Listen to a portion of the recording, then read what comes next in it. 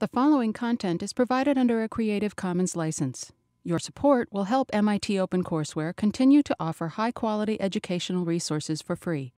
To make a donation or to view additional materials from hundreds of MIT courses, visit MIT OpenCourseware at ocw.mit.edu. Shall we start? This is, uh, let me just say, this is a great adventure for me uh, to be here all on my own teaching a course that involves learning from data. So it's an exciting subject and a lot of linear algebra goes into it. So it's sort of a second course in linear algebra. Uh, can I just, you'll know what, uh, so there is a stellar site established and that will be the basic thing that we use. Uh, this is a public site, uh, math.mit.edu, learning from data. And uh, so a book is coming uh, pretty quickly as we speak, or after we speak. Um, and uh, that site has the table of contents of the book, which would give you an idea of what could be in the course. And I, and I printed out a copy for everybody just of that one page. This is probably the final, first and last handout, uh, maybe, uh, with, with the table of contents, which you'll see there. And also, you'll see there the first two sections of the book, which is what I'll talk about today and, and on a little bit into Friday. So that's, that's linear algebra, of course, because the course sort of begins with linear algebra, actually things that you would know from 1806, but you, but this is a way to say this is really important stuff. So that's what I'll do today. Uh, I'd like to do some start on the linear algebra today.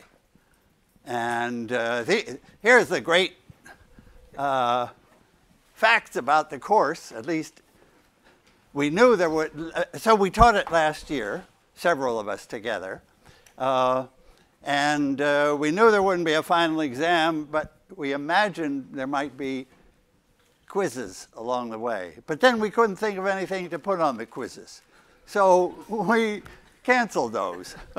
uh, but you do learn a lot, nevertheless. And so I guess we based the grades on the homeworks.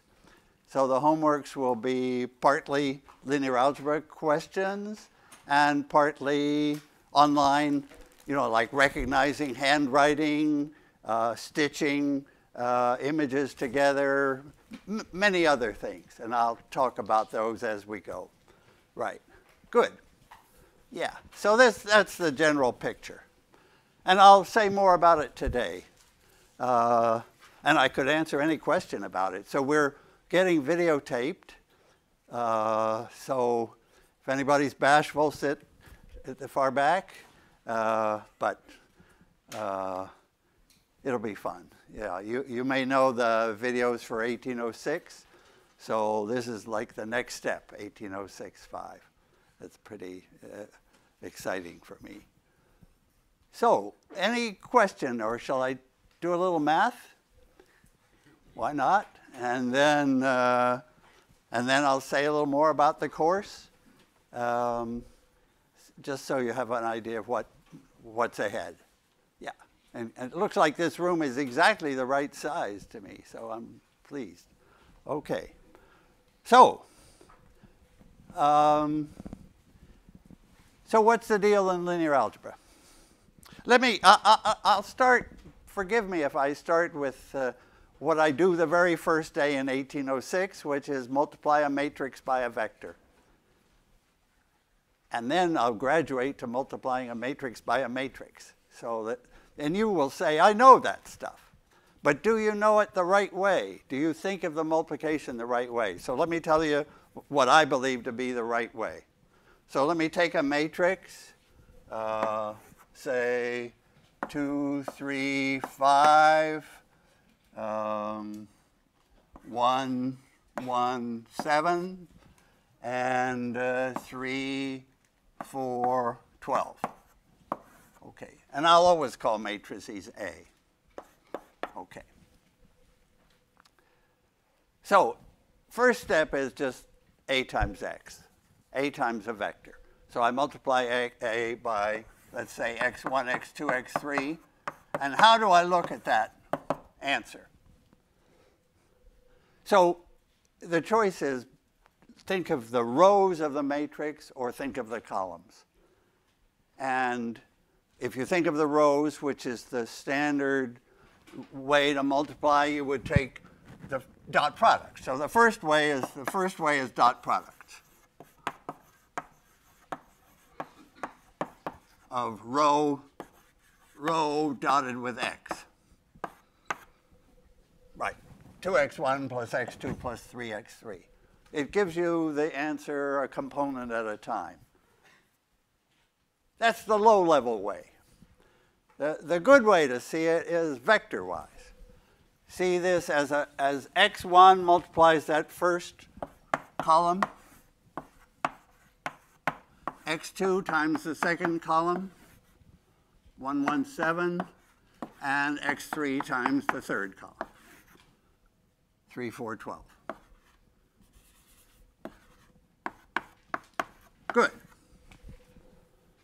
So it's a combination of vectors, and of course it produces a vector. And here we have a 3 by 3 matrix, and our vectors are in R3. And most vectors will be in R3 or Rn for this course. Um, so that's the right answer. And of course, the first component is 2x1 and 1x2 and 3x3. The same 2, 1, 3, the same dot product comes out right. But you see it like sort of all at once instead of piecemeal. So that's, uh, uh, uh, you know, part of the course. I guess part of what I hope to get across is um, thinking of a matrix. Uh, thinking of a matrix as a whole thing, not just a bunch of nine or or m times n numbers, but thinking of it as a as a thing. A matrix multiplies a vector to give another vector. Yeah, think, so that when I say AX, that you immediately think that. You immediately think, okay, AX has a clear meaning. It's a combination of the columns of A. So uh, now let me take that next step. And the next step is think about all combinations of the columns of A. We take the matrix A, and we take all x's and we imagine all the outputs. And what I want to ask you is, what does that look like? If I just take one x, one vector x, I get a vector output. Takes a vector to a vector. But now I take all x's, the whole, all the vectors x in, in 3D, and I get all these answers, and I think of them all together. And so I've got a bunch of vectors, infinitely many vectors actually. And the question is, what, if I plot those infinitely many vectors, what do I have? And the beauty of linear algebra is that questions like this, you can answer them and they, you intuitively see it.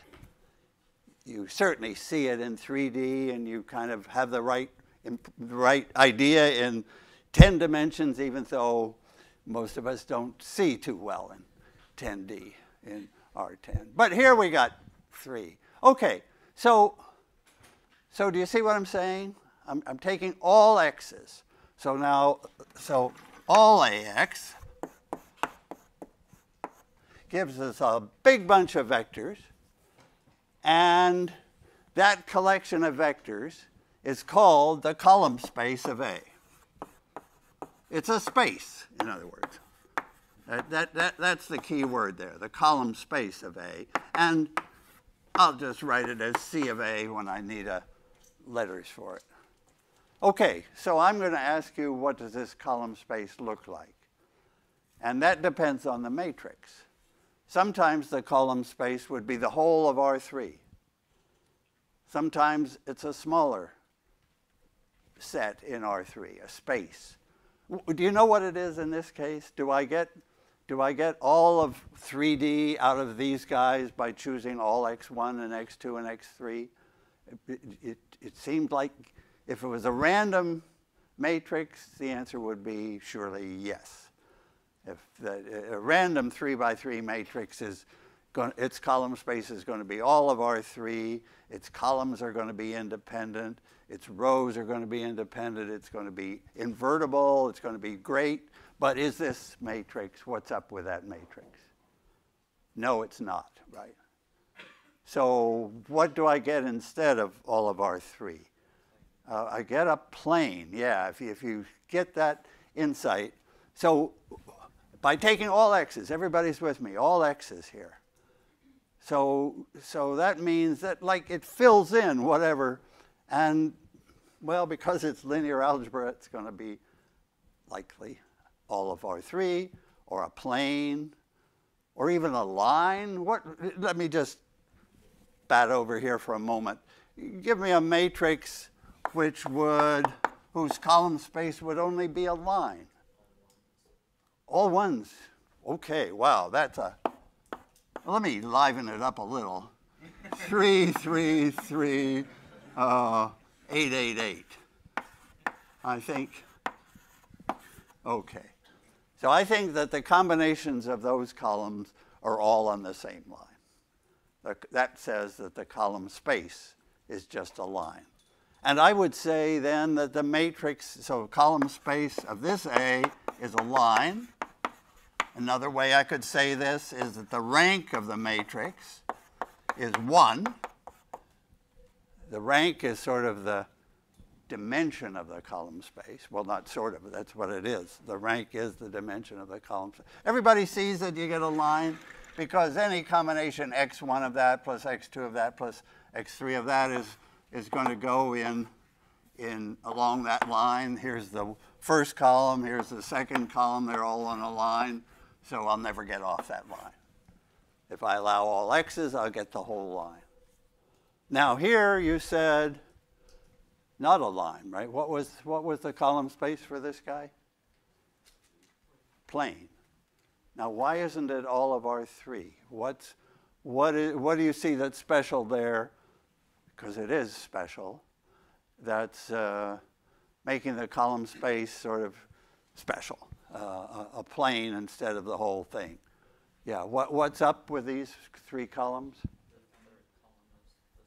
The third column is the sum of these two. So the first column is fine, 2, 3, 5. Second column is in a different direction. And when I take combinations of the first two columns, what will I get? Sorry to keep asking you questions, but that's, that's uh, anyway, that's what I always do. Uh, so, so, so the, the combinations of those first two columns are a plane, because they're indifferent. everybody kind of sees that picture. We've got one column one going that way and column two going that way. And then if I take any multiple of column one, I've got a whole line, any multiple of column two. And then when I put the two together, it fills in the, fills in the plane. Yeah. Yeah, our, your intuition says that's right. So this is a matrix of rank. What's the rank of this matrix? Two. Because it's got two independent columns, but the third column is dependent. The third column is a combination of the others. So this is, matrices like this are really uh, the building blocks of linear algebra. They're the building blocks of data science. They're rank one matrices. And let me show you a special way to write those rank one matrices. I think of this matrix as the column vector 111 times the row vector 138. So it's a column times a row. That's a rank one matrix. Uh, do you see that it's a, that's a true multiplication there? It looks a little weird, but it's a 3 by 1 matrix times a 1 by 3 matrix. These numbers have to be the same, and then the output is 3 by 3. And it's that. And you see that it factors. So I'm going to move on to that idea. The next idea coming up will be that. Uh, that we, we can see, well, that, that's coming, that we're going to see uh, matrices in, with two factors. Okay, let me, let me move to that, but, but back for this original matrix. Okay. So what's with this? The column space is a plane. So the, if I if think about now the key idea of independent columns, how many independent columns have I got here? Two, correct, two. The third column, if I want to especially pick on that one, so I, I'll often go left to right. So I'll say the first guy is good, second guy is good, the third guy not is not independent of the others. So I just have two independent columns. And those, are, those two columns would be a basis for the column space. So that's the, like the critical idea of linear algebra. That's what you compute with. You find a basis, and, and everything in the column space is a combination of these. Including that is also, that's already a combination of those, but everything else in the column space is a combination of those two.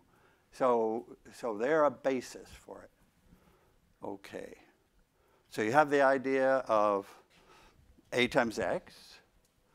You have the idea of column space of A, which allows all X's. Then now we're moving into the idea of independent columns. And the number of independent columns is the, is the rank. So the rank, shall I write that somewhere? Maybe here, the rank is the number of independent columns.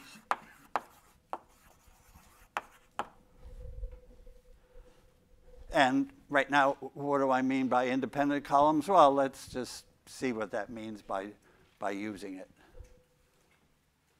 Are we good? I'm, I know I'm reviewing here, but uh, allow me for this first class and part of next time also to review, but you'll see something new. In fact, why don't we see something new right away? Let me follow up on the idea of independence in a systematic way.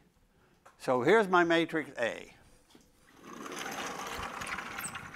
Okay, can I write that again? 2, 3, 5, 1, 1, 7, and this guy was the sum of those. Okay, so that's my matrix A.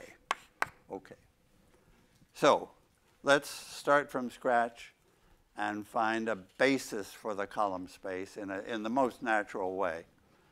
So I'm going to take a basis, I'm going to, what, what's a basis? A basis is independent columns.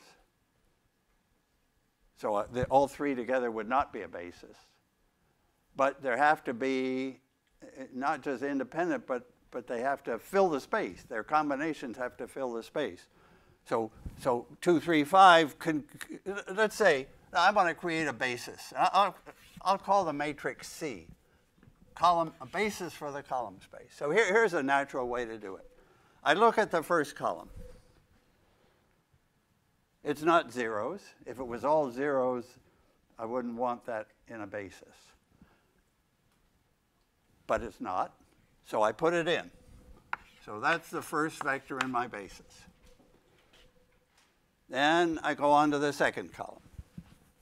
If that column was 4, 6, 10, what would I do? If that co second column was 4, 6, 10, would I put it in the basis? No. But 117 is okay, right? 117 is in a different direction. It's not a combination of what we've already got. So I say, okay, that adds something new, put it in. Then I move on to the third column. Do I put that into a basis? You know the answer by now no, because I'm looking to see is it a combination of these guys? And it is. It's one of that plus one of that. So it's not independent. So I've, I've finished now. I've got a, a matrix C, which was like taken directly from A, and I kept only independent columns and I worked from left to right. And I can see that right away now that the rank is 2. The column rank, I, I, I should say the column rank, the number of independent columns is 2. Good? Now comes a key step. I'm going to produce a third matrix R, which is going to tell me how to get these columns from these columns. And its shape is going to be, well, its shape, I don't have any choice. This is 3 by 2, so R has to be 2 by something. So, so, so I'm like so. I guess it has to be 2 by 3 because I want to come out this way, 2 by 3. What am I going to do here? I'm just going to put in the numbers R that make this correct. So this is a first matrix factorization. It's not, well, it is a famous one actually. When we see it, we'll recognize what it is. Uh, it's, it's famous in teaching linear algebra, but now actually C times R, columns times rows, has become very, very important in uh, large-scale numerical linear, numerical linear algebra. Yeah. So let's figure out what goes into R. Okay. So what's going, what am I thinking here? I'm putting in R, that tell, so every one of these columns is a combination of these. That's the whole point. And I'm just going to put in the numbers that you need. So what goes in the first column of R? What goes in the first column of R? So I want to look, what combination of that column and that column gives me this one? Yeah, one zero. One zero.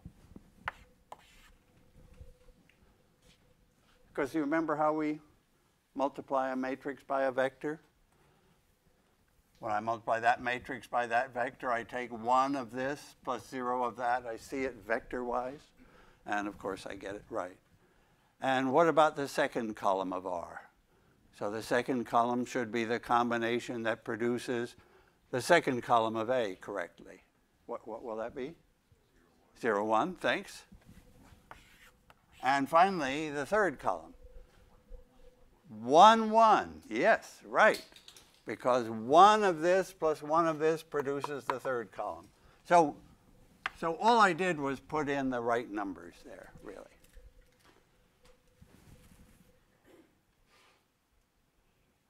Uh, right. And this is correct now. A is C times R. And so that's, this is like, uh, uh, what I've done here is like the first two pages of section 1.1 in these uh, notes. So 1.1. And actually, so I'll tell you literally what happened uh, uh earlier this year. I'd finished this. I wrote, I wrote this down with a different example. And then I realized something that, that sitting here in front of me was uh, the first great theorem in linear algebra the fact that the column rank equals the row rank. The fact that if I have a matrix where that column plus that column gives that one, oh, ooh, so what am I going to say here? I'm getting nervous about it. Uh, I believe that a combination of the rows gives zero.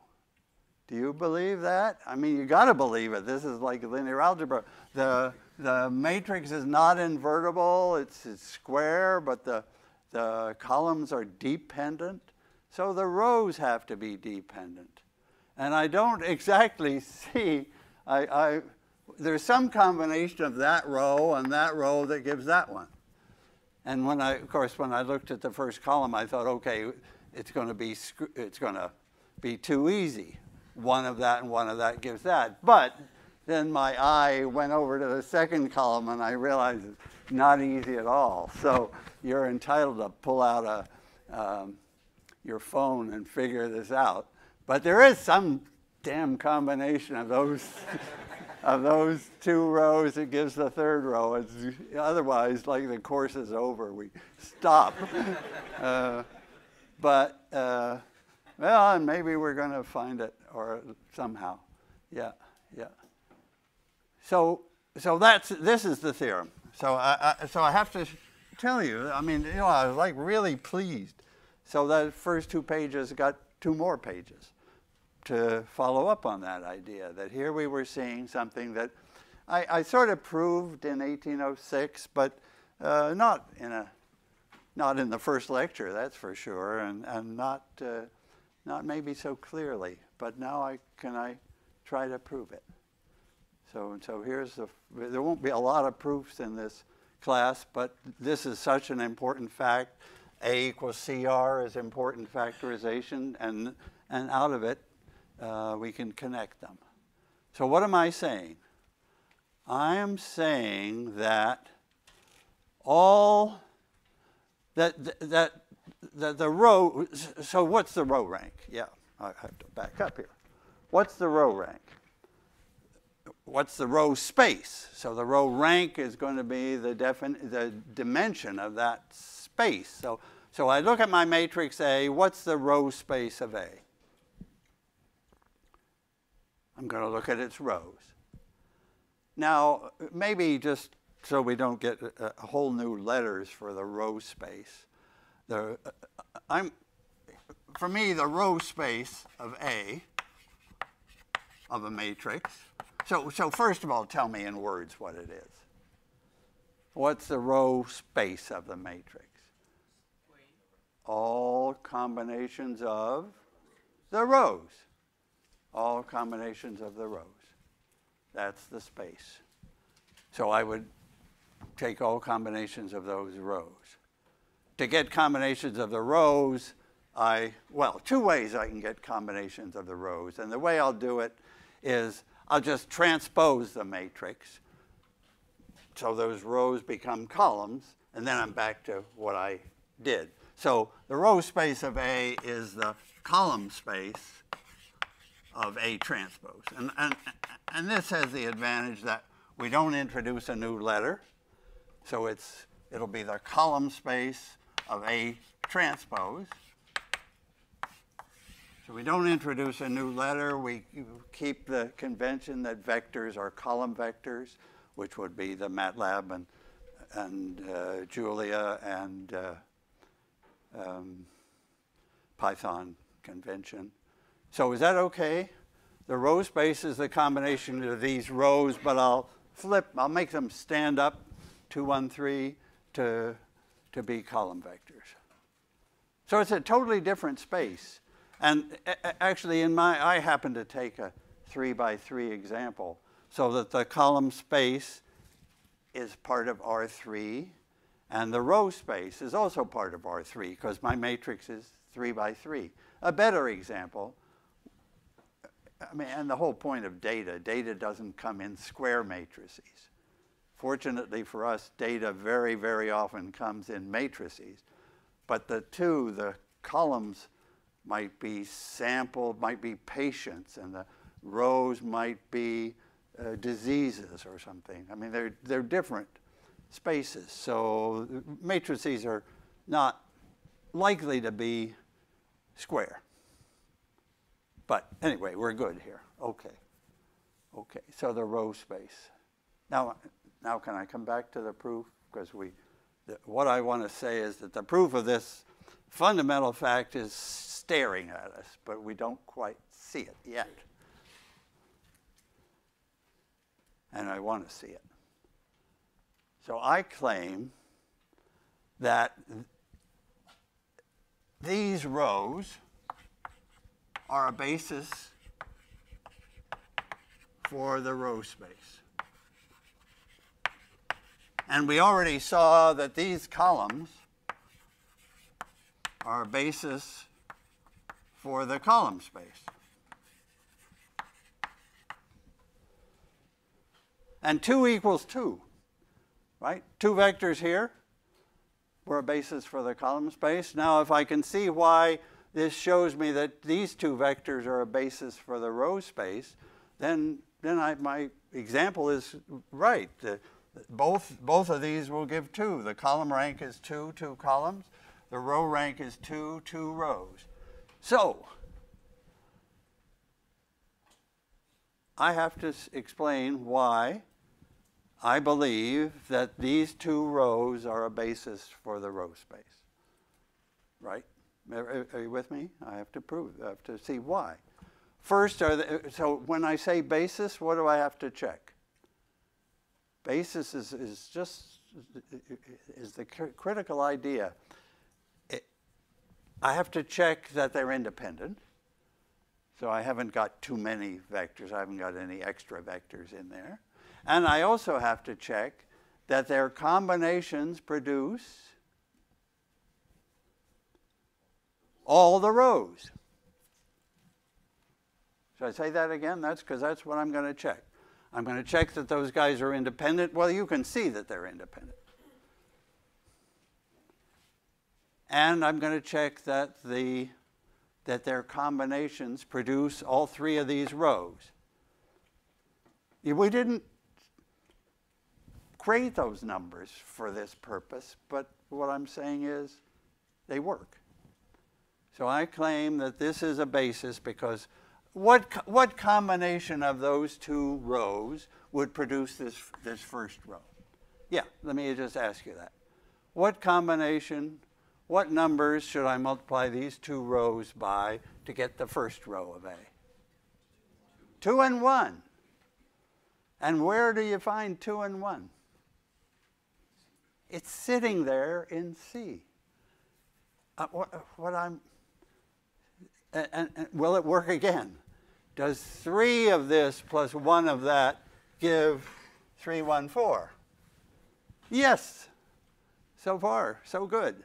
Does five of this and seven of that? See, I'm, I'm multiplying, uh, I guess I'm doing matrix multiplication a sort of backward way or a different, different way. I'm taking combinations of the rows of the second guy. It's another way. The wonderful thing about matrix multiplication is you can do it a lot of ways. It comes out the same every way, and each way tells you something.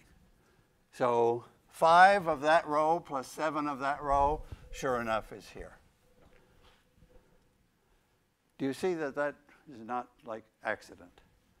That, that uh, the proof is really to look at this multiplication C times R two ways Look at it first as combinations of columns of C to give the columns. Look at it second to get as combinations of the rows of R, and that produces the rows. So that factorization, A equals CR, was, uh, was the key idea.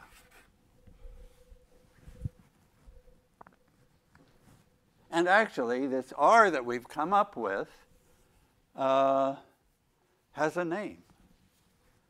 Anybody remember enough 1806? Here's a, like, have you all taken 1806? I'm, uh, no, I see. A, how many have? Let's, uh, yes, okay, good. For a while, 1806 was taught in a very abstract way. I said, what's going on? But anyway, so if you took it that semester, you maybe never heard of the column space. I'm not sure.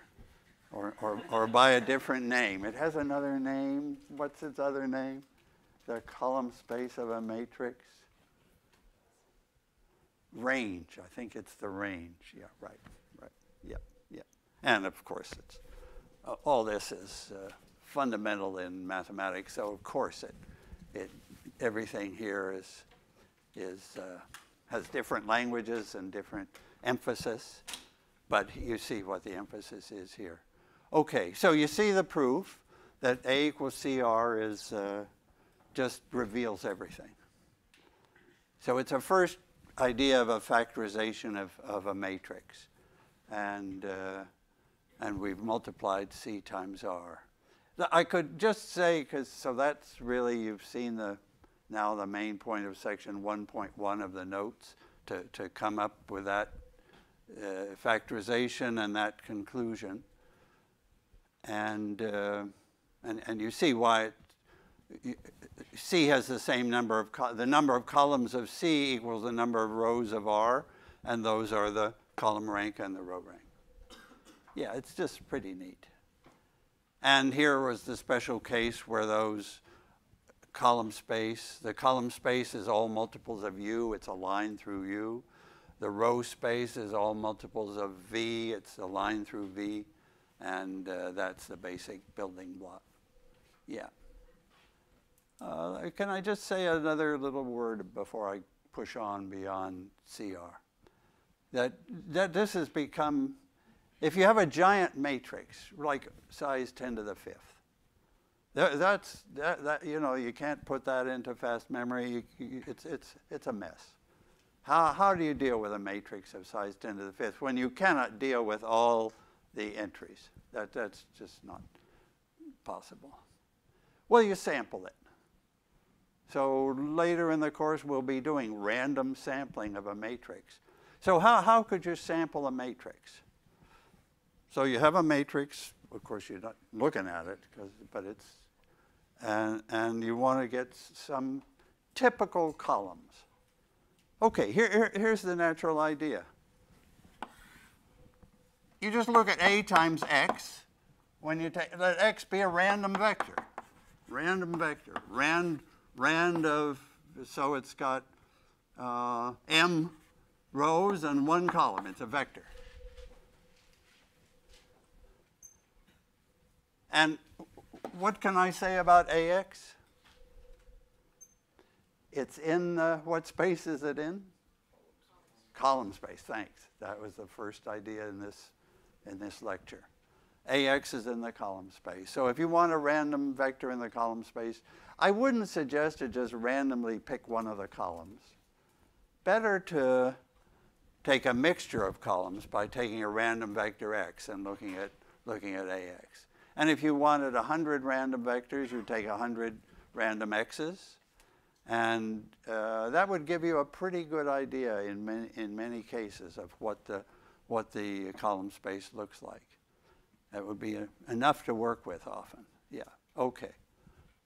Can, uh, uh, can I just throw in another question? So, so AX is in the column space of A. Can, let me just ask you this question is, is A, B, C, X. Is that in the column space of A? Suppose I have matrices A, B, and C, and a vector X, and I take the product. Does that give me something in the column space of A? Yes, good for you. How, why, how do you know that? Yeah, it's A times something. Right. Putting parentheses in the right place is the key to linear algebra. And there it is. Okay. That, that was just a, it's a question just occurred to me, and I thought, well, I wonder if you'd do it. Okay. So we have still time to multiply matrices. Oh, I was going to say about C and R. So these are real columns from A, but R is the rows are not taken directly from the rows of A. Actually, there's a name for this. It's called the row reduced echelon form of the matrix, and it's a big goal in, in 1806. It, it has the identity there, and then the other columns uh, are tell you the right combinations. Yeah, yeah. There, uh, another big factorization would be to take columns from, from A. So this is another, so I'll put maybe or. A equal, and, and we won't be doing this for a month. Uh, we could start take columns of columns of A and put them into C if they were independent. And suppose I took rows of A. Now I'm going to take literally rows of A and put them into R, well, shall I call it R twiddle or something? Because it'll be a different R. I'm going to use actually not I'm not going to use those rows, but I'm going to take two actual rows of A, then what? So that's an important factorization, but it's not correct. Uh, it wouldn't, if I took two other rows of R, it wouldn't work. So you have to put in the middle some two by two matrix U that makes it correct. I, I just, you'll see on the, on, in the, in that section 1.1 that I got excited and uh, wrote a page about CUR. Yeah, so I'll just mention that. Okay. So now I'm ready. Oh, I, I wanted to say something about the course. I get excited thinking about math, but uh, there is this course. To, so what's up? Um, so there'll be uh, linear algebra problems. But, but what makes this course special is the other homeworks, which are online, and you would use, let's see, in principle, you could use any of the languages, uh, MATLAB, Python, which has become the biggest, most used for deep learning, or Julia, which is the hot new language. And uh, so last, last time, last year, the problems, oh, so what happened last year? Well, everything in this course is owed to a professor who visited from University of Michigan, Professor Rao, Raj Rao, who taught, gave most of the lectures a year ago, brought these homework problems, online homework problems, so that people brought laptops to class and we did things in class. Uh, and uh, so he had, had and has a, a very successful course at, in EE in Michigan. And, uh, but he was a PhD from here and he came back on a sabbatical and he created this, got us started. And we really owe a lot to him. Uh, also, Professor Edelman was involved with this course. And you maybe know that he created Julia. You, how many like know what Julia is? Oh, wonderful. That will make his day.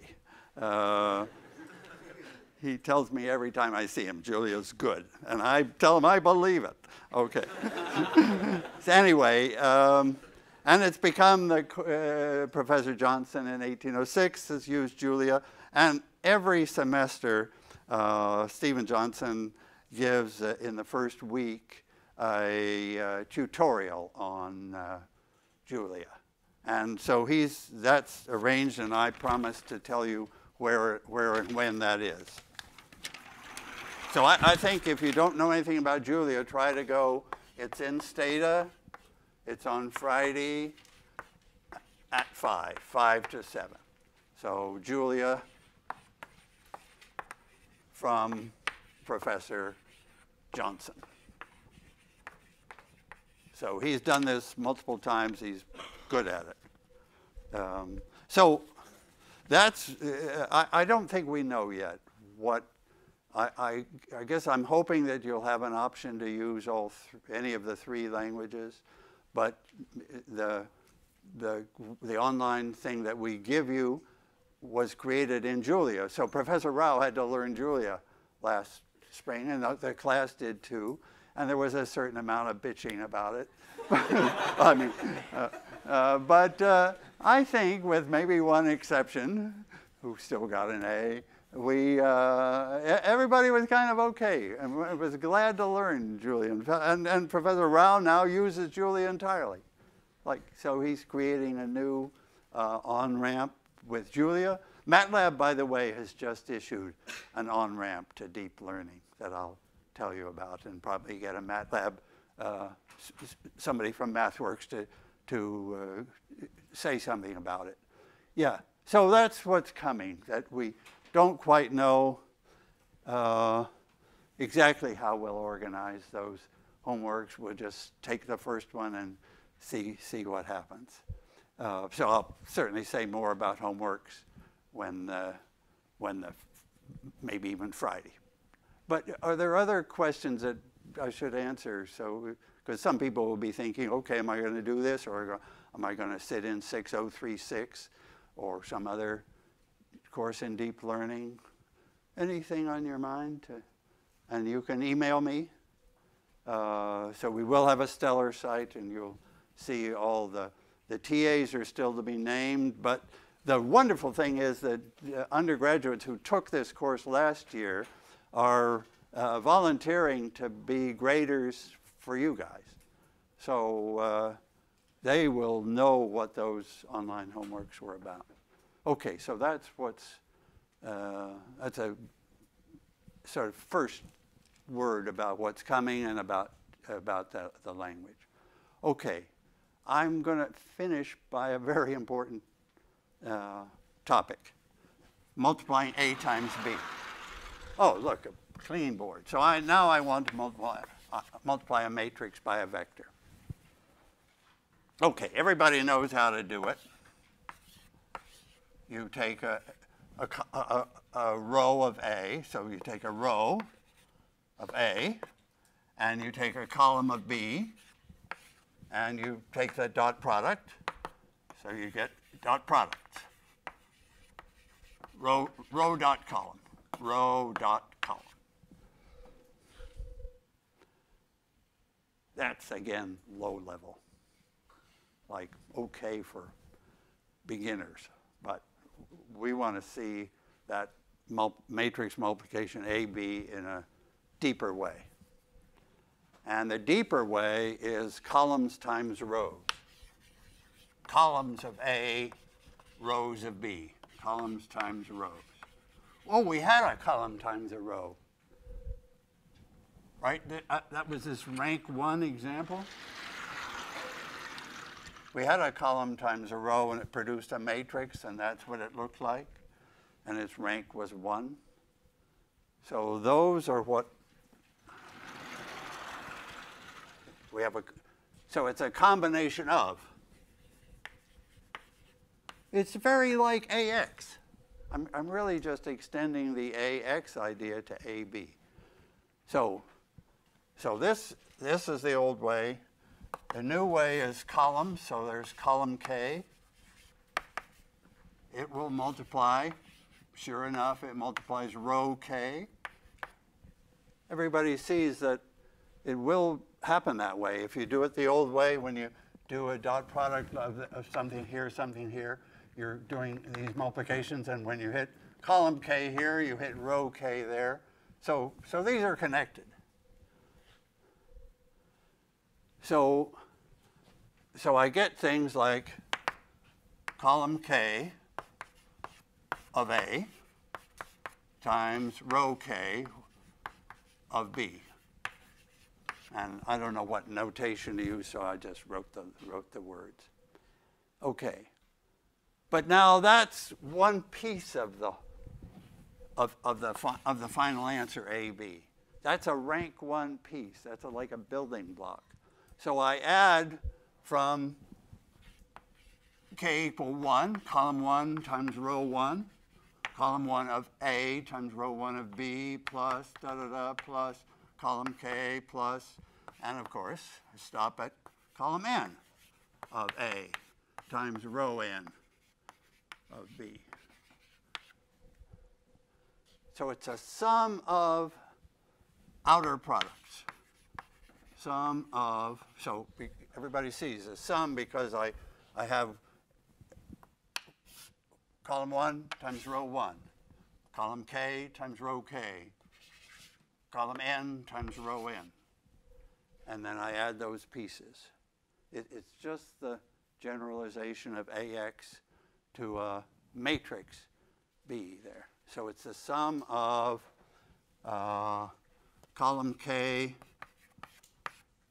row K, of A, row K of B.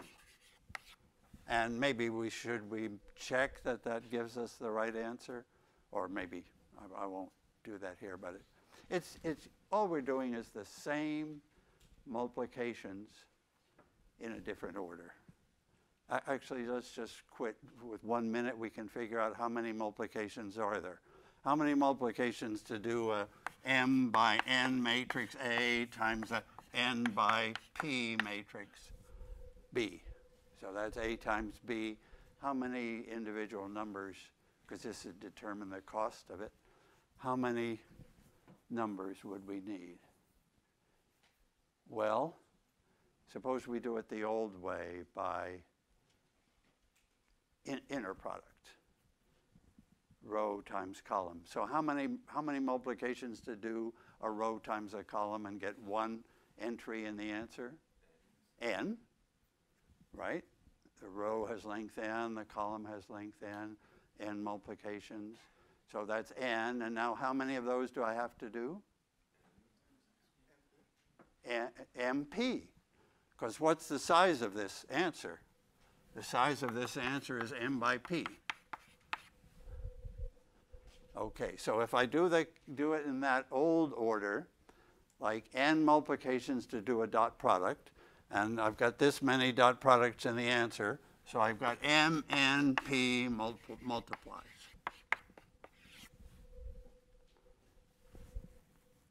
Now, suppose I do it this way. How many multiplications to do one of those guys? To multiply a column by a row to multiply a column by a row, this, this, this is a m by 1, and this is a 1 by p, one column, one row. How many multiplications for that guy? mp. And how many of those rank 1s do I have to do? n. You got it? It's mp times n. Now, it's the other way was, was n times uh, mp. So it gives the same answer, MNP multiplications. They're, in fact, they're exactly the same multiplications, just a different order.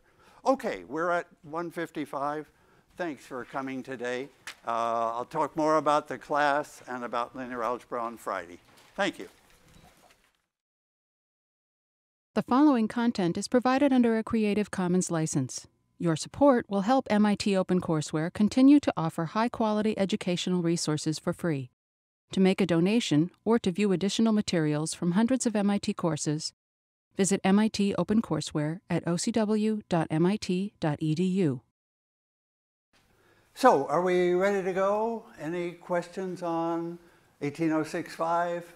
Uh, so, it will be, as I said before, a mixture of linear algebra and uh, math uh, questions, along with online uh, using the material. Okay, so I'm in this first uh, week or two uh, reviewing the highlights of linear algebra. And uh, I've reached this point to remember well, so we, I just said two words about multiplying matrices by using column times row as a, as a way to do it. And I'll, I want to illustrate that by the five uh, key factorizations of matrices. Okay, so what are they? And do, do you recognize them? Everybody uses those letters. In fact, those some of those letters like LU or QR would be the most used MATLAB commands in linear algebra. So A equal LU, I'll maybe say something I'll, I'll develop today, but it's about elimination.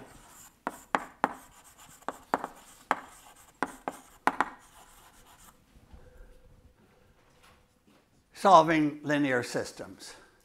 So that's always the start of a linear algebra course, but I, it, it will go fast here. I just want to show you a different way to get to L times U, lower triangular times upper triangular. Probably you've seen that, those triangular matrices. So do you know what QR is? What's QR about? Least squares. Least squares is the big application the factorization, so what kind of a matrix gets that letter Q? Orthogonal. orthogonal. The columns are orthogonal, often orthonormal. So orthogonal means they're perpendicular to each other, and orthonormal means they're unit vectors.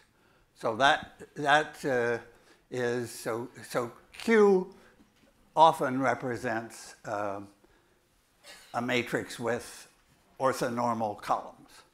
So, so you, we could say Gram Schmidt if you want to remember uh, uh, a couple of old timers who uh, whose algorithm produces Q and R. Uh, how about this one? This is really a central one in math. Pure math, applied math, everywhere, applications. So S stands for symmetric. So this is a special factorization for symmetric matrices. And you can see that it's symmetric. This lambda is the diagonal eigenvalue matrix, always lambda for, for eigenvalues.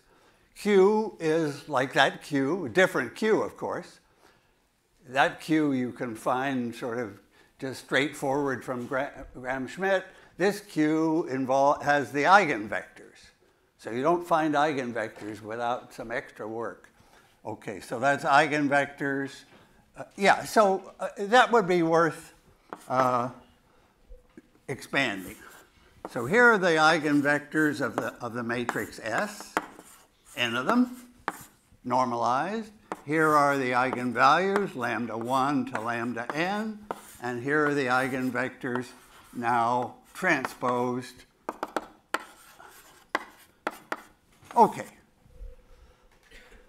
So remind me of the great fact about, two facts, I guess. One fact about the eigenvalues and one fact about the eigenvectors. This is like an important fact in, statement in linear algebra. What, is, what do we know about the eigenvectors? Oh, well, I guess I've given it away. The eigenvectors are orthogonal. That's very important. Makes the matrices, well, they're beautiful matrices. They're, they're the kings of linear algebra. Q's are the queens, in my opinion. Orthogonal matrices are the queens, and symmetric matrices are the kings. So, so these are orthonormal eigenvectors. And the key point, uh, uh, uh, an important point that's implicit here is there are n of them. There's a complete set. The matrix can be diagonalized, and those, uh, well, what's special about the eigenvalues? Other matrices could be Q, lambda, Q transpose, but symmetric matrices are something additional about lambda. They're all real? They're all real. So eigenvalues are real and eigenvectors are orthonormal, can be chosen orthonormal, can be chosen, I guess I have to say. Okay, good, good, good. Oh, now maybe I'll use that as an example of matrix multiplication. So let me just do that here. Simple matrix multiplication, but it makes the point. So Q lambda Q transpose. Okay. Well, what was my point about matrix multiplication? Let me, let me, it, it really involved two matrices. Here I unfortunately have three, so I'm going to have to squeeze lambda in with one of the q's to, to see it nicely as two matrices. Shall I just do that? Yeah, I'll, I'll, there, now I've made it two matrices. That was easy. Okay, now what's the rule? uh, in, in the first notes, this was A and this was B. And when you multiply two matrices, the rule is this is columns of Q lambda times rows of Q transpose. I'm multiplying columns by rows. And uh, so it's a column vector times a row vector. And that gives us a matrix. So each, and it's a, a special matrix. What, so this is a column, this is a row. And when I multiply n by 1 times 1 by n, I get an n by n matrix. And it's pretty special. And what is the special fact about, I'm sort of recalling from last time, what's special about a column times a row? Its rank is special. Its rank is 1. it, it, all, it's column space. Well, the only column around is this one. So all columns are multiples of this guy. All rows are multiples of this guy, as we could see from an example. Shall I just do an example? 1, 2 times 3, 4, to take a random example. So that would give us 3, 4, 6, 8. And sure enough, the columns are multiples of 1, 2, the rows are multiples of 3, 4, and the rank is 1. Okay, so those are the building blocks. Now I want to build something. So here we go. So this is a sum of rank 1, sum of rank 1, a sum of column times row. So I take column 1 times row 1. That's my first thing in the sum. So column one of that, so you see I had to sneak the lambda in to have just, uh, just two factors. So what's column one of q lambda? Oh, that's a good question. So column one of q is q1, the first eigenvector. But now I am multiplying by this diagonal matrix. Do you, do you see in your mind what's the first column of q lambda? Just, think about that a second. So here's, we can steal any little corner for, for, uh, for a matrix. Okay, so here's Q1 and the rest of the columns. And then here's lambda 1, and that's Q lambda, so I'm putting those together. And I'm asking what's the first column of the answer. Can you see how that works? Q1 lambda 1? It's, sorry? Q1 lambda 1? Q1 lambda 1, exactly. That lambda 1 will multiply Q1. These other lambdas multiply later columns. So the first column is lambda 1 times Q1. Right, so that's, it's the first guy, lambda 1 Q1. And then the first row of this will be Q1 transpose. That's the first guy in our sum of n things. And let me put the next one and the last one. Lambda 2, Q2, Q2 transpose, and lambda n, Qn, Qn transpose. That's really a nice way to write the, to break up the product, Q lambda, Q transpose. This is called the spectral theorem. So that's the symmetric, that's S. That's S there, is, is that. So that's the, we've broken up S into rank one pieces. That's, that's like a constant theme. And these rank one pieces are quite special because they're symmetric. Q1, Q1 transpose will be symmetric. And, uh, oh, so can we, so, so that's just, I followed the rule for multiplying matrices, but maybe I could just check that uh, it, it's the right thing, that it came out right. Um, so what do I mean by checking? I guess I'll just check about S times Q1. So look at S, this thing, times the first eigenvector, and what do I get? Okay, so it, you'll like this. So there's, I've split up S into a sum of rank one pieces, and that splitting is, you see it all, all, all over. Uh, it, it's really showing you what the pieces of the symmetric matrix are. And now I'm just going to check that that's a correct, a correct formula for S. So I'll multiply it by Q1 and I'm hoping to get the right thing. And what do I actually get? If I multiply this whole business times Q1, I get lambda 1, Q1, Q1 transpose, that's the first guy, times my Q1, plus, right? I'm multiplying S by Q1, and this first term gave me that. And what does the next term give me? Put, put me out of my misery here. It's, uh, um, I'm looking for this thing to simplify like mad. Okay, so what's the second term? When I multiply this guy by Q1, what do I get? Zero. That's right. That's what we want. And when I multiply the last guy by Q1, I get zero because the Q's are orthogonal. So this is all I get. And then, so I don't need this plus anymore. That's it.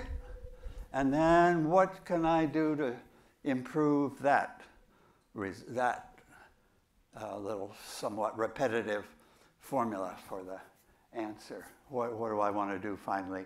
I want to remember that the Q's are normalized. They're unit vectors. So what does that tell me here? Q1 transpose. Q1 transpose times Q1. This is just 1. It's, it's the, that's what or, normalized means, that the length squared. It's the length, it's the length of the vector squared, and it's 1. So I can cancel that term, and I'm getting the right answer. That's all I, that's all this was about.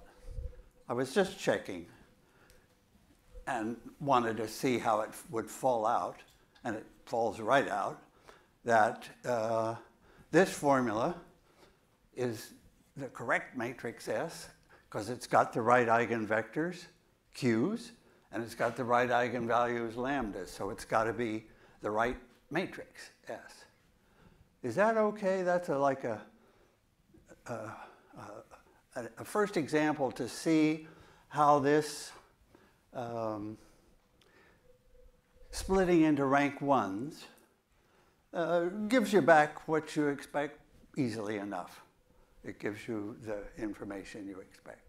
Okay, so that's the symmetric uh, eigenvalue picture for symmetric matrices, and we'll see it again. It's, it's uh, well, all five of these are, are big, are important. I don't know if you know this one, but uh, it's going to be a foundational uh, factorization for this course and for all of data science. Do you know its name? The, so uh, what does it mean, first of all? Just, just a comment on this, and then we'll save it for a couple of weeks. So this U is actually an orthogonal matrix, and so is V. So it has, uh, it has two orthogonal matrices, so that's why people called them U and V rather than Q1 and Q2, which was like too much to get subscripts. So orthogonal times diagonal times orthogonal. Let me say orthogonal, diagonal, orthogonal. And 1806 would, as of now, reach this topic because it's jumped up in importance, and it's called singular value decomposition. Well, those are long words, so everybody calls it the SVD, the singular value decomposition. The point is, it, it's, it, it's the, it works for every matrix. Rectangular matrices, there's no issue of does it have enough eigenvectors or not. That's an issue here. Well, it's an issue here. Not every matrix has got enough eigenvectors to make that work every matrix, that one works because uh, instead of one set of eigenvectors, it's got two matrices, two different sets of singular vectors. Oh, we'll, we'll see that. That's, that, that, that's important. Okay, so that's, a, that's really a quick overview of fundamental factorizations.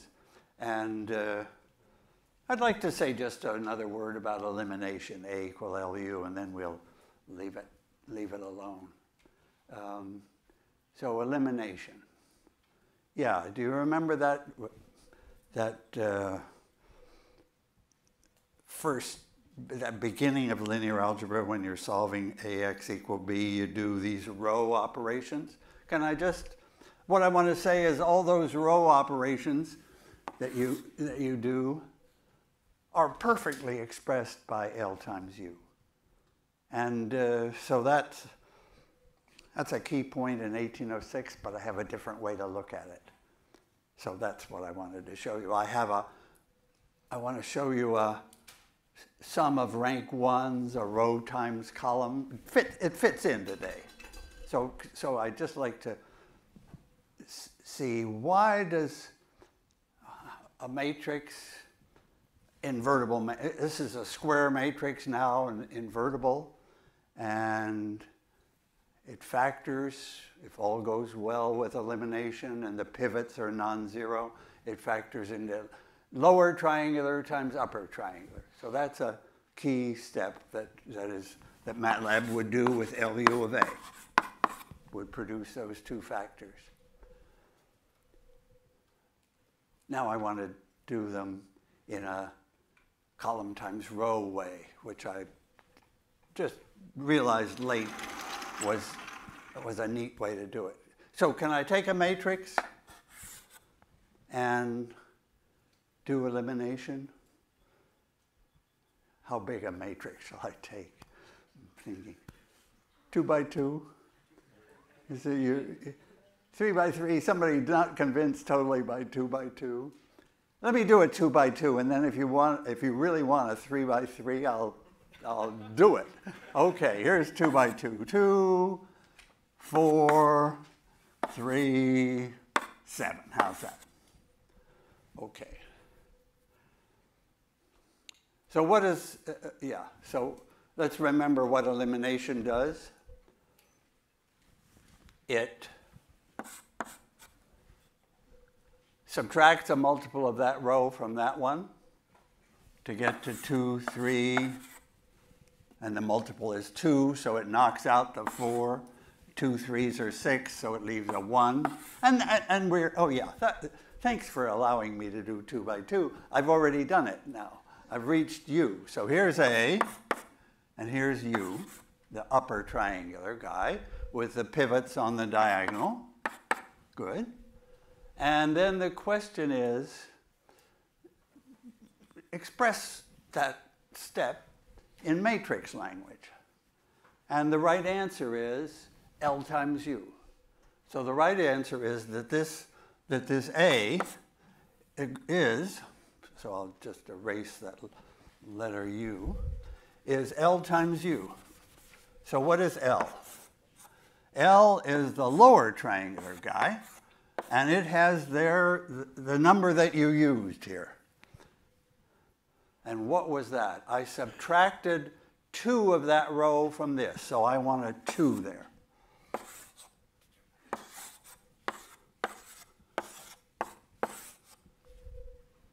So that, that, that would be, I would call that a multiplier. I multiplied row 1 by 2, subtracted to get that 0, and for a 2 by 2 example, I was finished. Okay, now I want to see this. So there's L times U, it happened, right? I would like to see how L times U comes out of uh, this row, uh, column times row. So let me start, let me th think again. What so the, really the point of elimination, what, what, was, why did we do this in the first place? Because here we had two coupled equations. They were coupled together. We couldn't solve them instantly. That step of elimination reduced me to, down here in this corner, one equation. I've eliminated the first unknown x from the second equation. So the second equation is 0x plus 1y equal right-hand side, and I solve it immediately. Okay, so how did I get to that one by one problem with these guys removed? Well, it, yeah, I'll just write, can I write here the, my parallel way to think of it? And it, two by two is pretty small, I admit. Okay, so I, I start with two, three, four, seven. I want to split it into, I want to get the first row and column in one piece. Something goes there. And the other piece is something there. Okay. That's what elimination has done. It's taken the original matrix, it's split it. Th these are both rank 1.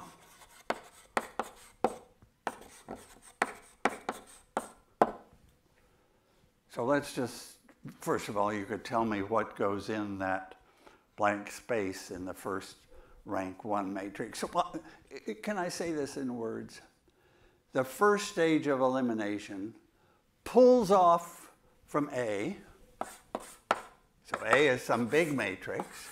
It pulls off from A, it takes account of the first column and row, so it, it, uh, it writes A as, here we go, as a first column, say column 1, row 1, plus, plus the easy part. The easy part will be a matrix with all zeros there. All zeros there, and here I have A2. Can I call it A2? This is my way now to think about what elimination is really doing. It's starting with an n by n matrix. It's pulling off a rank 1 matrix, which has, gets that column and that row correct, and it gets whatever it has in here, and then the rest of what's in there is A2. Do you see that we've done that here? The first step got the first row and column correct, and if it's rank 1, what number goes there? 6. 6 for that. And then this is the rest. This is what we have one size smaller to work on, and it looks like it was 7, 6 has been used, so it's a 1. That's really, I, want to think of this rank 1 matrix as the first column of L times the first row of U. And then this guy is the second column of L times the second row of U.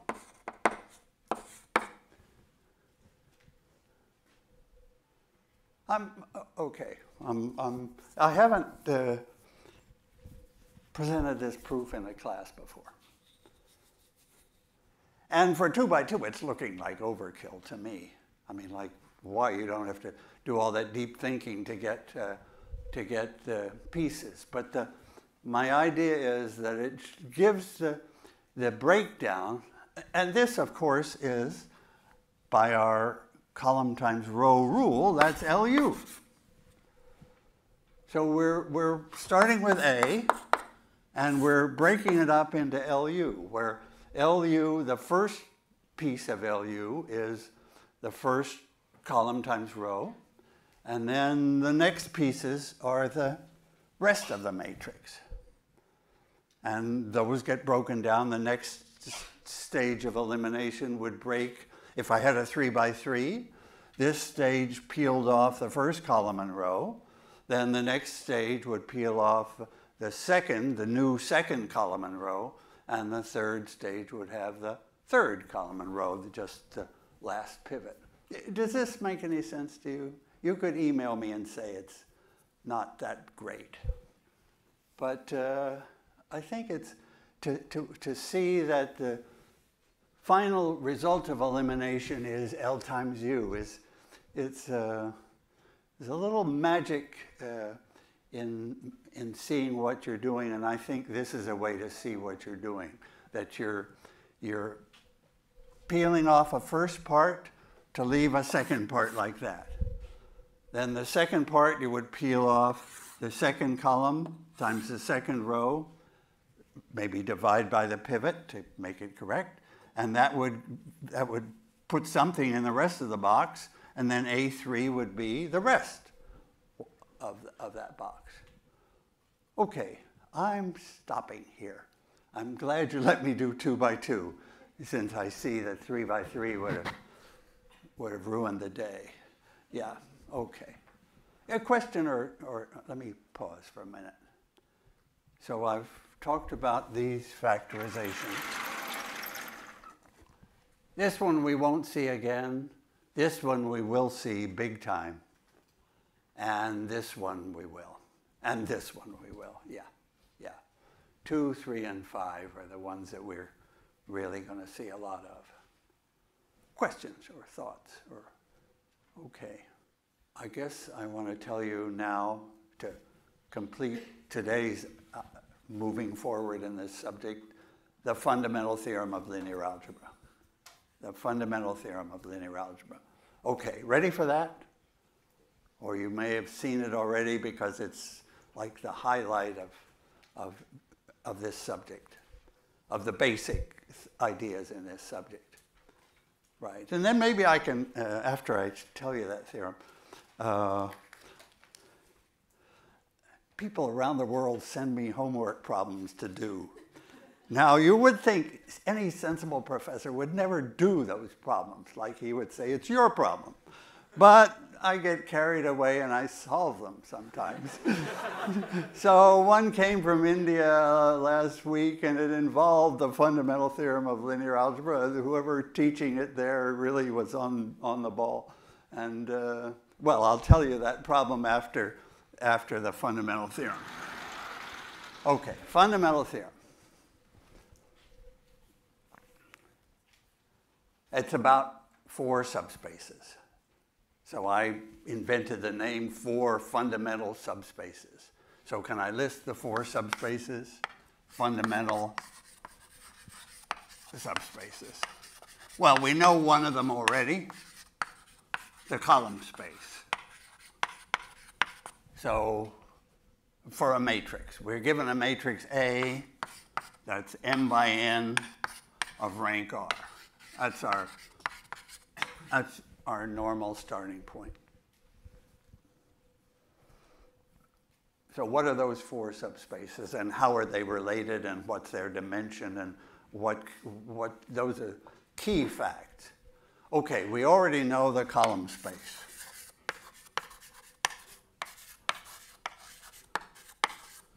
Column space of the matrix. And actually, we already know the row space of a matrix. And we have the notation for that column space of A transpose. And what is the dimension? So that was the key point in the first lecture. Anybody who missed the first lecture should go back to the notes of 1.1 uh, for the for the thinking that goes into the dimension equals what which of those three numbers do I want to, is the dimension of the column space? R. R. And what, what can I say about R right away compared to M and N? Yeah, less or equal. R could, I couldn't have more independent columns than I have columns. So I've got N columns, so R, R of them are independent. So R is somewhere less or equal, hopefully equal to n. What about the dimension of the row space? How many independent rows has the matrix got? R, thank you. That's the, that's the great fact uh, with a new proof last time in section 1.1, that those have the same dimension, same dimension, which is, you know, you think, oh, okay, you look at a simple example, it's true. But you know, if you're, if you're given a matrix that's 50 by 100, uh, really the fact that those 100 columns have the same number of independent ones as those 50 rows, that's, that's like great. Okay, now the other spaces are the null space of the matrix, n of A. And just to make everything naturally symmetric, the null space of A transpose. Those are the last two. Those are the four fundamental subspaces, which you've seen, and they're even on the cover of the linear algebra textbook. Okay, so what's the null space? The set of vectors that solve AX equals It's zero. a set of solutions to AX equals zero. Right. Null space is all solutions to AX equals 0. So the null space has vector, these vectors in it, the x's. The null space isn't taken from the matrix. The row, the row space and the column space, those, those numbers are sitting in the matrix. The null space and the null space of A transpose are solutions to, the, the word null is reflecting the fact that that's a zero. And that's what makes it a space. Now, can you just, let me just ask you to think again. What's implied when I say, when I use the word space, a space of vectors? I can add, yeah. So, so you, I can do the most important operations of linear algebra in that space. I can add two vectors. Here, let me just add them. So here I'll have a, a vector x, and let me say another, another one, a vector y. Then I do addition, I follow the rules, I see that this can be written as ax plus y is 0 plus 0. So what have I learned? I've learned that if x is in the null space and y is in the null space, then x plus y. So the null space is, as you said, closed, meaning I don't go outside it. If x is in it and y is in it, then the sum is in it. And similarly, from ax equals 0, I get to a times cx equals 0. Just multiply by c, by a number c. So those two facts, that's, that means I can do linear algebra. I can multiply by numbers and I can add. In other words, I can take linear combinations. That's what you do with vectors. And the, the point is, if I do it, if I take combinations of two null space guys, I'm still in the null space. Okay. So that's the point of the null space. And uh, well, now, so now part of the fundamental theorem is to figure out how many independent vectors are in the null space. How many solutions, independent solutions, does that system of equations have? So that will be the dimension. And I have to ask you what it is. Let me draw a picture while you're thinking about those spaces. It's fantastic to have these beautiful, clean boards. Okay, so here's my picture of the row space. Rows, that's the column space of A transpose. And here's my picture of the null space, N of A. And that's the solutions to AX equals 0. And why have I put these two together and these two together? So the other pair will be the column space, C of A, and the null space of A transpose. So there are the four spaces where, where their relationship is the fundamental theorem of linear algebra. So first of all,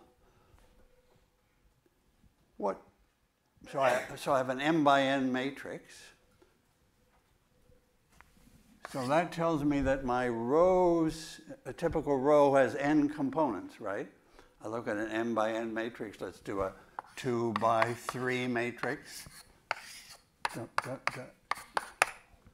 So if I look at the row space, this is M, and this is N.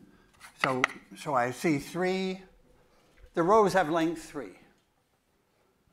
And of course, they multiply the x's, which also have length three, x1, x2, x3.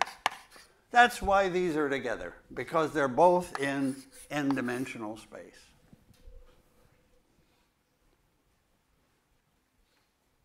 Then why are these together? Because the columns are in two-dimensional space for this example, and the null space of A transpose would be just two components like y1, y2 to give zeros. So do you see that this is R, these guys are in Rm. So that's the first, like get things straight. Two spaces in Rn, two spaces in Rm.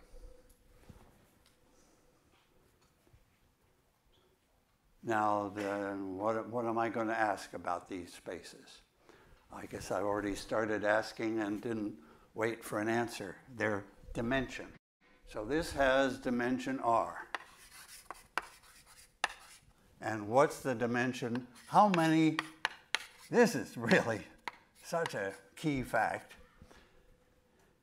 If I have m equations, ax equals 0. And if r of those equations are independent, how many solutions? So the dimension of the space is going to tell me how many solutions to ax to, to m equations, but really only r genuine independent equations in, in this system ax equals 0. How many? So, so can I ask the question again? And I want the answer in terms of m and n and r. So I have, I really have r equations. If I look at ax equals 0, it looks like m separate equations, but, but m minus r of those are just copies or combinations of others. So there are R independent equations. So what's, how many have I got? Yeah, and, and that's what I'm going to write in here. Yeah. So yes, so x has x has n components, and there are real, you know, active equations that, that they have to satisfy, and that leaves n minus r. That's the key point. That's the key point. That there are n components of x, n unknowns, n unknowns, and there are r constraints, independent constraints. So the, those n get, if I want to satisfy those constraints, that knocks out dimension r and leaves n minus r. So that's the dimension here. And the beauty of the, the count is that those two numbers add up to n. Everybody's accounted for.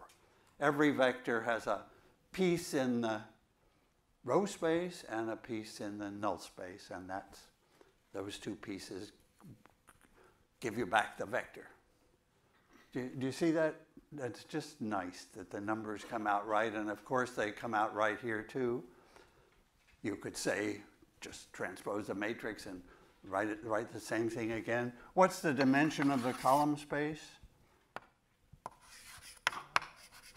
equals, you know, the column space of the matrix has dimension r, right? And the row, this, this guy is left out of some linear algebra books, as if it like doesn't belong. But isn't it clear that you know without it, everything is uh, kind of only three quarters done? We have to have this guy, and its dimension is m minus r. Yeah, it's yeah. Th that count is just for A transpose what this count was for A. Yeah, so we've got those dimensions, R and N minus R, R and M minus R. Yeah. You, you'll, you'll have known this, but we need to see it once again in 2018 before we start using it. Now, is that the fundamental theorem? Is that all, all to it there is? No. There's another piece to the fundamental theorem, which is sort of, you could say, the, the geometry. Here I have a subspace, here I have a subspace of this big n-dimensional space. So I visualize those subspaces as some kind of a plane, an r-dimensional plane, and an n minus r dimensional plane. And I want to see how are those two planes connected? How are those two planes connected? And let me get a piece of the blank piece of the board to remember the final step. Right. So we've got dimensions r and, and n minus r, and then over here r and m minus r. Okay, this is for the rows. This is for the null space. So this has the rows in it. This has the null, the solutions to AX equals zero. What is the beautiful geometry, the, the, the, how do you visualize those two spaces? How do you visualize? Let me take an example. Let A be 1, 2, 4, 2, 4, 8. Sorry about that. It's kind of a, you see it's a hooked up example. Um, so this is 2 by 3. So there n is 3. What's in the null space of this matrix? Can, I, can, can you see a vector that solves ax equals 0? And in fact, how many will there be? What, what's, yeah, what's R for this matrix? Just tell me all the good stuff. For that example, M is 2, N is 3, and R is? 1. 1. Everybody sees 1 for the rank? The rows are dependent. It's, there's only one independent row. The columns are dependent. There's only, like every column is a multiple of 1, 2. It's a rank 1 matrix.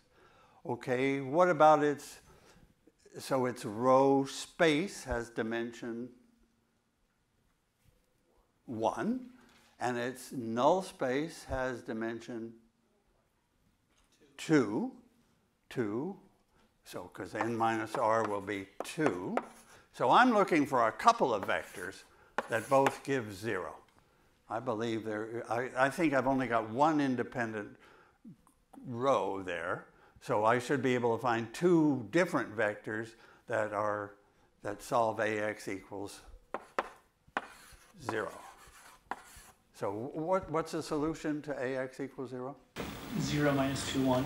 0 minus 2, 1. Yeah, that works. And what's an independent solution? 4, 0, negative 1. 4, 0, uh, don't throw me off. Four, zero, and Minus 1. minus 1. Yeah, that looks good. That looks good. And then the claim is that every solution would be a combination of those two, and that this is how many there are. And now it's the geometry I'm completing. So we have like two minutes left in this lecture. You just have to tell me how, what's the relation between the, these guys in the row space and that guy in the null space? What's the relation between the rows of A and the solutions to ax equals zero. Between, if you see it, if you saw that vector and that vector, well, a times x is zero. Now, so what does that tell us? What do we see for the, for the relation between 1, 2, 4 and 0 minus 2, 1? Orthogonal. They are orthogonal. Terrific. Yes. Orthogonal I test by the dot product, 0 minus 4, 4, add to 0. Yes. So so the, and, and that's a completely general fact. When I look at a x equals 0, it's telling me that x is orthogonal to the rows. Do, do you see that? Just to put it in again here. If I look at ax, a has a bunch of rows, x has one column, and I get zeros. That's the point of the null space. And that equation is just saying that row 1 is orthogonal because that's the dot product of row 1 with x. So here's row 1, row 2, row 3, and row 4 with x, the rows with x, and I get zeros. So the point is then these two spaces are at 90 degree angles. That's really a neat picture of the four subspaces. And these two are for the same reason at 90 degree angles off in m-dimensional space. So th this, is, this is the fundamental theorem of linear algebra, to see that the dimensions come out right and the geometry comes out right. Yeah, and then now next time, following the notes, and I have a few more copies of the, of the, uh, hand, the one handout, uh, we'll, we'll move on quickly next week to eigenvalues and uh, positive definite matrices. Good, this is really linear algebra moving on. The following content is provided under a Creative Commons license. Your support will help MIT OpenCourseware continue to offer high quality educational resources for free. To make a donation or to view additional materials from hundreds of MIT courses, visit MIT OpenCourseware at ocw.mit.edu. So we're really moving along this uh, review of the highlights of linear algebra, and today it's matrices Q. They get that name. They're, they have orthonormal columns, so that's what one looks like. And then the key fact, orthonormal columns translates directly into that simple fact that you just keep remembering. Every time you see Q transpose Q, you've got the identity matrix. Let's just see why. So Q transpose would be, I'll take those columns and make them into rows. And then I multiply by Q with the columns. And what do I get? Well, hopefully I get the identity matrix.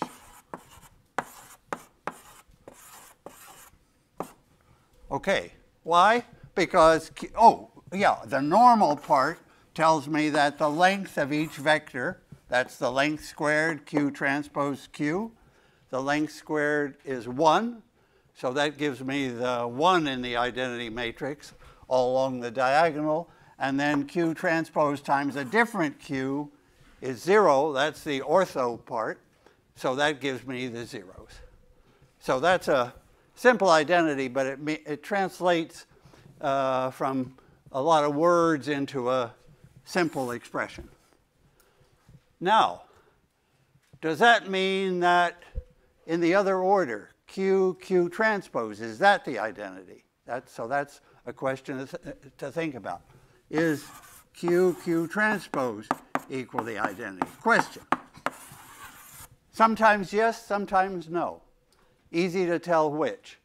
The answer is yes. Yes, when Q is square?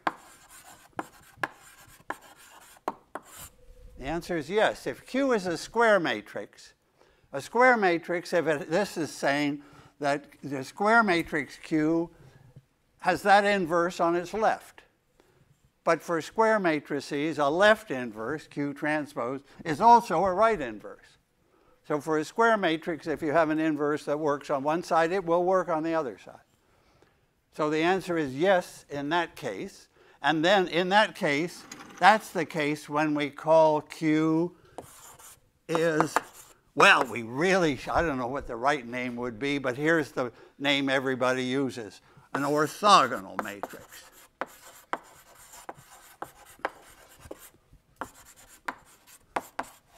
And that's, that's only in this square case, square. Q is an orthogonal matrix, right, right. Do you want to, do you want to just see an example of, of how that works? And it will not, it, so if, if Q is rectangular, let, let me do a rectangular Q and a square Q. Okay, so I think there must be a board up there somewhere. Here. Okay, square.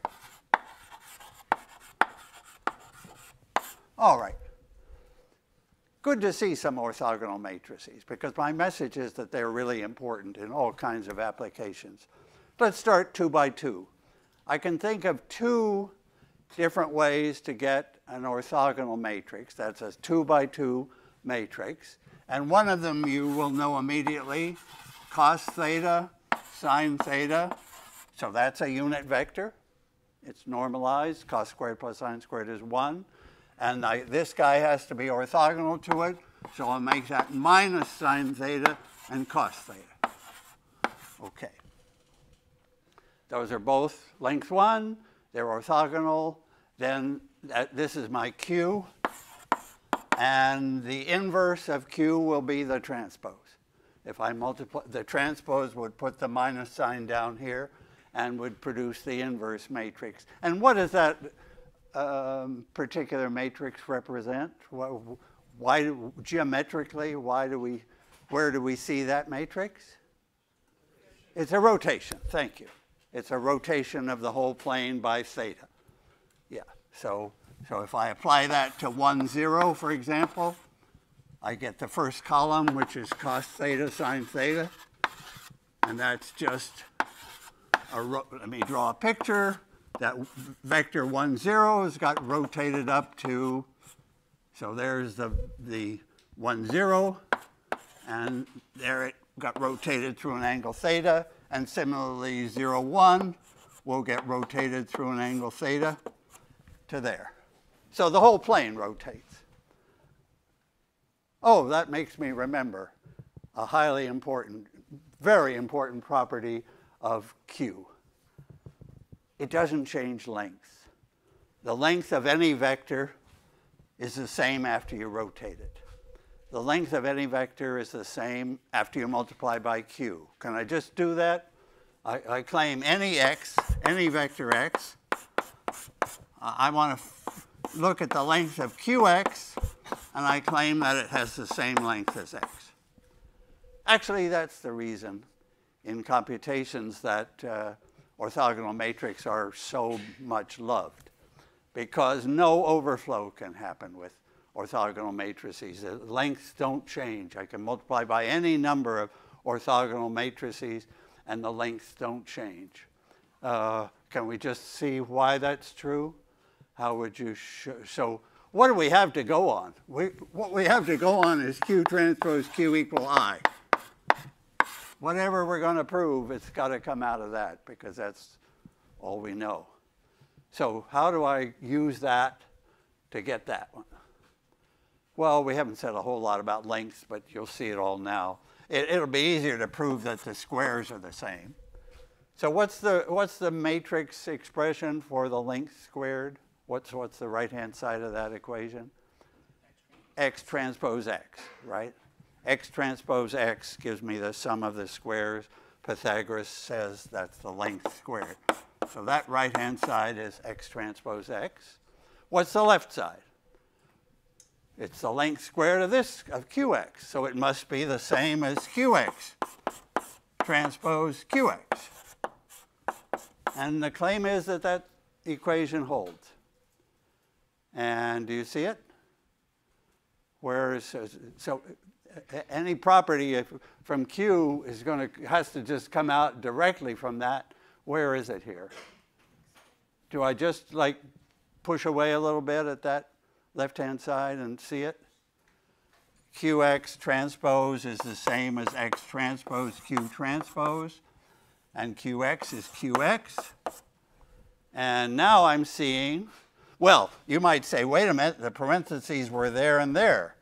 But I say the most important law for matrix multiplication is you can move parentheses or throw them away.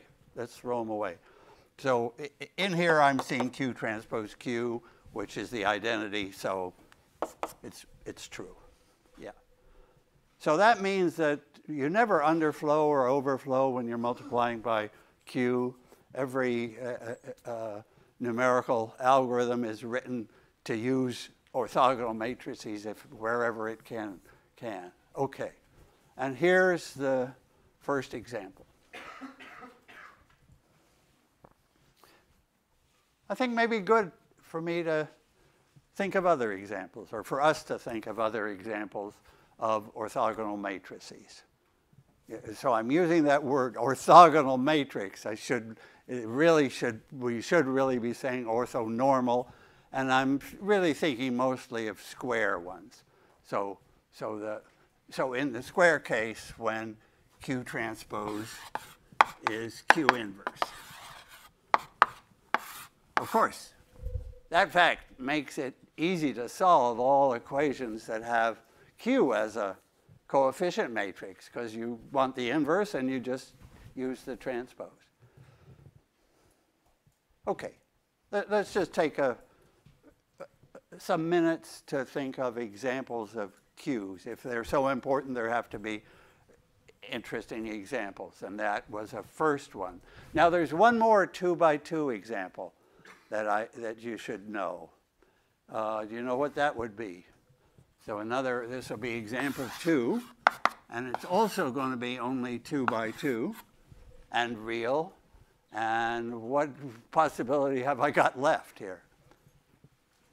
I'll, I'll use the same first column, cos theta sine theta, because that's more or less any, any unit vector in two dimensions This has got that form.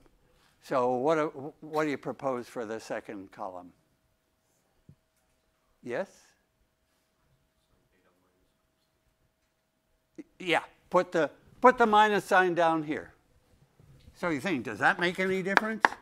So sine theta and minus cos theta. I don't know if you've ever looked at that matrix. You know, we're, we're trying to collect together a few matrices that are worth knowing, are worth looking at. Okay, now what kind of, what's happened here? You may say that was a trivial change, which it kind of was. But it's a different matrix now. It's not a rotation anymore. That's not a rotation. And, and uh, yeah, somehow now it's symmetric. And uh, yeah, what? Its eigenvectors must be something or other. We'll get to those. Uh, but what, do, what does that matrix do? I don't know. I don't know if you've seen it. If you haven't, it, it, it's not. It doesn't jump out, but it's an important case. This is a reflection matrix.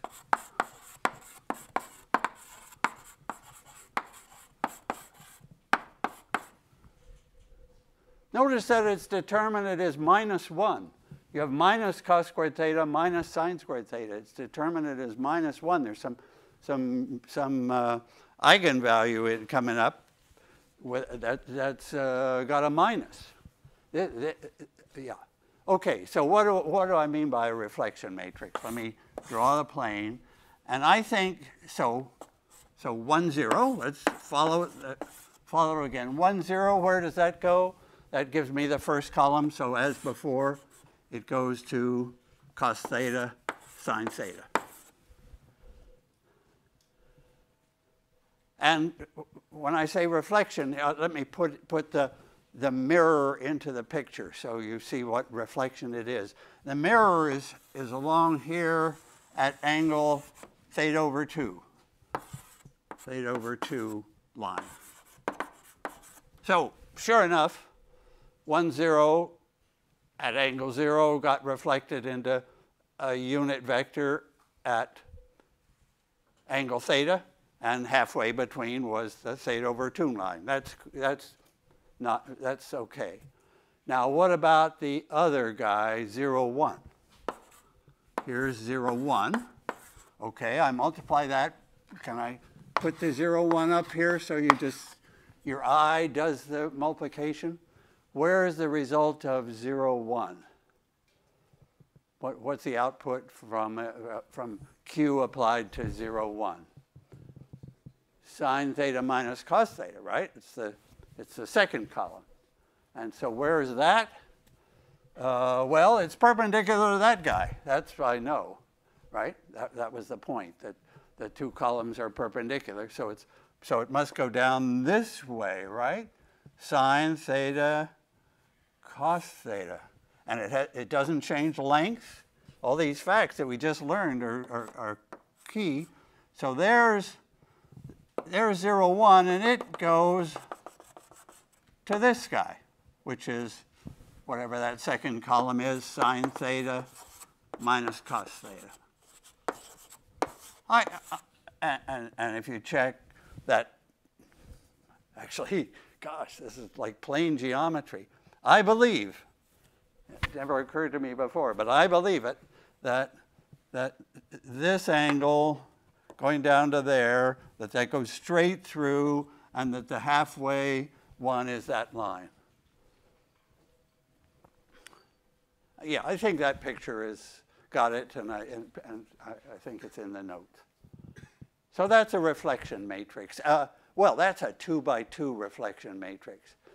Would you like to see some other matrices like this one, but, but larger? They're named after uh, a guy named Householder. So these are Householder reflections.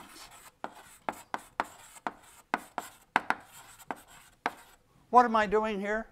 I'm collecting together some orthogonal matrices that are useful and important. And uh, Householder found a whole bunch of them. And, and his algorithm is a much used part of numerical linear algebra. So he started with a unit vector. Start with a unit vector u transpose u equal 1. So the length of the vector is 1. And then he created, let's name it after him, H, he created this matrix, the identity minus 2 UU transpose. And I believe that that's a really useful matrix.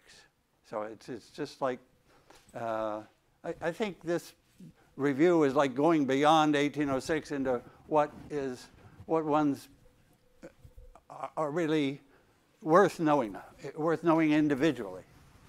Okay, could we just check what are the properties of householders reflection of that I minus 2? You, you recognize here a column times a row, so that's a matrix.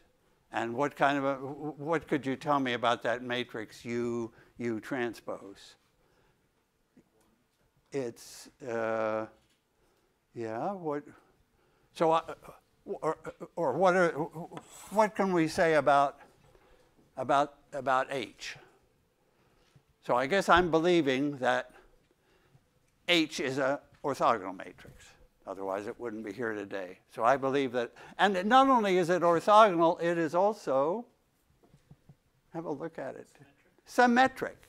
It's also symmetric. The identity is symmetric. UU transpose is symmetric. So that this is a family of symmetric orthogonal matrices, and that was one of them. That's a symmetric orthogonal matrix. These matrices are really great to have. You just, like in, in using linear algebra, it's, it, you just get a collection of useful matrices that you can call on. And uh, th these are definitely one, one family. Well, it's obviously symmetric. Shall we check that it's orthogonal? So to check that it's orthogonal, I just, so I'm going to check that H transpose H is the identity. Can I just check that? Well, H transpose is the same as H because it was symmetric. So I'm going to square this guy. This is really H times H. I'm squaring it. And what do I get if I square so, so I get, I hope I get the identity, but let's see it. What do I get when I square this? Get little, multiply it out. So i times i is i, and then I get some number of UU transposes. How many do I get for that, from that? So I'm squaring this thing because H transpose H is the same as H times H. So I'm squaring it. So how many, what do I put here? Four, thanks. And now I've got this guy squared with a plus, so that's four. U, U transpose, U, U transpose.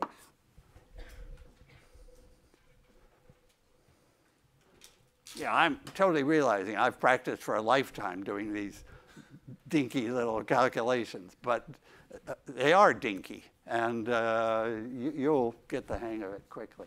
Now, what am I hoping out of that bottom line? That it is I. We're hoping to get I. Do we get I? Yes. Where, who sees how to get I out of that thing? Yeah. U transpose U in here is a number. That was U, that was column times row times column times row. And I look at the, in the middle here is row times column, and, and that's the number one, right? Because it, there. So that's one, and then I have minus four of that, plus four of that. They cancel each other, and I get I. So those are good matrices. We'll, we'll use them. We'll use them, actually, they're better than Gram-Schmidt, so we'll use them in, in making things orthogonal. So what, what other orthogonal matrices? Let, let's create some. You know, creating good orthogonal matrices is, uh, uh, you know, it's, it, it pays off. Let's think. Uh, so, uh, there's a family named after this French guy who lived to 100. He was a real old timer. Well, MIT had a faculty member in math uh, when I came, Professor Struik, who lived to 106. And I heard him give a lecture at Brown University at age 100, and it was like perfect. You could not have done it better. So he's my inspiration. I'm keep going. I only have like N more years to get there. And N is, well, it's too many anyway. Okay, Hadamard. All right, Hadamard. So Hadamard, he created, well, that's the simplest, the, the smallest. Uh, now, the next guy is going to be 4 by 4. I'm going to put that, so where I see a 1, I'm going to put Hadamard did. 1, 1, 1 minus 1, 1, 1, 1 minus 1. And then when I see a minus, I'm going to put it in with a minus. You, you, you saw that picture? It was a picture of H2, H2, H2, and minus H2. That's what I've got there. And I believe those columns are orthogonal. Right?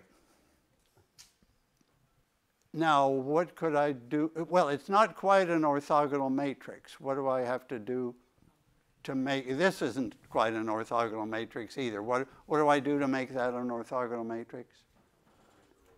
Divide by square root of 2. I need, I need unit vectors there. And here, uh, those lengths are 1 squared, 1 squared, uh, 4. Square root of 4 is 2. So I better divide by the 2 there. And now here I'm going to, here I'm up to, yeah. So that was that one. Tell, tell me the next one up. What's that going to be? 8 by 8? What's that? So this is H4 here. Oops, 4. So tell me what I should do for 8 by 8. You, you'll, you'll think this is like simple, but that's, that's a good thing to say about it. Uh, you, you know, there in, in coding theory, all sorts of places, you want matrices of ones and minus ones. Okay, what's H8? I'm going to build it out of H4. So what am I going to, what's it going to be? I'm going to put an H4 there. What am I going to put here? Another H4. And up here, another H4. And finally here, minus H4. And I think I've got orthogonal columns again right? Because the, the, the, columns within these dot products with themselves uh, uh, give zero and zero. The dot products from these columns and these columns obviously have the minus, and the dot products in here are zero from that and zero from that. Yeah, it works. And we could keep going to 16 and 32 and 64 uh, but then up comes a question. Uh, what about H12? Is there a ones and minus ones matrix of size 12, 12 by 12? It, it, it doesn't come directly from our little pattern, which is doubling size every time, but you could still hope, and it works. There is a, I don't know what it is, but there's a, there's a matrix of ones and minus ones, orthogonal, 12 orthogonal columns. So the answer is yes. Okay. So we make an 18065 conjecture. Every matrix, every matrix size, well, not every matrix size, because 3 by 3 is not going to work. 1 by 1 is not going to work either. Uh, but H12 works, H8, H16. What's our conjecture? We won't be the first to conjecture it. That there is a ones and minus ones orthogonal matrix with orthogonal columns of every size n so always, so, so I'll start the conjecture. Always possible if n, which is the size of the matrix, let's say, what, what would you guess? Just take a shot. You won't be asked for a proof because nobody has a proof. Um, even, well, you could hope for even. You could look for, try six, I guess, would be the first guy there, and I don't think it's possible. I think six is not possible. So every even size is, is, is I think, not going to work, but it's natural idea to try. What's the next thought? Every multiple of 4. If n over 4 is a whole number.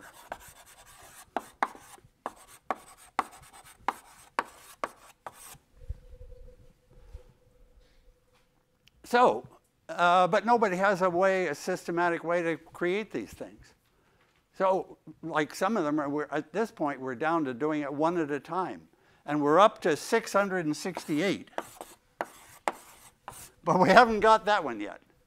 Isn't that crazy? So all this is coming from Wikipedia, my source of my source my my source of all that's good in mathematics is there on Wikipedia. Anyway, this is the conjecture conjecture means you don't have any damn idea whether it's true or not. Uh, that every, uh, is that divisible by four? Yeah, I guess it would be, right. 600 certainly is, and 68 certainly is, yeah. Okay. So I think that's the first one that's, so anybody, if, if you find one of size 668, just skip the homework and tell us about that one. but I don't think I'll assign that, yeah.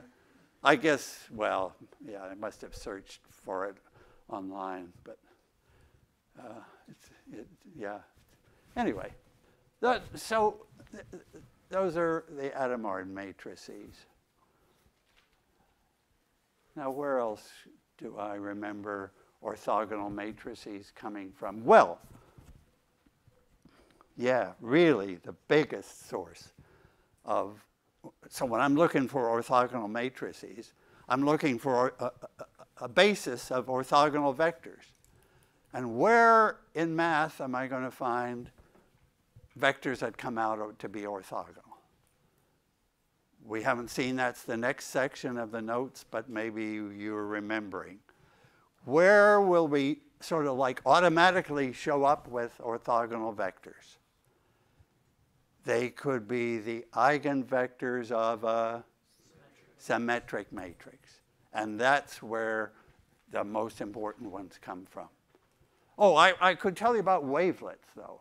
Wavelets are more like this picture. They're ones and minus ones, or the simplest wavelets are ones and minus ones. Can I, can, before I go on to the, to the eigenvector business, can I mention the wavelets matrices? Yeah, these are these are really important, simple and important constructions. So wavelets. Let me, yeah, let me draw a picture of.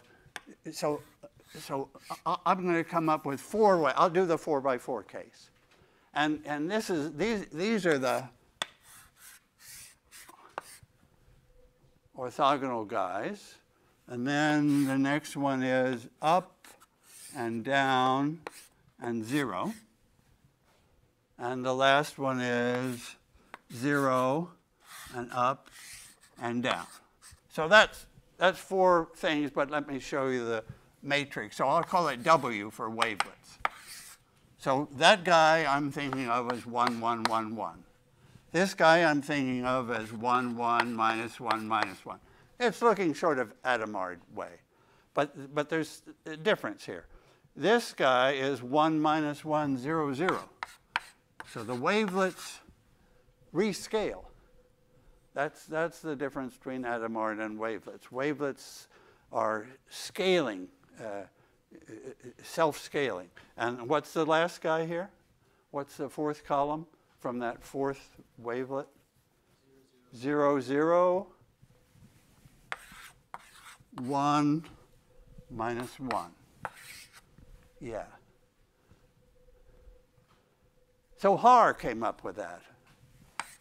This is the Haar wavelet, which was uh, many years before the word wavelets was invented. He, he came up with this construction, the Haar, the Haar, the Haar matrix, the Haar functions. So they're very simple functions, but you know, you can, that makes them usable, that the fact that they're so simple. Now, I don't know if you want to see the pattern in 8 by 8, but I, let me start the 8 by 8 so you, you'll know what wavelets are about. You'll know what these Haar wavelets are about anyway. They're, they're the ones that were, that were uh, kind of easy to visualize.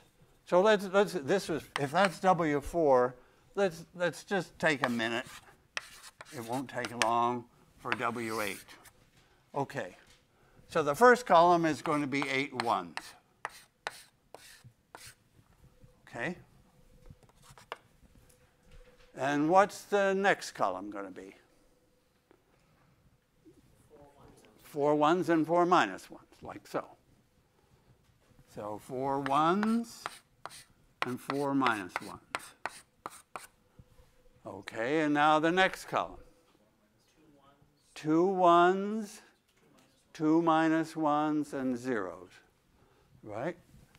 One, one, minus one, minus one, and zeros. And the fourth will be zeros and two ones and two minus ones.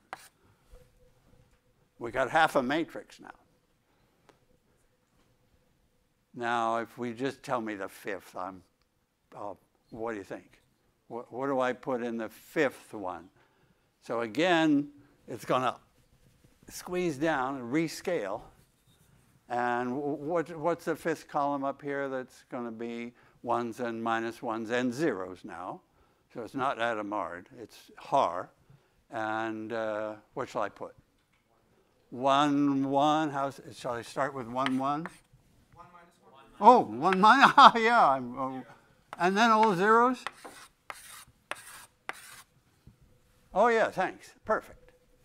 1 minus 1, and then all zeros.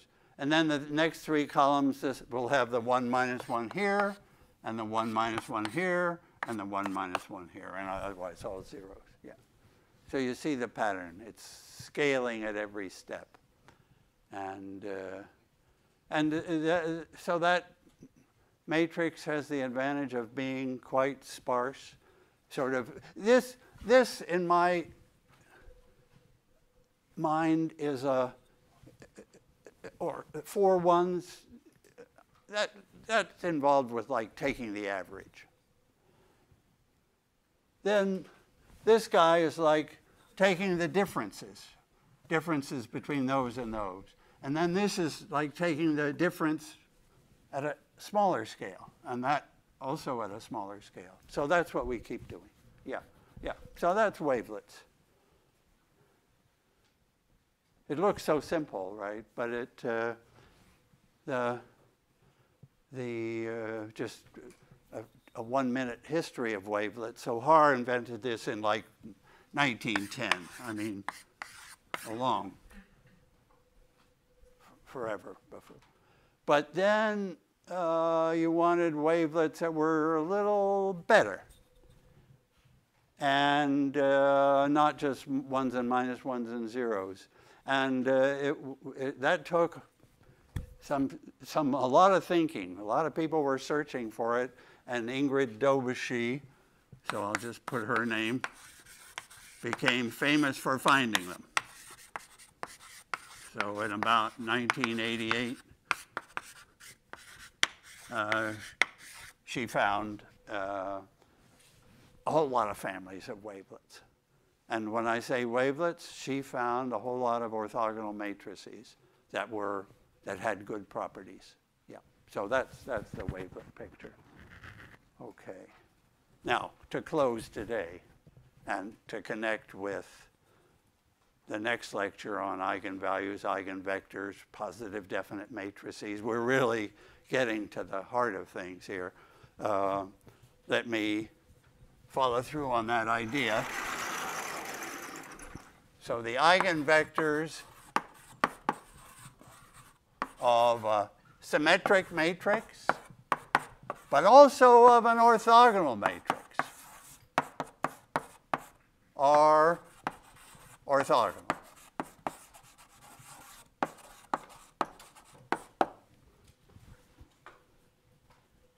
And that is really where people, where you can invent, because you don't have to work hard. You just find a symmetric matrix.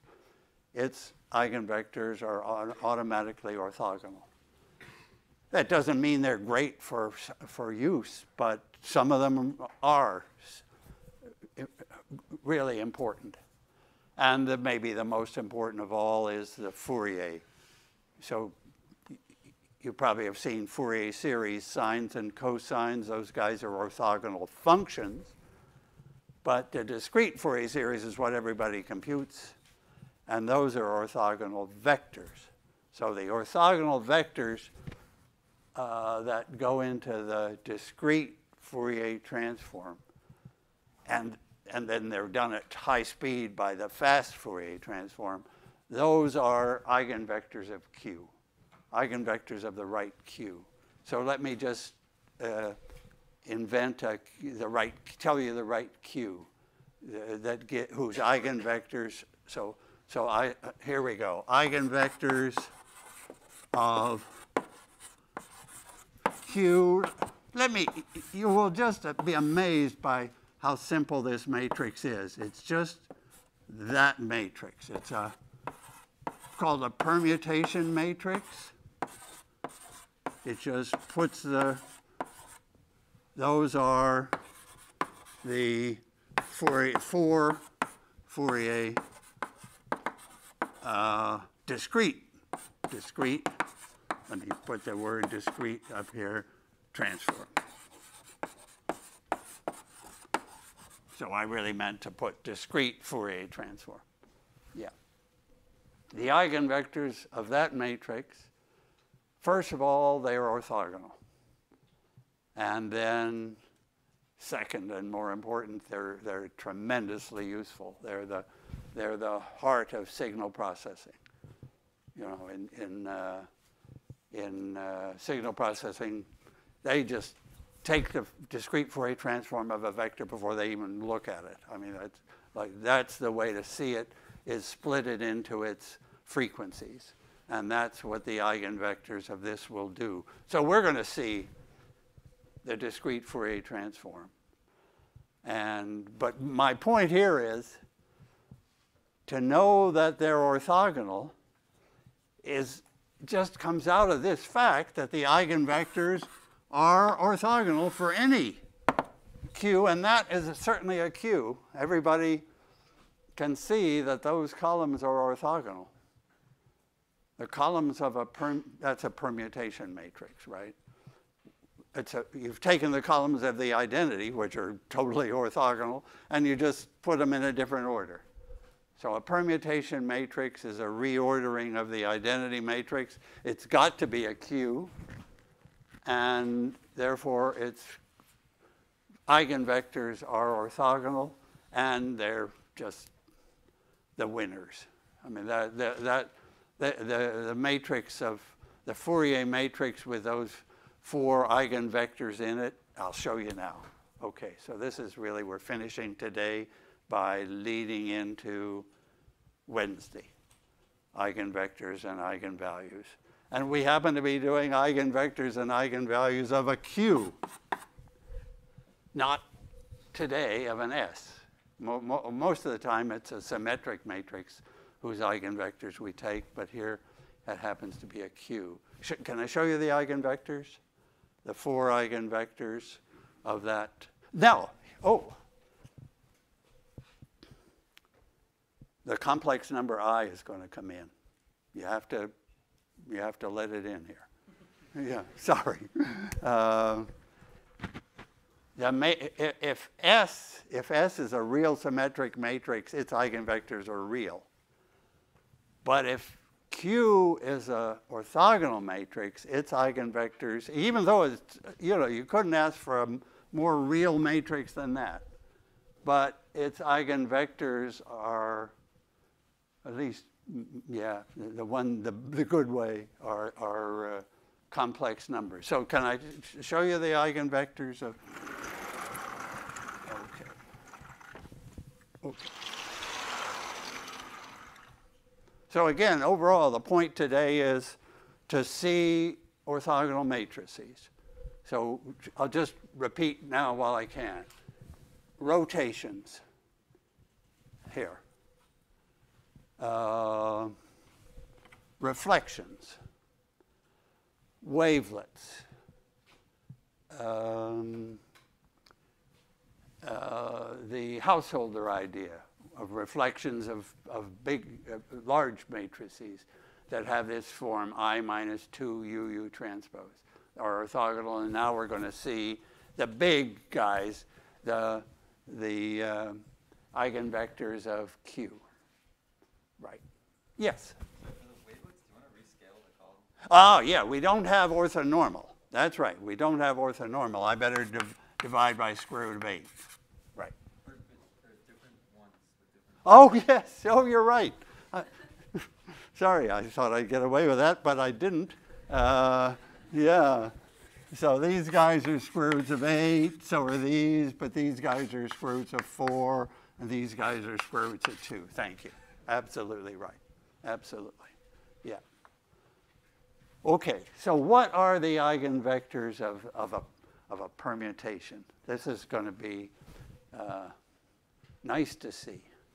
And I'll, I'll use the matrix F for the eigenvector matrix.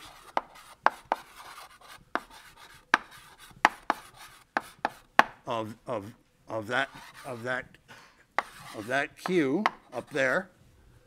And F is for Fourier. And it'd be the 4 by 4 Fourier matrix. Okay, what are the eigenvectors of Q?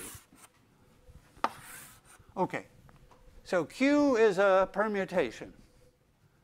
So like, I'm going to ask you for one eigenvector of every permutation matrix. What, what vector can you tell me that it, actually the eigenvalue will be 1? What vector can you tell me where if I permute it, I don't change it? 1, 1, 1, 1. It's like it's everywhere here. 1, 1, 1, 1. So that's the zero frequency Fourier vector, the constant vector all ones. Everybody sees that if I multiply by q, it doesn't change. Okay, now the next one, I'll show you the four now. Uh, the next one will be 1 i, i squared and i cubed. Of course, i squared, I don't know how many course 6 J people are in this audience, but this is a math building. We paid for it. It's 2190 and it's I in this room. Yeah. So, uh, uh, yeah. Um, anyway, I is the first letter in in what? Imaginary. Thank you. The first letter in imaginary. You, know, you can't say imaginary. So, so, so that's it. Okay. And then the next one is 1 i squared, i fourth, i sixth. And the next one is 1 i cubed, i sixth, and i nine. That's, isn't that just beautiful? And you could show that every uh, one of those four columns, if you multiplied them by q, you would get the eigenvalues. And uh, you, you would see that it's an eigenvector. And this is just sort of like a discrete Fourier stuff. And, you know, instead of e to the i, e to the ix, e to the 2ix, e to the 3ix, and so on. We just have vectors. But I, I, so those are the four eigenvectors of, the, of, that, of that permutation, and those are orthogonal. Could I just check that? How do you know that this first column and the second, well, I should really say zeroth column and first column if I'm if I'm uh, talking frequencies. Do, do you see that that's orthogonal to that? Well, y is 1 plus i plus i squared plus i cubed equals 0. That's the dot product. This is column 1 dot column 2. Yeah. yeah, you're right. This happens to come out 0. Is that right? Yeah, That'll come out zero. But somebody mentioned that this isn't right. This is, I mean, that, it's true that that came out zero. But when I have imaginary, vector, imaginary numbers anywhere around, that, this isn't the correct dot product to test orthogonal. If, if I have imaginary, ve complex vectors, if I have complex numbers, complex vectors, I should test column one conjugate dotted with column two, or uh, column I conjugate. Well, let me take column, uh, see, which, which one shall I take? Maybe that guy and that guy. Uh, many of them, you luck out here. But, but really, I should be taking the conjugate. So, so, so these ones, but the, the thing is the, the complex conjugate of one is one, so that was, that was okay. But in general, if I wanted to take column two dotted with column, I don't know, maybe four would be a little dodgy. Yeah, look, look what happens. Take that column and that column. Take their dot product. Do it the wrong way. So what's the wrong way? Forget about the complex conjugate and just do it the usual way. So 1 times 1 is 1. i times i cube is? 1. i squared times i6 is 1. I'm getting all ones. I'm not getting uh, orthogonality there. And that's because I forgot that I should take the complex conjugate, well, of these guys, 1, I should take minus i, minus i square, minus i, well, that's real, so it's okay, minus there. So, so minus i squared is still uh, minus 1. So now if I do it, it, it comes out 0. So, so let, let, me repeat again. Let me just make this, this statement. If Q transpose Q is I, and QX is lambda x, and QY is a different eigenvalue y, okay. So I'm, I'm setting up the main fact that in, in the last minute I'm just going to write down. So I have an orthogonal matrix. I have an eigenvector with eigenvalue lambda. I have another eigenvector with a different eigenvalue mu, then the claim is that, what is the claim? About the eigenvectors. So here has one eigen, this has an eigenvalue, this has a different eigenvalue. I, I need them to be different to really know that they're, the x's and the y's can't be the same. So what is it that I want to show? Yes, that x, I, and I have to remember to do that, x transpose y is 0. That's orthogonality.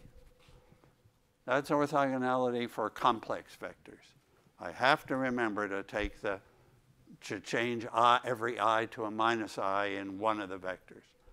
And I can prove that fact by playing with these, uh, these, by playing with, starting from here, I can get to that.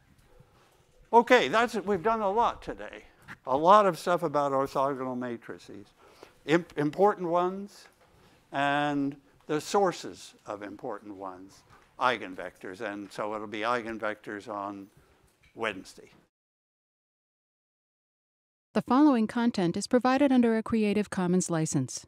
Your support will help MIT OpenCourseware continue to offer high quality educational resources for free. To make a donation or to view additional materials from hundreds of MIT courses, visit MIT OpenCourseware at ocw.mit.edu. So last time was orthogonal matrices, Q, and this time is symmetric matrices S. So we're really talking about the best matrices of, of all. Well, I'll start with any square matrix and about eigenvectors. But you've heard of eigenvectors more than, more than once, more than twice, more than 10 times probably.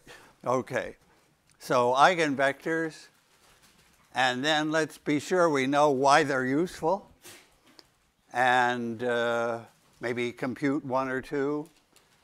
But then we'll move to symmetric matrices and what is special about those. And then even more special and more important will be positive definite symmetric matrices. So that when I say positive definite, I mean symmetric. So start with A, next comes S, then come the special S, special symmetric matrices that have this extra positive definite property.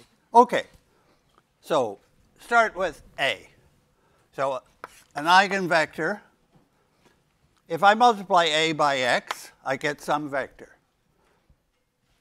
And sometimes, if x is especially chosen well, ax comes out in the same direction as x. ax comes out some number times x. So there are, normally there would be, for an n by n matrix, so let's let's put, say n, A is n by n today. Normally, if we're if we live right, there will be n different independent vectors, x eigenvectors, that have this special property. And we can compute them by hand if n is 2 or 3, 2 mostly. Uh, but the computation of the x's and the lambdas. So this is this is for i equal 1 up to n, if I use this sort of math shorthand, that I have n of these, almost always. And uh, my first question is, what, what are they good for? Why, why do, uh, does course after course introduce eigenvectors? And to me, the key property is seen by looking at a squared. So let me look at a squared. So it's another n by n matrix. And we would ask, suppose we know these guys. Suppose we found those somehow. What about a squared? Is x an eigenvector of a squared also? Well, the way to find out is to multiply a squared by x and see what happens. Do you see what's going to happen here? This is a times ax, which is a times ax is lambda x. And, and now what, what do I do now? Because I'm shooting for the answer yes. x is an eigenvector of a squared also. So what do I do? That number, that lambda is just a number. That's the, I can put it anywhere I like, so I can put it out front. And then I have ax, which is lambda x, thanks. So I have another lambda x, so that's lambda squared x. So I learn the crucial thing here, that x is also an eigenvector of a squared, and the eigenvalue is lambda squared. And of course, I can keep going. So a to the nth x is lambda to the nth x. We have found the right vectors for that particular matrix A. What about A inverse x? That will be, if everything is good, 1 over lambda x. Well, yeah, so uh, anytime I write 1 over lambda, my mind says, you, you, you got to like make some comment on the special case where it doesn't work, which is, if, yeah, if, if lambda is not zero, I'm golden. If lambda is zero, it doesn't look good. And but what's happening if lambda is zero? A doesn't even have an inverse. If lambda was zero, which it could be, no, no, no rule against it. If lambda was zero, this would say A times the eigenvector is zero times the eigenvector. So that would tell me that the eigenvector is in the null space. It would tell me that the matrix A isn't invertible.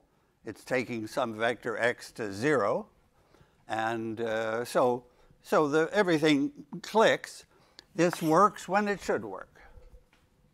And uh, if we have other fun any function of the matrix. We could define the exponential of a matrix. 1803 would do that. Let's just, let's just write it down as if we know what it means. Does it have the same eigenvector? Well, sure, because e to the at, the exponential of a matrix, uh, if I see e to the something, I think of that long infinite series that gives the exponential. Those, all the terms in that series are, have powers of a, so everything's working. Every term in that series, x is an eigenvector, and when I put it all together, I learn that the eigenvalue is e to the lambda t. Yeah, that's just a typical and, and, and successful work use. Okay, so that's eigenvectors and eigenvalues, and, and uh, uh, we'll find some in a minute. Now, so I'm claiming that this is the, that this, that, that from this first thing, which was just like about certain vectors are special, now we're beginning to see why they're, why they're useful. So special is good, useful is even better. So, so let me take, uh, take any vector, say v, and Okay, what do I want to do? I want to use eigenvectors. This V is probably not an eigenvector, but I'm supposing that I've got n of them. You and I are agreed that there are some matrices for which there are not a full set of eigenvectors. That's really the, the main sort of annoying point in the whole subject of linear algebra is some matrices don't have enough eigenvectors, but almost all do, and let's go forward assuming our matrix has. Okay, so if I've got n independent eigenvectors, that's a basis. I can write any vector v as a combination of those eigenvectors. Right. And then I can find out what a to the to any power. So that's the point. That, that this is this is going to be the, the simple and and reason why we like to have we like to know the eigenvectors because if I choose those as my basis vectors, v is a combination of them. Now if I multiply by a or a squared or a to the k power, then it's linear. So I can multiply each one by a to the k. And what do I get if I multiply that guy by a to the kth power? Okay, well, I'm just going to use, or here I said n, but let me say k. Because n, I'm sorry, I'm using n for the size of the matrix, so I better use k for the, for the typical case here. So what do I get? just help me through this, and, and we're happy. Uh, so what happens when I multiply that by a to the k? It's an eigenvector, remember? So when I multiply by a to the k, I get c1, that's just a number, and a to the k times that eigenvector gives lambda 1 to the k times the eigenvector. Right? That's the whole point. And linearity says keep going, Cn lambda n to the kth power xn. In other words, I, have a, I can take, uh, I can apply any power of a matrix, I can apply the exponential of a matrix, I can do anything quickly because I've got the eigenvectors. So really, so I'm saying the first use for eigenvectors, maybe the principal use for which they were invented is to be able to solve difference equations. So, so this, so let me, if I call that VK, the kth power, then the, the equation I'm solving here is a one-step difference equation. This is my difference equation. And if I wanted to use exponentials, the equation I would be solving would be dv dt equal a v.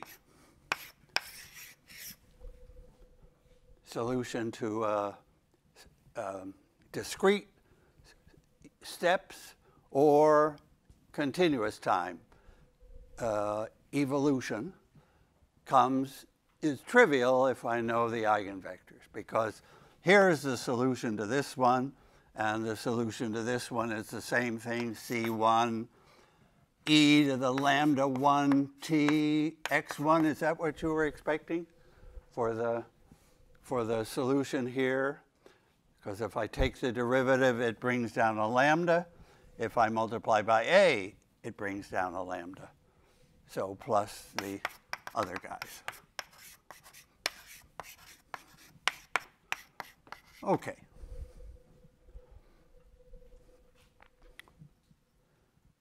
Not news, but important to remember what eigenvectors are for in the first place. Good. Um, yeah, let, let me move ahead. Oh, one, one matrix uh, fact is about something called similar matrices. So I have on my matrix A, then I have the idea of what it means to be similar to A. So B is similar to A.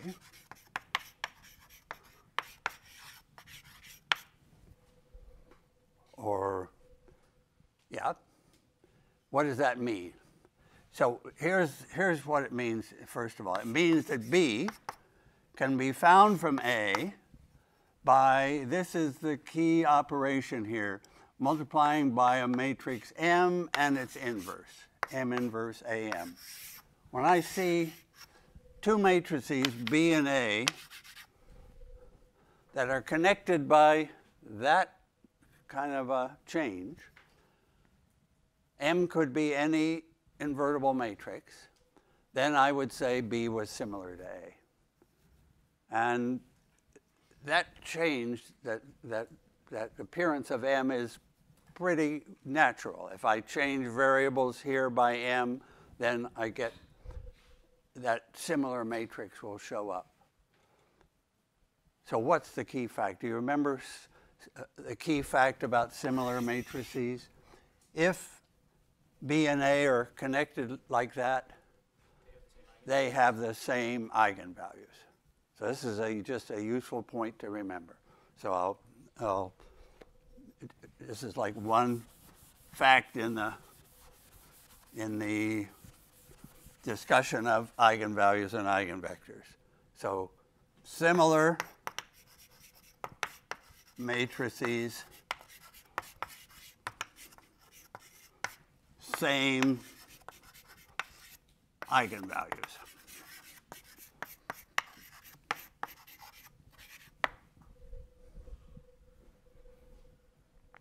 Yeah. So in, in some way, in the eigenvalue, eigenvector world, they're, they're in this, they belong together. They, they're connected by, by this uh, relation that just turns out to be the right thing. Actually, that is, that gives us a clue of how eigenvalues are actually computed. Well, they're actually computed by typing eig of A with parentheses around A. That's how they're in, in, in real life. Um, but what happens when you type eig of A? Uh, well, you could say the eigenvalue shows up on the screen. Uh, but, but something had to happen in there. And uh, what happened was that uh, MATLAB or whoever took that matrix A, started using good choices of M, better and better, you know, took, took a bunch of steps with different M's because if I do another M, I still have a similar matrix, right? If I, if I take B and do a different M2 to B, so I get something similar to B, then that's also similar to A. I've got a whole family of similar things there. And what does, what does MATLAB do with all these M's, M1 and M2 and M3 and so on? It brings the matrix to a triangular matrix. It, it gets the eigenvalues showing up on the diagonal. It's just, it, tremendously, it was an inspiration uh, when that, uh, when the, when the good choice of M appeared. And, and let me just say, because I'm going on to symmetric matrices, that for symmetric matrices, everything is sort of clean. Uh, you not, you not only go to a triangular matrix, you go to a, toward a diagonal matrix. The, the off dia you, you choose m's that make the off diagonal stuff smaller and smaller and smaller, and the eigenvalues are not changing. So they're shooting up on the diagonal are the eigenvalues. So I, I guess I should uh, verify that fact that similar matrices have the same eigenvalues. Can we? There can't be much to show. There can't be much in the proof because that's all I know. And I want to know its eigenvalues and eigenvectors. So let me say, suppose M inverse A M has the eigenvector y and the eigenvalue lambda.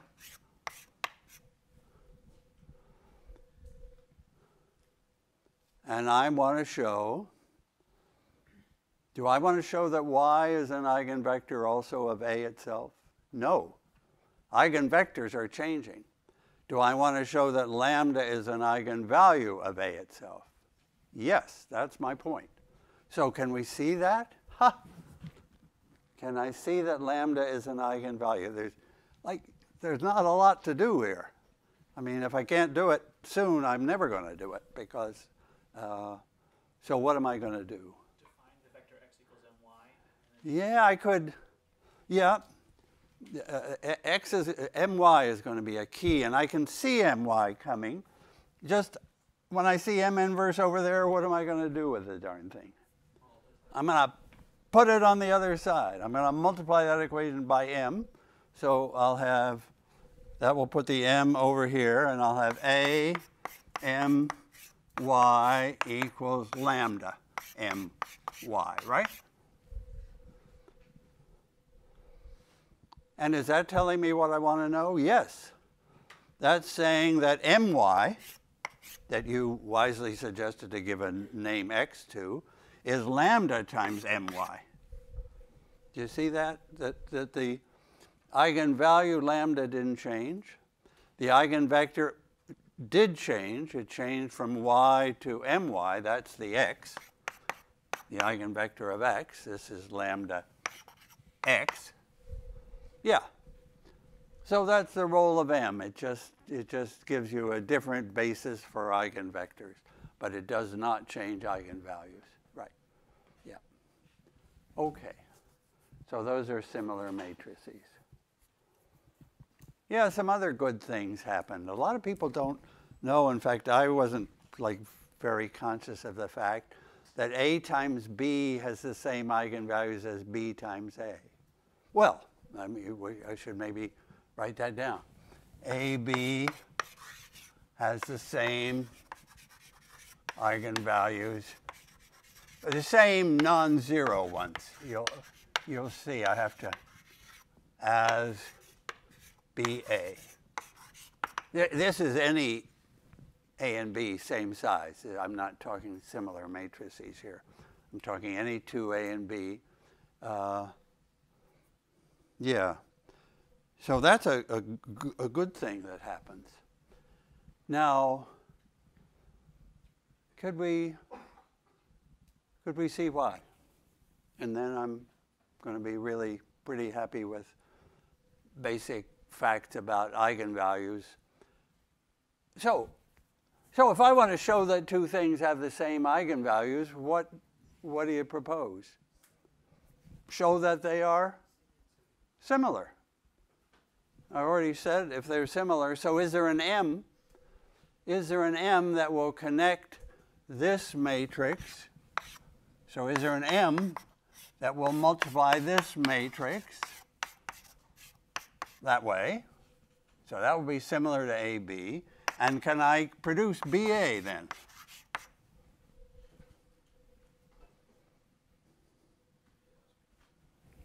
So I'll just put the word want up here. I want, if, if, I, if I have that, then I'm done, because that's saying that those two matrices AB and BA are similar, and I know that then they have the same eigenvalues. So are they, what should M be? M should be, um, so what is M here? I want that to be true. Should M be B? Yeah, M equal B. Boy, not the most uh, uh, hidden fact here. Take, take M equal B. So then I have B times A times B, B inverse, which is the identity, so I have B times A. Yes. Okay. So, so A, B, and BA are fine. Now, what do you think about this question? Are the eigenvalues, I now know that A, B, and BA have the same eigenvalues, and the reason I had to be careful about non-zero is that if I had zero eigenvalues, then uh, yeah, I, I, can't count on those inverses. Right, right. So, so that's why I'm, I put in that little qualifier. But now I want to ask this question.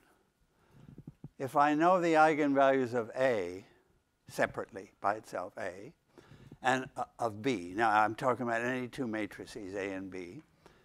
Uh, if, if, if I have two matrices A, I, I have a matrix A and a matrix B, and I know those are eigenvalues and their eigenvalues, what about AB? A times B. Can I multiply the eigenvalues of A times the eigenvalues of B? Don't do it. Right. Yes. Right. The eigenvalues of A times the eigenvalues of B could be damn near anything. Right. They, they, they're not connected to the eigenvalues of A, B especially. And maybe some something could be discovered, but not much. And similarly for A plus B. The, so, yeah. So so I, I, I, let me just write down this point. Eigenvalues of A plus B are generally not eigenvalues of A plus eigenvalues of B. Generally not. Just there's no reason, and the the reason that that's I get that no answer is that the eigenvectors can be all different. If the eigenvectors for A are totally different from the eigenvectors for B, then A plus B will have probably some other totally different eigenvectors, and there's nothing, nothing happening there. So that's sort of a thoughts about eigenvalues in general, and I could there there'd be a whole section on eigenvectors, but I'm really interested in eigenvectors of symmetric matrices, so I'm going to move on to that topic. So now, having talked about any matrix A, I'm going to specialize to symmetric matrices, see what's special about the eigenvalues there, what's special about the eigenvectors there, and, and I think we've already said it in class. So let me, let me ask you to tell me, back, tell me again. So I'll call that matrix S now. As a reminder always that I'm talking here about symmetric matrices. So what do I what are the key facts to know eigenvalues are real real numbers if the matrix is I'm thinking of real symmetric matrices. Of course, other real matrices could have imaginary eigenvalues. Other real matrices, so just let's just think for a moment. Maybe I'll just put it here. Can I back up before I keep going with symmetric matrices? So, so take a matrix like, like, like that. Q, yeah, that would be a Q, but it's not especially a Q.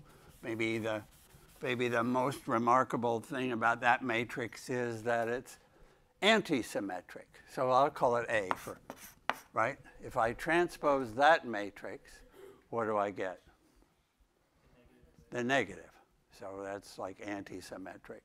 And I claim that an antisymmetric matrix has imaginary eigenvalues. So that's a, that's a, that's a 90 degree rotation. And you might say, what could be simpler than that? A 90 degree rotation, that's not a weird matrix.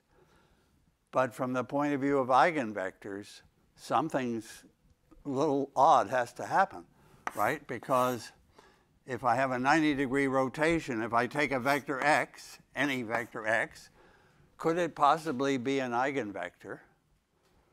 Well, apply A to it. You'd be off in this direction, AX. And there is no way that AX can be a multiple of X. So there's no real eigenvector for that, for that antisymmetric matrix or any antisymmetric matrix. Yeah. So you see that when we say that the eigenvalues of a symmetric matrix are real, we're saying that this couldn't happen, that this couldn't happen if A were symmetric, and here it's the very opposite, it's antisymmetric. Well, while that's on the board, you might say, wait a minute, how could that have any eigenvector whatsoever? Uh, so what is an eigenvector of that matrix A? How, how do you find the eigenvectors of A? Uh, when they're two by two, that's a calculation we know how to do. Um, you, you remember the steps there? I'm looking for AX equal lambda x. So right now I'm looking for both lambda and x. I've got two that's not linear, but I'm going to bring this over to this side and write it as a minus lambda i x equals 0. And then I'm going to look at that and say, wow, a minus lambda i must be not invertible because it's got this x in its null space. So the determinant of this matrix must be 0. I couldn't have a, uh, a null space unless the determinant is 0. And then when I look at a minus lambda i, for this a, I've got minus lambdas minus a. Oh, a is just a 1 and that's minus 1. I'm going to take the determinant, and what am I going to get for the determinant? Lambda squared plus 1. And I set that to 0.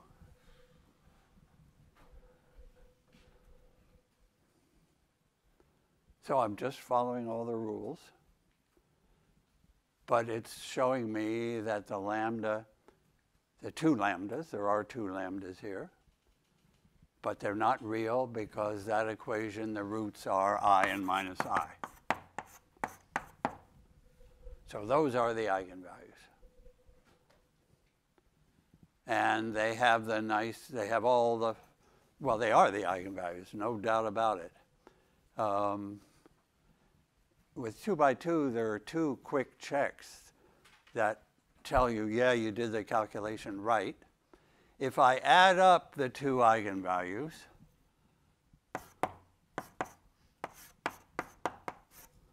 in this, if I add up the two eigenvalues for any matrix, and I'm going to do it for this one, I get what answer? I get the same answer from the adding add the add the lambdas gives me the same answer as add the diagonal of the matrix, which I'm calling A. So if I add the diagonal, I get 0 and 0. Uh, so it's 0 plus 0. And this number, adding the diagonal, is called the trace. And we'll see it again because it's so simple. Just adding the diagonal entries gives you a, a, key bit of information. When you add down the diagonal, it tells you the sum of the eigenvalues, sum of the lambdas. Doesn't tell you each lambda separately, but it tells you the sum. So it tells you one fact by doing one thing. Yeah, that's pretty handy gives you a quick check if you've, you know, by when you compute this determinant and solve for lambda, the, the thing you, this is the way to compute eigenvalues by hand. Um, you could make a mistake because it's a quadratic formula for 2 by 2, but uh, you can check by adding the two roots, do you get the same as the trace, 0 plus 0. Well, there's one other check, equally quick for 2 by 2. So 2 by 2s, you really get them right. Two, what's the other check? To We add the eigenvalues, we get the trace. We multiply the eigenvalues, so we take, so, so now I'll multiply the lambdas. So then I get i times minus i. And that should equal, let's don't look yet. What should it equal? If I multiply the eigenvalues, I should get the determinant, right, of A.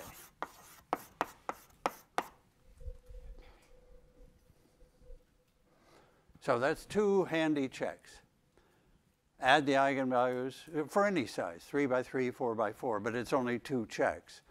So for 2 by 2, it's kind of, you got it. 3 by 3, 4 by 4, you could still have made an error, and the two checks could potentially still work. Let's just check it out here. What's i times minus i? 1 because it's minus i squared and that's plus 1.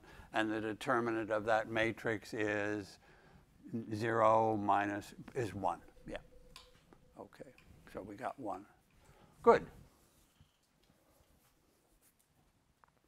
Those are really the key facts about eigenvalues.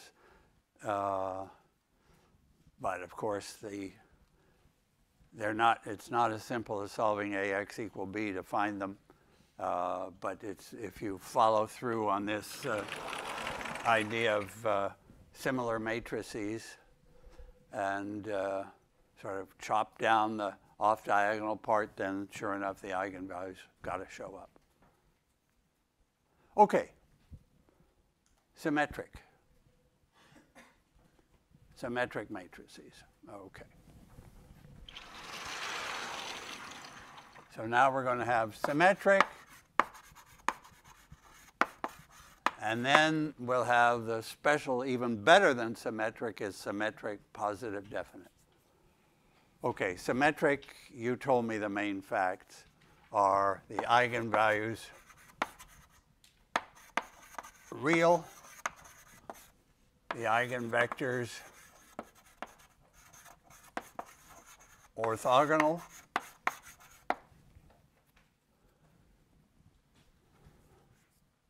and I guess actually, uh, yeah.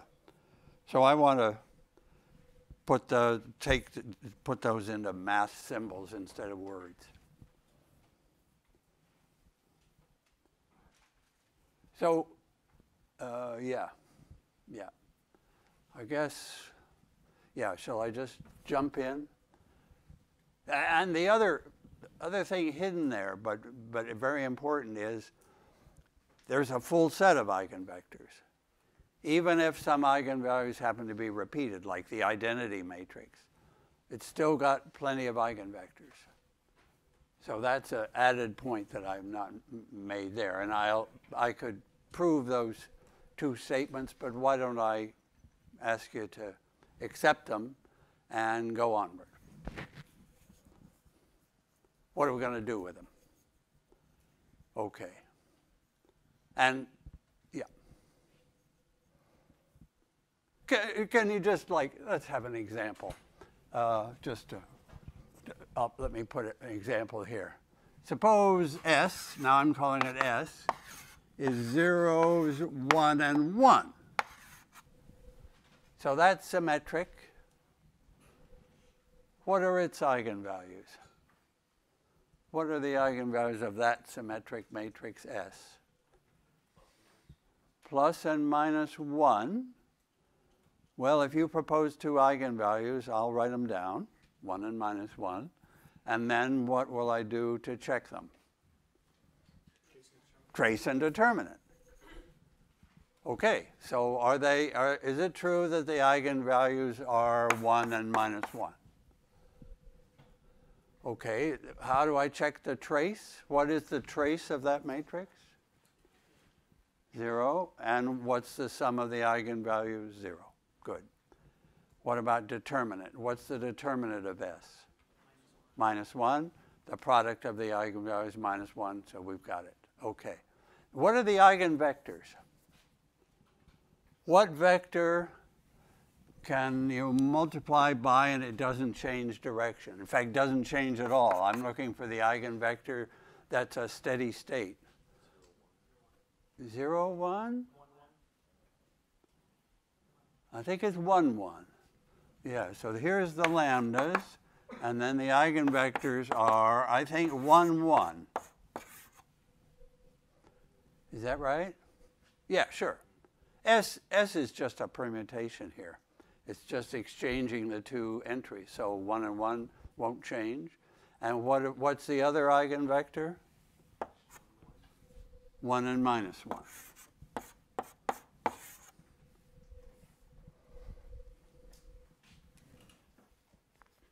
And then I'm thinking, remembering about this similar stuff, I'm thinking that AS is similar to a matrix that just shows the eigenvalues. So S is similar to, I'm going to put in an M, well, I'm going to connect S, that matrix, with the eigenvalue matrix which has the eigenvalues. So here's my, uh, everybody calls that matrix capital lambda because everybody calls the eigenvalues little lambda. So the matrix that has them is called capital lambda. And I, my claim is that these guys are similar. That this matrix S that you're seeing up there, I believe there's an M, I believe there's an M. So that S, what did I put in here? So I'm following this pattern. I believe that there would be an M and an M inverse. So that this would mean that. And that's nice. First of all, it's, it would confirm that the eigenvalues stay the same, which, which, which was certain to happen. And then it would also mean that I had got a diagonal matrix. And of course, that's a natural goal to get a diagonal matrix. So we might hope that the M that gets us there is like an important matrix. So do you see what I'm doing here? It, it comes under the heading of diagonalizing a matrix. I start with a matrix S. I find its eigenvalues. They go on into lambda. And I believe I can find an M so that uh, I see they're, they're similar. They have the same eigenvalues, 1 and minus 1, both sides. So uh, only remaining question is, what's M? What's the matrix that diagonalizes S? The, what have we got left to use? The eigenvectors. The matrix that, so can I put the M like over there? Uh, yeah, I'll put that M inverse is going to go over to the other side. Oh, it goes here, doesn't it? I was, I was like worried there. I, it didn't look good, but yeah. So, so uh, this is all going to be right if, if uh, this is what I'd like to have: Sm equal m lambda. Sm equal m lambda.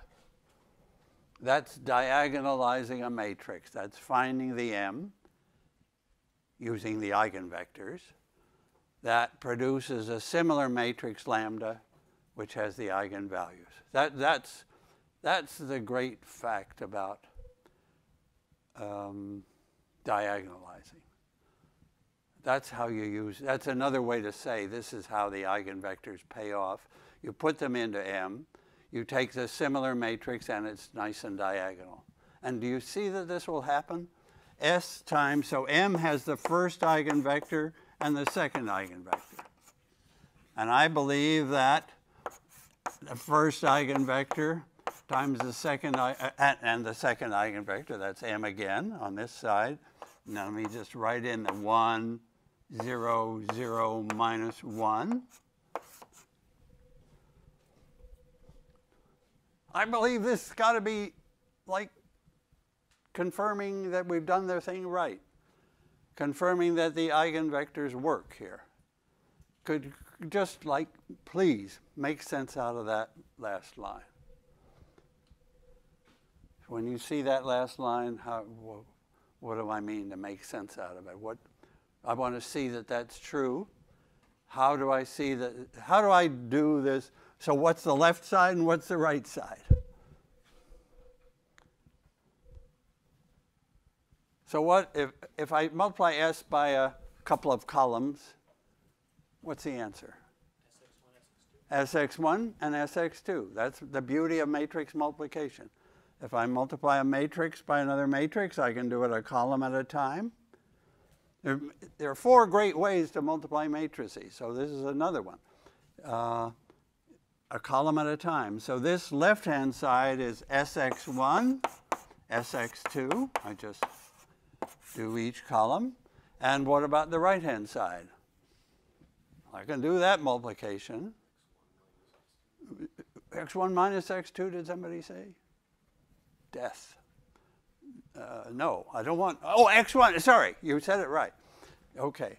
When you said x1 minus x2, I was subtracting, but you meant that that's, the first column is x1 and the second column is minus x2. Correct. Sorry about that. And did we come out right? Yes.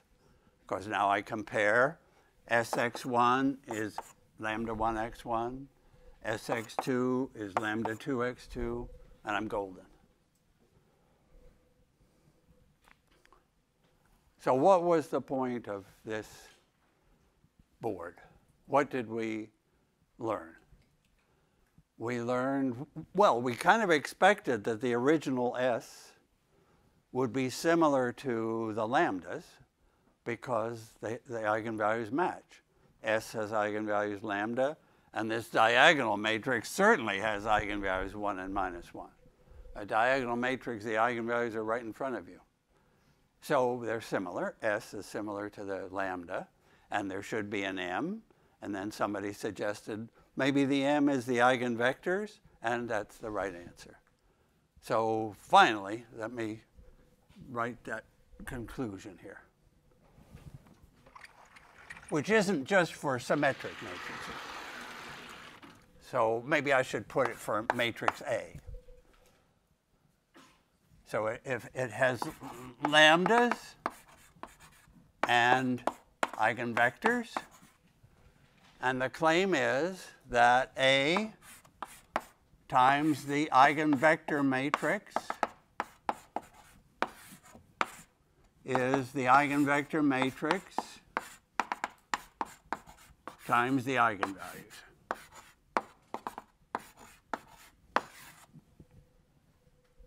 And I would shorten that to A x equals x lambda.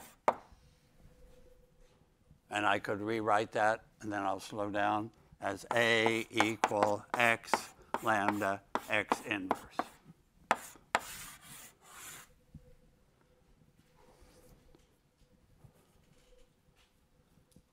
Really, this is bringing it all together in a simple, small formula. It's telling us that A is similar to lambda. It's telling us the matrix M that does the job. It's the matrix of eigenvectors. And uh, so it's like a shorthand way to write what write the main facts about eigenvalues and eigenvectors. What about a squared? Can I go back to the very first? I see time is close to the end here. What about a squared? What are the eigenvectors of a squared? What are the eigenvalues of a squared? That's like the whole point of eigenvalues. Well, or I could just square that stupid thing. x lambda x inverse, x lambda x inverse. And what have I got? x inverse x in the middle is identity. So I have x lambda squared, x inverse. And to me, that, and to you, that says the eigenvalues have been squared, the eigenvectors didn't change. Yeah. Okay, and now finally, last breath is what if the matrix is symmetric? Then we have different letters. That's the only, that's a significant change. The eigenvector matrix is now an orthogonal matrix. I'm coming back to the key facts of what makes symmetric. How do I read, how do I see symmetric helping me in the eigenvector and eigenvalue world? Well, it tells me that the eigenvectors are orthogonal. So the x is q. The eigenvalues are real.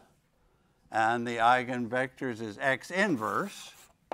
But now I'm going to make those eigenvectors unit vectors. I'm going to normalize it. So, uh, so I'm really allowing, I have an orthogonal matrix Q. So I have a different way to write this, and this is the end of the today's class. Q lambda, and what's, what can you tell me about Q inverse? It's Q transpose. Thanks. So that was the last lecture. So now the orthogonal lecture is coming up at the last second of the symmetric matrices lecture. And this has the name spectral theorem, which I'll just put there. And the whole point is that uh, every, it tells you what every symmetric matrix looks like. Orthogonal eigenvectors, real eigenvalues. The following content is provided under a Creative Commons license. Your support will help MIT OpenCourseware continue to offer high quality educational resources for free. To make a donation or to view additional materials from hundreds of MIT courses, visit MIT OpenCourseware at ocw.mit.edu.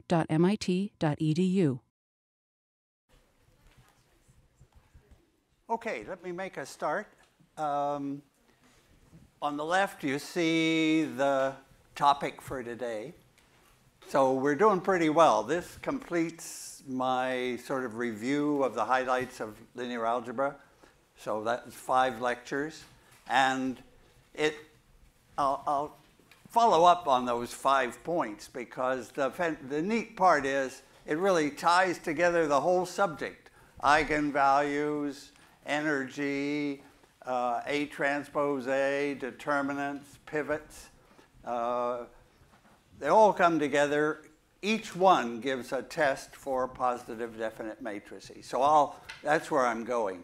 Uh, Claire uh, is hoping to come in for a, a, little bit of the class to, to ask if anybody has started on the, on the homework and got Julia rolling and uh, got a yes from the auto grader. Did anybody, is anybody like? No. You're taking a chance, right? Uh, Julia in principle works, but in, in practice, it's always an adventure the first time.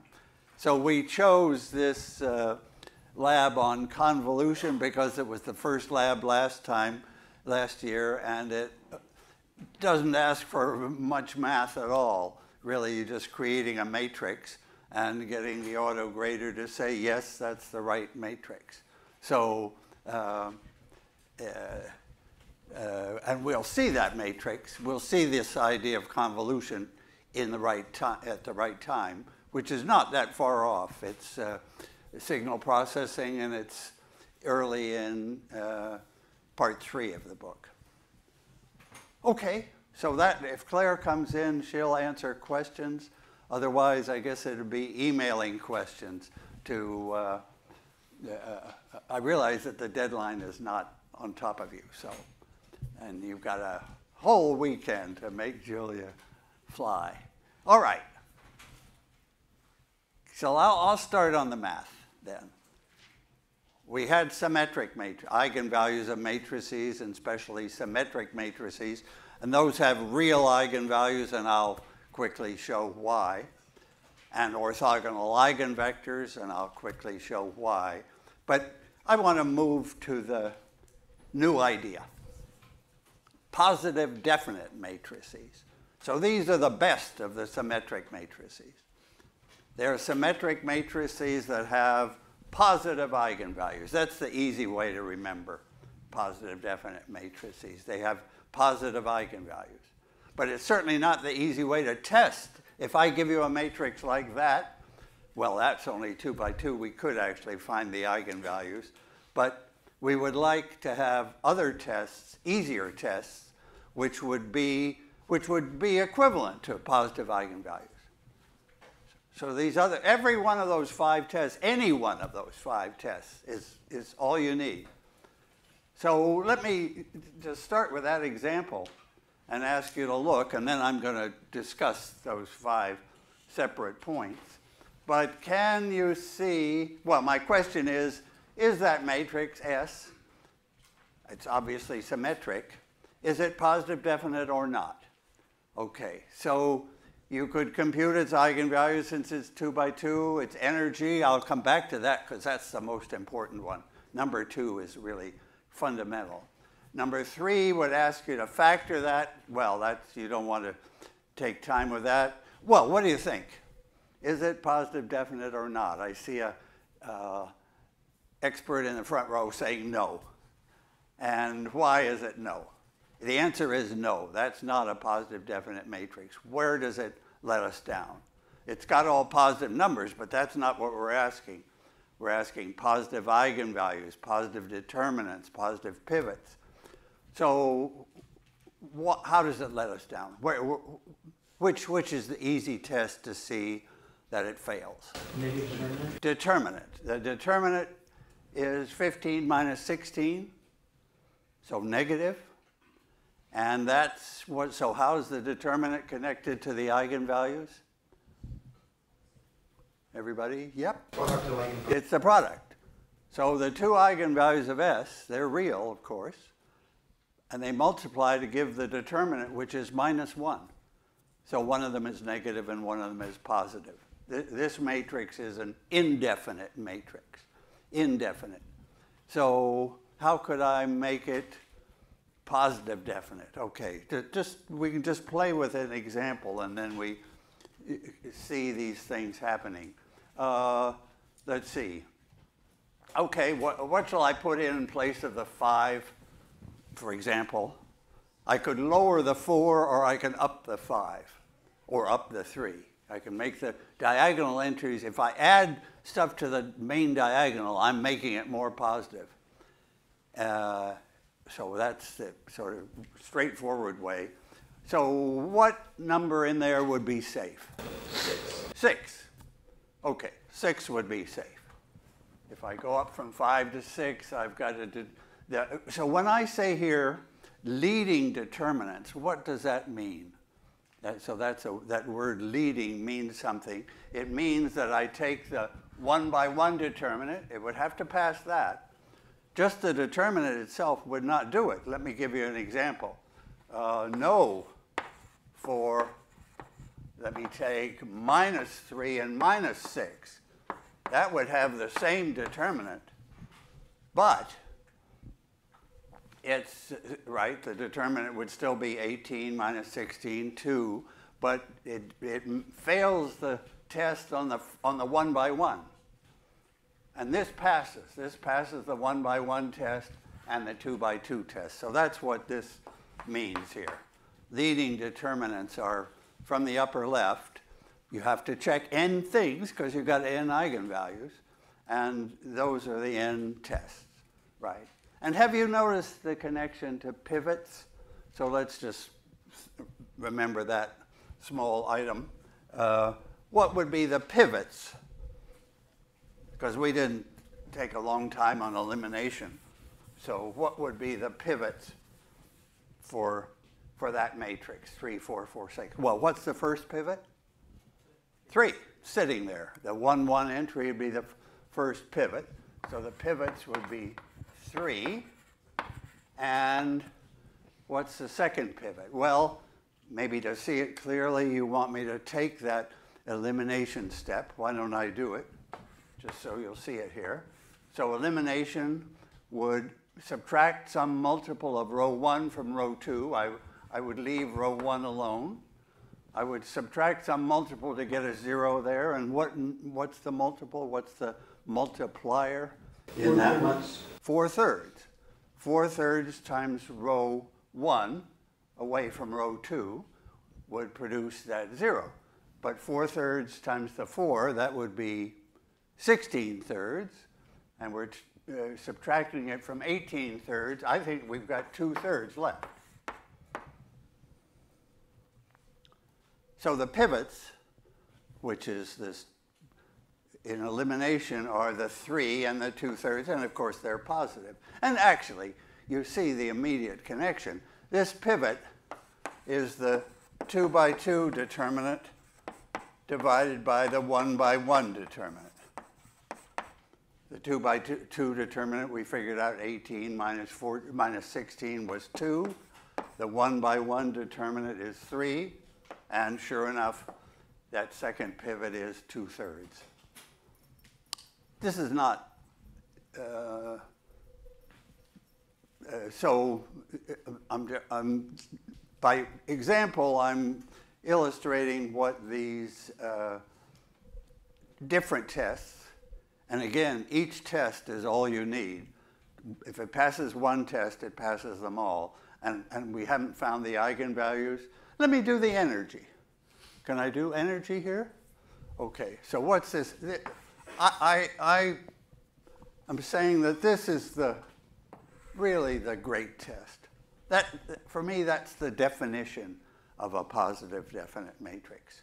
And the word energy comes in because it's quadratic, the way kinetic energy or potential energy. So that's the energy in the vector x for this matrix. So let me compute it, x transpose sx. So let me put in s here, the original s, and let me put in any vector x, so say xy or x1, maybe. Do you like x, xy is easier. So that's, that's our vector x transpose.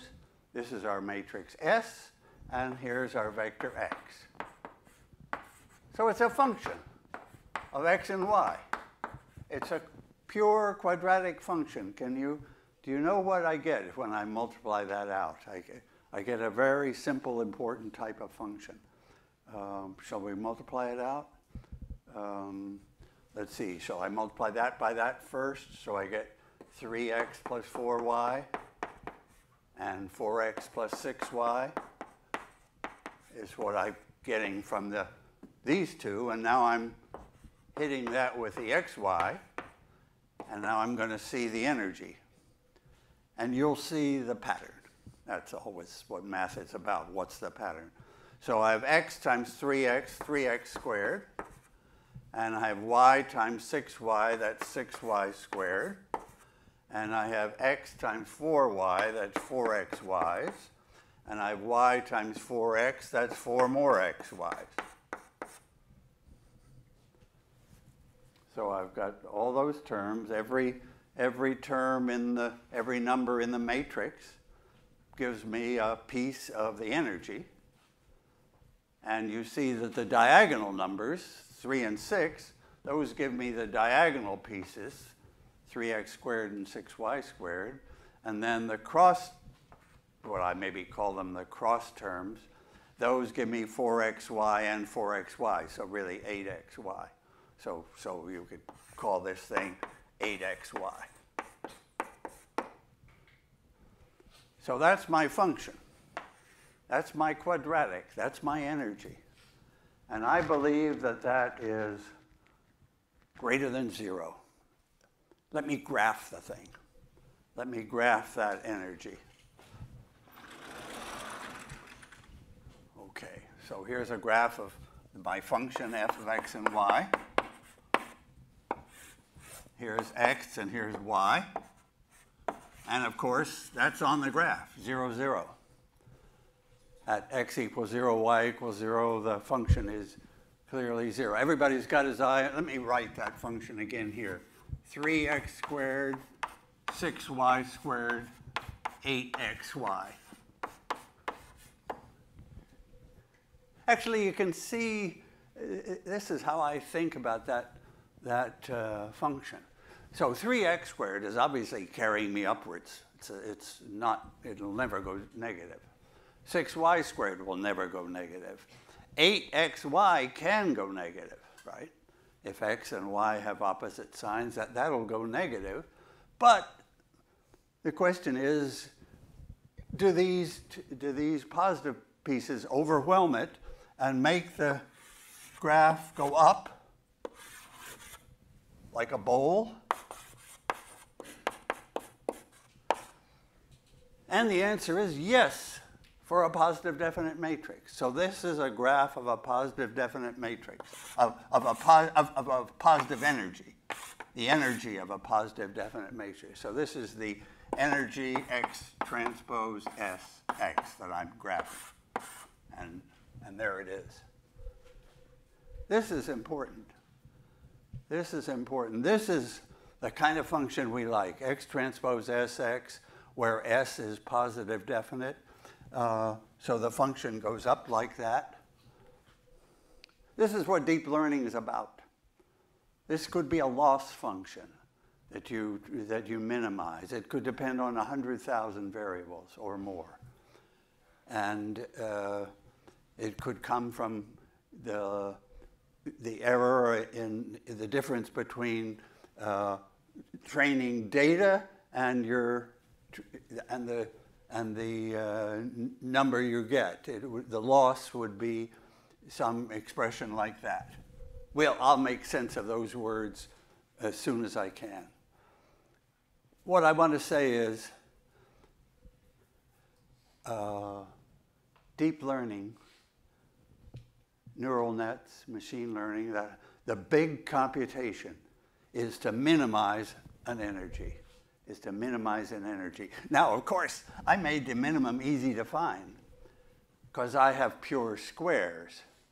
Well, that doesn't happen in practice, of course. In practice, we have uh, linear terms, x transpose b, or nonlinear, Yeah, the loss function doesn't have to be a, a thing, cross entropy, all kinds of things. There, there's a whole dictionary of possible loss functions. But, but this is the model. This is the model, and I'll make it the perfect model by just focusing on, the, on that part. Well, uh, yeah. By the way, what, what, what, would cre- what would happen if that was in there? I shouldn't have X'd it out so, so well, so quickly since I just put it up there. Let me put it back up. I thought better of it. Okay. This is a kind of least squares problem with some data B. Minimize that. So what would be the graph of this guy? Can I just draw the same sort of picture uh, for that function? Will it be a bowl? Yes. If I have this term, all that does is move it off center here. At x equals 0, well, I still get 0. Sorry, I still go through that point. If, if this is the 0 vector, I'm still getting 0 but this will bring it below. That would, that would produce a bowl like that. Actually, it would just be the same bowl. The bowl is, would just be shifted. I could write that to, to show how that happens. So this is, this is now below zero. This is the, that's the uh, solution we're after that tells us the weights uh, in the neural network I'm just using these words, but we'll soon have a meaning to them. I want to find that minimum, in other words. And I want to find it for much more complicated functions than that. Of course, if I minimize a quadratic, that means setting derivatives to zero. I just have linear equations. Probably I, can, I could write everything down for that, for that thing. So let's put in some nonlinear stuff, which which wiggles the bowl, makes it not so easy. Can, can I look a month ahead? How do you find, so this is a big part of mathematics, applied math, optimization, minimization of a complicated function of 100,000 variables. That's the biggest computation. That's the reason machine learning on big problems takes a week on a, on a GPU or multiple GPUs because you have so many unknowns. Uh, more than 100,000 would be quite normal. In general, let, us just have the pleasure of looking ahead for one minute and then I'll come back to real life here, linear algebra. Uh, just, I can't resist uh, thinking aloud, how do you find the minimum? By the way, these functions, both of them, are convex. So that is convex.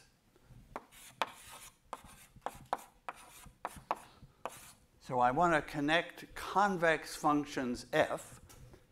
And what does convex mean? It means, well, that the graph is like that.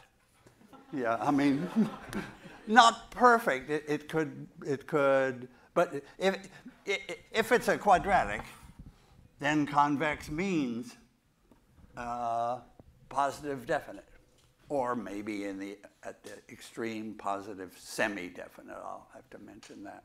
Yeah, but, but uh, convex means it goes up, but it could have wiggles. It doesn't have to be just uh, perfect squares and linear terms, but general things. And for, for deep learning, it will include uh, none, it'll go far beyond quadratics. But, well, it may not be convex, I guess. That's also true. Yeah, so, let, so deep learning has got serious problems because those functions, they may look like this, but then over here they could go, you know, non-convex. They could dip down a little more and you're looking for this point or for this point. Still, I'm determined to tell you how to find it. Uh, so, or, or a start on how you find it. So you're at some point. There, right, start, start there. somewhere on the surface, some x, some, some vector x is your start, x0. Starting. And we're going to just take a step, hopefully down, down the bowl. Well, of course, it would be fantastic to, take, to get there in one step, but that's not going to happen. That's, that would be solving a big linear system very expensive and a big nonlinear system. So really, that's what we're trying to solve, a big nonlinear system. And I should be like on this picture because here we can see where the minimum is, but it just shifts. So what would you do if you had a starting point and you wanted to go look for the minimum? What, what's the natural idea? Compute derivatives You've got calculus on your side. Compute the first derivatives. So the first derivatives uh, with respect to x, so, so I would compute the derivative of f with respect to x and the derivative of f with respect to y and 100,000 more. And that takes a little while. And now I've got the derivatives, what do I do? Go down. I go, that tells me the steepest direction. That tells me at that point which way is fastest way down. So I would follow, I would do a gradient descent. I would follow that gradient. This is called the gradient. All the first derivatives is called the gradient of f, the gradient. Gradient vector. It's a vector, of course, because f is a function of lots of variables. I would start down in that direction. And how far to go? That's like the million dollar question in, in deep learning. It's when, it, is, it, is it going to hit zero? Nope, it's not. It's not. And the, so you basically you, you go down until it until to go in, so you're traveling here in the x along the gradient and you're you're you're not aim you're not going to hit zero. You're you're going here in some direction and you want to go so you keep going down this thing until it oh my I'm not Rembrandt here uh, the, your path down. Eh, think of yourself on a mountain. You're trying to go downhill. So you take as fast as you can. So you take the steepest route down until, but, but, but you have blinkers on. You just, once you decide on a direction, you go in that direction. Of course, yeah. So, so what will happen? You'll go down for a while and then it will turn up again, right? When you get sort of maybe close to the bottom or maybe not, you, you're not going to hit here and it's going to miss that and come up. Maybe I should draw it over here, whatever. So this is, a, it's called a line search to, to decide how far to go there and then say, okay, stop. And you can invest a lot of time or a little time to decide on that first stopping point. And now, just tell me, what do you do next? So now you're here. What, what now? Recalculate the gradient. Find the steepest way down from that point. Follow it until it turns up, or approximately. Then you're at a new point. So this is gradient descent. That's gradient descent, the big algorithm of deep learning of neural nets, of, of machine learning, great, of optimization, you could say. Notice that we didn't compute second derivatives. If, if we computed second derivatives, we could have a fancier formula that could account for the bending, the, the, the curve here. But to compute second derivatives when you've got hundreds of thousands of variables is, is not a lot of fun. So most uh, um, uh, effectively, uh, machine learning is limited to first derivatives, the gradient. Uh, so, uh, okay, so that's the general idea but there are lots and lots of uh, decisions and why doesn't that how, how well does that work maybe maybe is a good way to good question to ask does this work pretty well you know or do we have to add more ideas well it doesn't always work well let me tell you what the trouble is I don't. So I'm way off. I'm uh, like this is this is like March or something. Uh, but anyway, I'll finish the sentence. Uh, so what what's the problem with this gradient descent idea? It it turns out if you're going down a narrow valley, I don't know if you can uh, sort of imagine a narrow valley toward the bottom. So so here's here's the here's the bottom Here's your starting point, and this is, so I'm in, you have to think of this as a bowl. So the, yeah, the bowl is, eh, eh, the, or the two eigenvalues you could say are one and a very small number. The bowl is long and thin. Are you with me? Imagine a long, thin bowl. Then what happens for that case? You, you take steepest descent, but you cross the valley and very soon you're climbing again. So you take very, it's very small steps, just staggering back and forth across this and getting slowly, but too slowly, toward the bottom. So that's why things have got to be uh, improved. You can't, if you have eigenvalue, a very small eigenvalue and a very large eigenvalue, those give, tell you the, the, the, shape of the bowl, of course, and uh, many cases will, will be like that, have a small and a large eigenvalue, and then you're spending all your time, you're quickly going up the other side, down, up, down, up, down, and uh, you need a new idea. Okay, so that's really, so this is one major reason why positive definite is so important because positive definite gives pictures like that. But then we have this question of are the eigenvalues sort of the same size? Of course, if the eigenvalues are all equal, what's my bowl like? Suppose, suppose, all the, suppose I have the identity. So that x squared plus y squared is my function then it's a perfectly circular bowl. What will happen if I, can you imagine a perfectly circular, like any, any bowl in the kitchen is probably most likely circular. Uh, and suppose I do gradient descent there. I start at some point on this perfectly circular bowl. I start down, and where do I stop in that case? Do I hit bottom? I do. By symmetry, I'm going to, so, so if I take x squared plus y squared as my function, and I start somewhere, I figure out the gradient.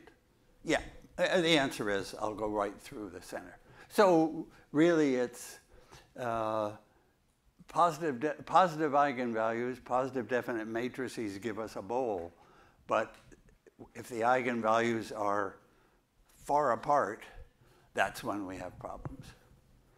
Okay. I'm going back to my job, uh, which is this, this stuff. Because you really, this is so nice. Yeah, right. Could you, uh, well, the homework uh, uh that's maybe going out this minute, um, for middle of next week. Gives you some exercises with this. Let, let, let me um, do a couple of things, a couple of exercises here. Uh, uh, uh, for example, suppose I have a positive definite matrix S and a positive definite matrix T. If I add those matrices, is the result positive definite? So there's a perfect math question, and we hope to answer it. So S and T, positive definite. What about S plus T? Is that matrix positive definite?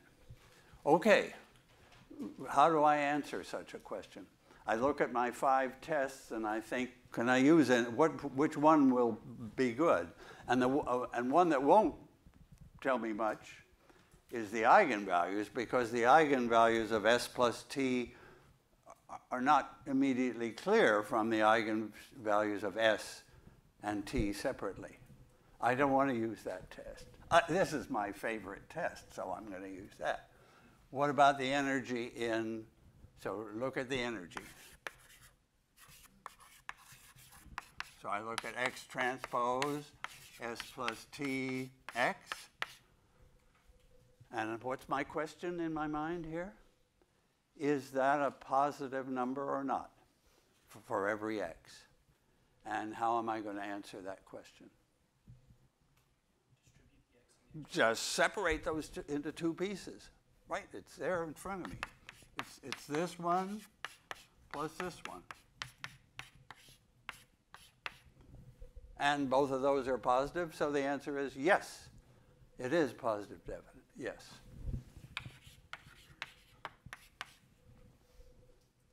You see how the energy just was right. I don't want to compute the pivots or any determinants. That would be like a nightmare trying to find the determinants for S plus T, but this one just does it immediately. What else would be a good example to start with? What about S inverse? Is that positive definite? So let me ask S positive definite, and I want to ask about its inverse. So its inverse is a symmetric matrix. And uh, is it positive definite? And the answer, yes, yes. I got five tests, 20% chance of picking the right one. Uh, determinants, not good. The first one is great. The first one is the good one for this question because the eigenvalue, so the answer is yes, is yes, this is, has eigenvalues. So what are the eigenvalues of S inverse? 1 over lambda. So yes, positive definite. Positive definite. Okay. Right. Um, yep. Uh, what about, yeah, let me ask just one more question of this same sort. Uh, suppose I have a matrix S, and suppose I multiply it by uh, another matrix. Oh, well, okay. Suppose, yeah. Yeah. Do I want to ask you this? Suppose I have S, suppose I asked you about S times another matrix, M.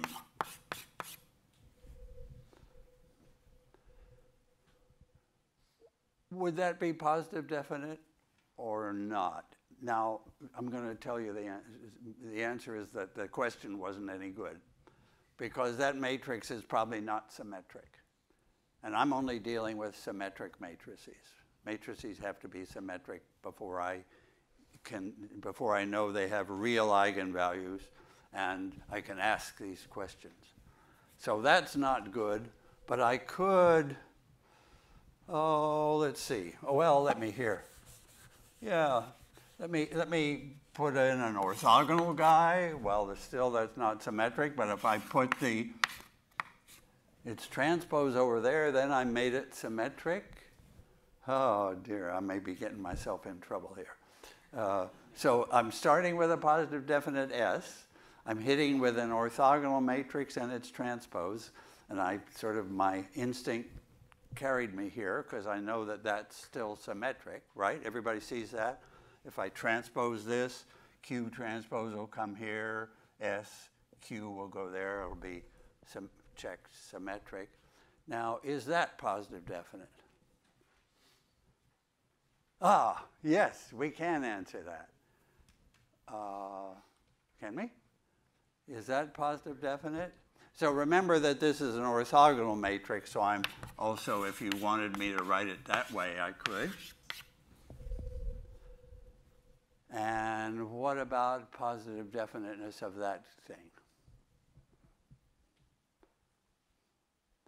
Um, the answer, I think, is yes. Do you agree?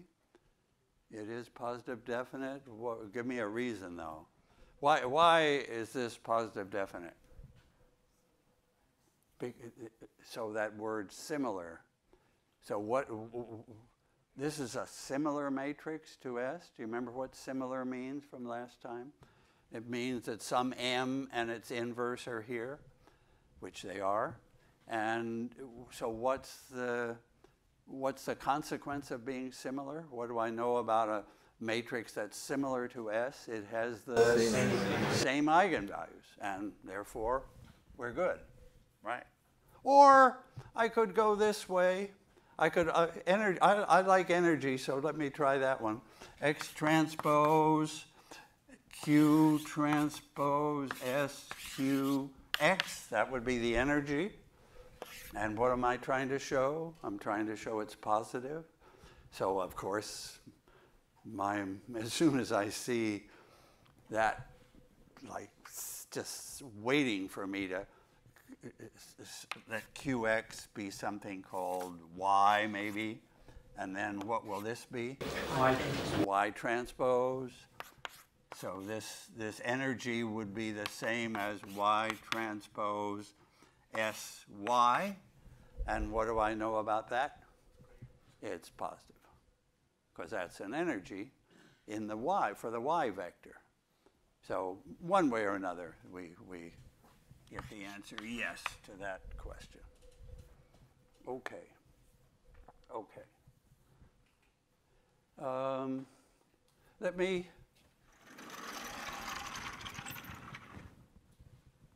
introduce the idea of semi-definite. Semi-definite is the borderline. So, so what did we have? We had three, four, four, and then when it was five, you told me indefinite, a negative eigenvalue. When it was six, you told me two positive eigenvalues, definite. What's the borderline? What's the borderline there? It's not, it's not going to be an integer, but it's, what, what do I mean? What am I looking for at the borderline? Uh, well, yeah, so tell me again. 16 over 3. 16 over 3, that sounds right. Why is that the borderline? Because now the determinant is zero. It's singular. It has a zero eigenvalue. There's a zero eigenvalue. So that's what semi-definite means. Lambdas are greater or equal to zero. Wait a minute. That has a zero eigenvalue because its determinant is zero. How do I know that the other eigenvalue is positive?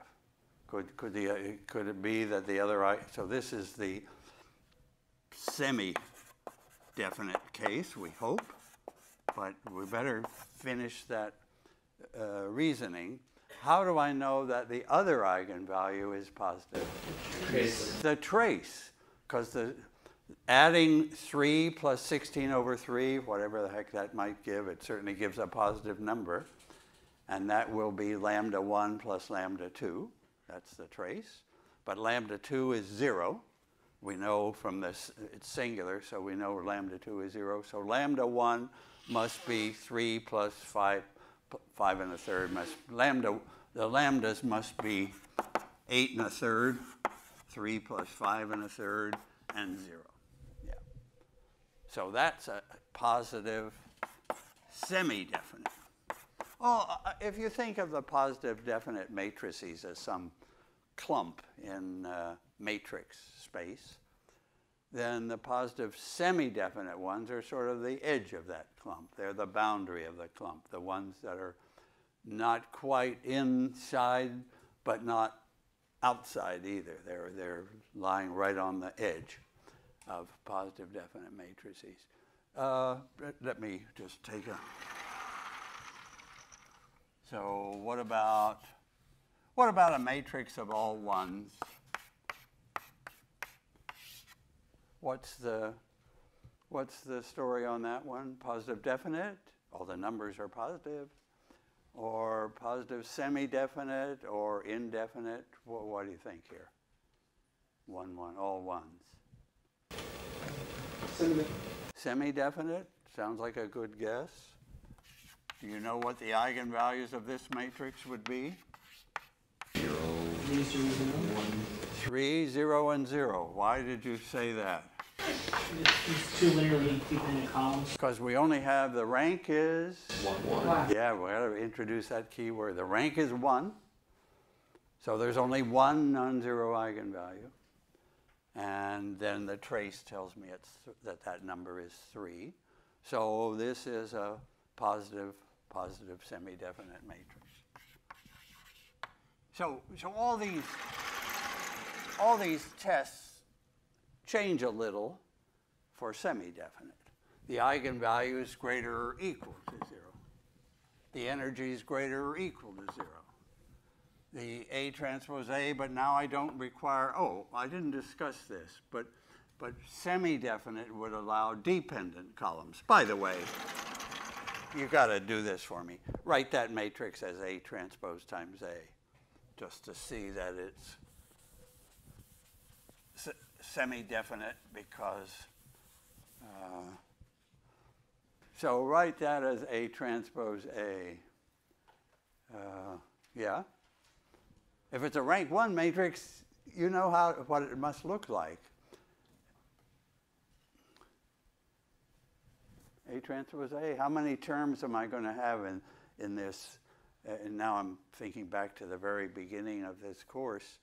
If I pulled off the pieces, in, in general, this is lambda 1 times the first eigenvector times the first eigenvector transpose. Wouldn't A just be a vector of three ones? Yeah, it would just be a vector of three ones. Yeah, so, so this would be the usual picture. That, this is the same as the Q lambda Q transpose. This is, this is the big, big fact for any symmetric matrix. And this is symmetric, but its rank is only one. So that, so that lambda 2 is 0 for that matrix. Lambda 3 is 0 for that matrix. And, and the one eigenvector is the vector 1, 1, 1. And the eigen, so this would be 3 times 1, 1, 1. Oh, I have to, yeah. So I was going to do 3 times 1, 1, 1 times 1, 1, 1. But that gives me 3, 3, 3. That's not right. Normalize. I have to normalize them, that's right. Yeah, so that's a vector of whose length is square root of 3, so I have to divide by that. And I have to divide by it. And then the 3 cancels the square root of 3's, and I'm just left with the 1, 1, 1, 1, 1, 1. Yeah. That you proposed. Yeah.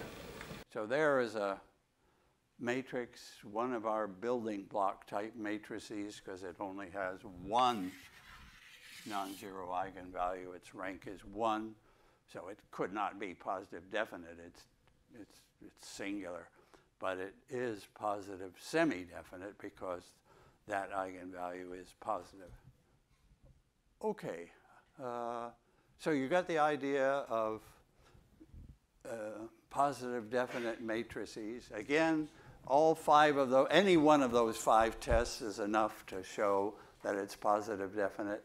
And uh, so what's my goal next week is the singular value decomposition and all that that leads us to. That's, that's we're, we're there now, ready for um, at the SVD. Okay, have a good weekend and see you. Oh, I see you on Tuesday, I guess, right? Not Monday, but Tuesday uh, next week. The following content is provided under a Creative Commons license. Your support will help MIT OpenCourseware continue to offer high quality educational resources for free. To make a donation or to view additional materials from hundreds of MIT courses, visit MIT OpenCourseWare at ocw.mit.edu. So this is a big day mathematically speaking because we come to this key uh, idea, uh, which is a little bit like eigenvalues, well, a lot like eigenvalues, but different because the matrix A now is uh, more usually rectangular. So for a rectangular matrix, the whole idea of eigenvalues is shot because if I multiply A times a vector x in n dimensions, out will come something in m dimensions, and it's not going to equal lambda x. So ax equal lambda x is not even possible if a is rectangular. And even if a is square, what are the problems? Just thinking for a minute about eigenvalues. The, the case I wrote up here is the great case where I have a symmetric matrix, and then it's got a full set of eigenvalues and eigenvectors, and they're orthogonal, all good. But for a general square matrix, either the eigenvectors are complex, eigenvalues are complex, or the eigenvectors are not orthogonal. So, uh, so we, we can't stay with eigenvalues forever. That's what I'm saying. And this is the right thing to do. A is, no, so what are these pieces? So these are the left, and these are the right singular vectors. So this is the, the new word is singular.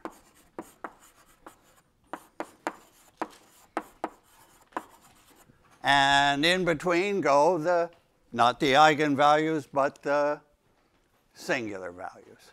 So that, so we've got the whole point now, you got to pick up on this. There are two sets of singular vectors, not one. For eigenvectors, we just had one set, the q's. Uh, now we have, for a rectangular matrix, we've got one set of left eigenvectors in, in uh, m dimensions, and we've got another set of right eigenvectors in n dimensions. And uh, numbers in between are not eigenvalues, but singular values. So these guys are, let me write what that looks like. This is again a diagonal matrix, sigma 2 to sigma r, let's say.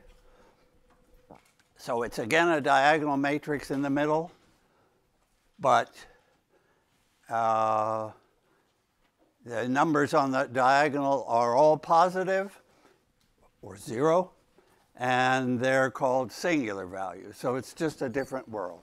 Okay, so really the first step I have to do, the math step, is to show that any matrix has can be factored into u times sigma times v transpose.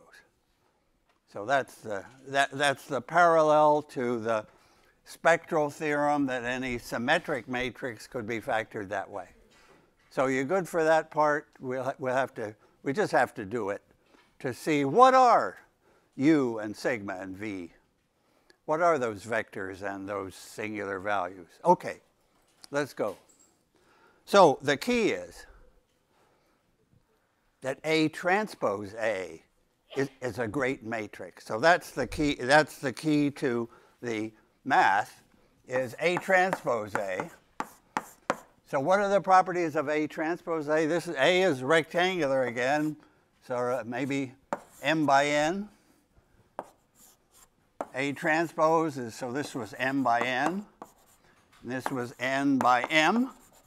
So we get a result that's N by N. And what else can you tell me about A transpose A? Symmetric. It's symmetric. That's a big deal. And it's square. And, well, oh, yeah, you can tell me more now because we talked about uh, something, a topic that's a little more than symmetric last time. It, the matrix A transpose A will be positive definite. Its eigenvalues are greater or equal zero. And that will mean that we can take their square roots. And that's what we will do. So A transpose A will have a factorization. It's symmetric. It, will it, have a, like a Q lambda Q transpose, but I'm going to call it V lambda. No, yeah, lambda. I'll still call it lambda, V transpose. So these V's, what do we know about the eigenvectors? So these V's are eigenvectors of this guy. Square, symmetric, positive definite matrix. So we're in good shape. And what do we know about the eigenvalues of, of A transpose A? They are all positive. So the, the eigenvalues are, well, are equal to zero. And these guys are orthogonal. And these guys are greater or equal to there. And okay, so that's good. That's one of our, that's will depend a lot on that. But also, you got to recognize that AA transpose is a different, different guy. AA transpose. So, so what, what's, what's the shape of AA transpose? How big is that? Now I've got, what do I have? M by N times N by M. So this will be what size? m by m, different shape, but with the same eigenvalues. The same eigenvalues. So it's going to have some other eigenvectors. U, of course, I'm going to call them u because I'm going to go in over there. They'll be the same, well, the same, yeah, let me, I shouldn't, I, I have to say, when I say the same, I can't quite literally mean the very same because this has got n eigenvalues and this has got m eigenvalues. But the, the, the missing guys, the ones that are in one of them and uh, not in the other, depending on the sizes, are zeros. So really the heart of the thing, the non-zero eigenvalues are the same. Okay. Now, well, actually, I've pretty much revealed what the SVD is going to use. It's going to use the U's from here and the V's from here. But that's, uh, that's the story. You've got to see that story. Okay. So fresh start on the singular value decomposition. What are we looking for? Well, as a factorization, so we're looking for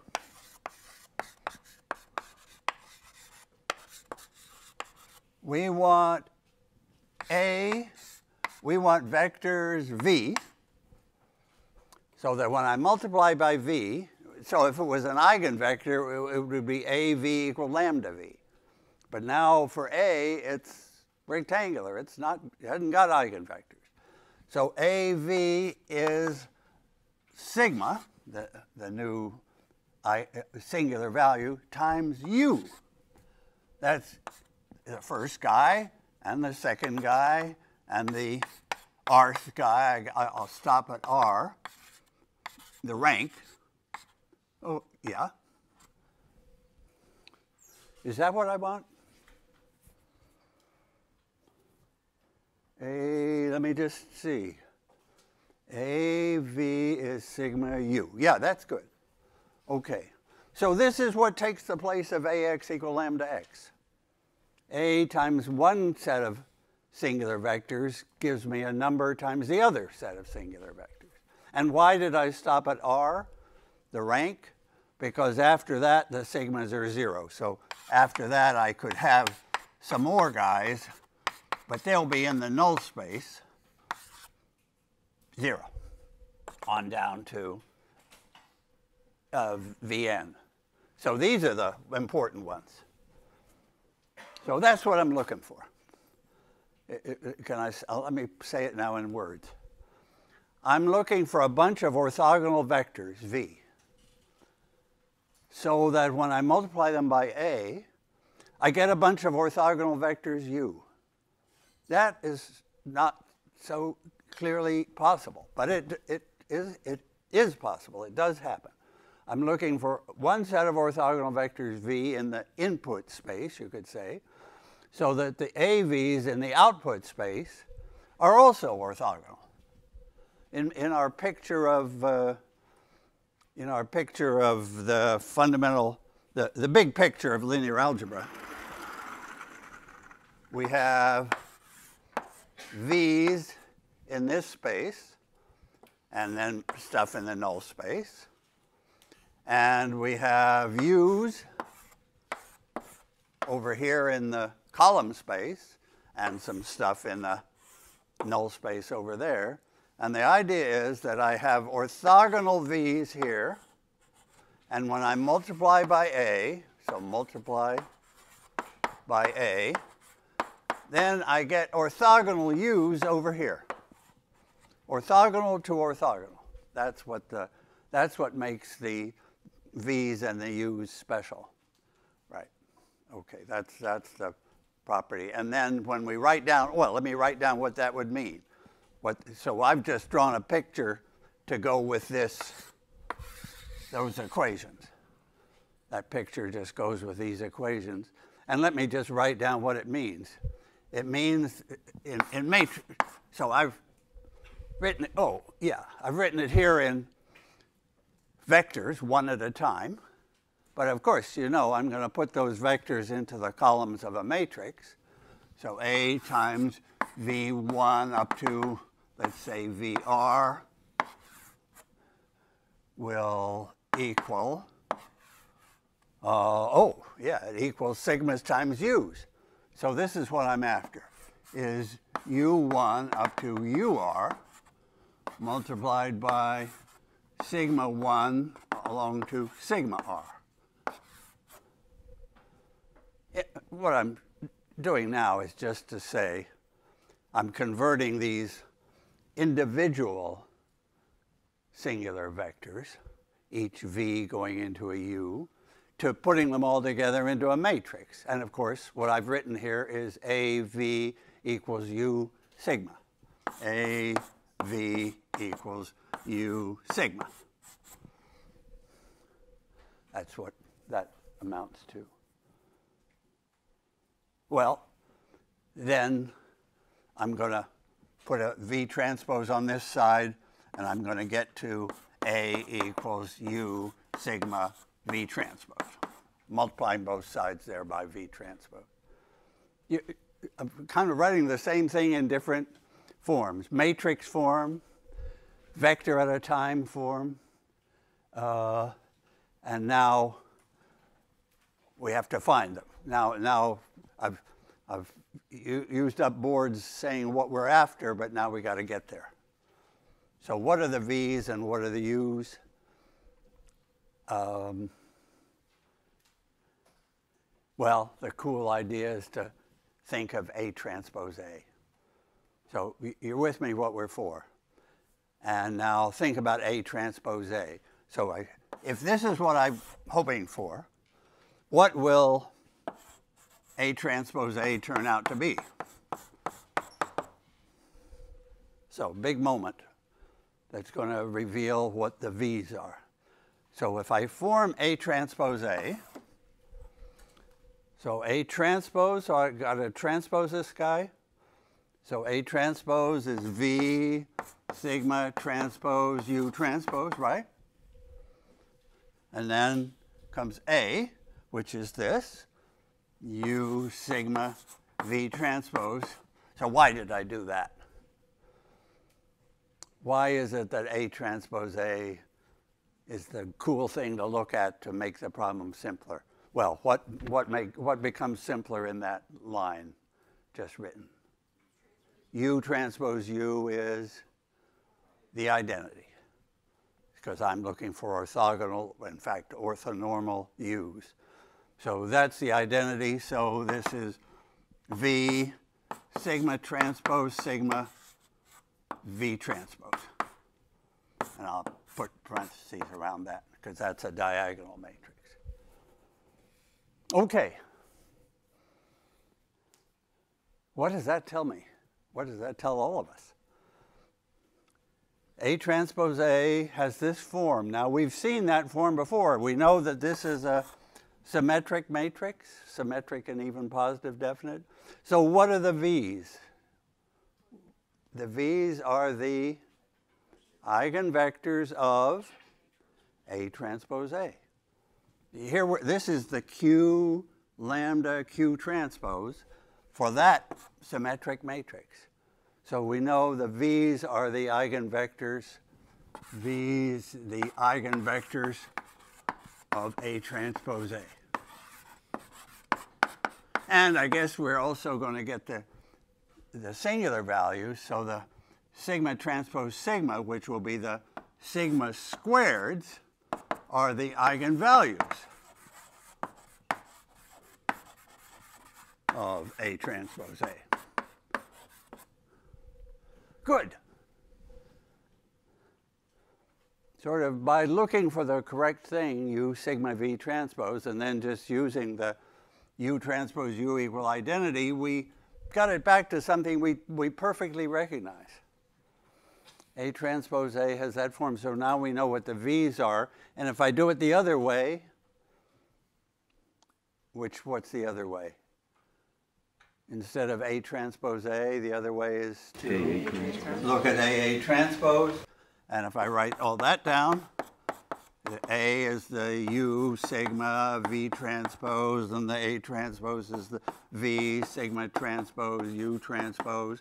And again, this stuff goes away and leaves me with U sigma sigma sigma transpose U transpose. So I know what the U's are too.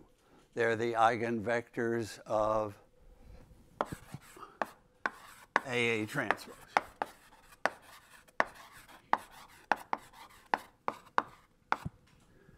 Isn't that a beautiful symmetry? You just, A transpose A and AA transpose are two different guys now, so they have, each has its own eigenvectors, and we use both. It's just right. And I just have to take the final step, and, and we've uh, established the SVD. So the final step is to remember what I'm going for here. A times a V is supposed to be sigma times a U. See, what, I'm, what I have to deal with now is, is I haven't quite finished. It's, it's just perfect as far as it goes, but it hasn't gone to the end yet. Because we could have double eigenvalues and triple eigenvalues and all those horrible possibilities. And if I have triple eigenvalues or double eigenvalues, then what's the deal with eigenvectors if I have double eigenvalues? Suppose a matrix has a say a symmetric matrix has a double eigenvalue. Let me just take an example. So symmetric matrix like, say, 1, 1, 5. Make it. Why not? What's the deal with eigenvectors for that matrix 1, 1, 5? So 5 has got an eigenvector. You can see what it is, 0, 0, 1. What about the eigenvectors that go with lambda equal 1 for that matrix. What's up? What, I, what, what would be eigenvectors for lambda equal 1? Unfortunately, there's a whole plane of them.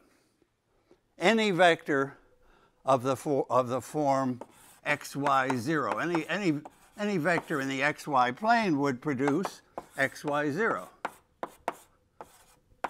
So I have a whole plane of eigenvectors, and I've got to pick two that are orthogonal, which I can do, and then they have to be uh, in the in the SVD. Those two orthogonal guys have to go to two orthogonal guys.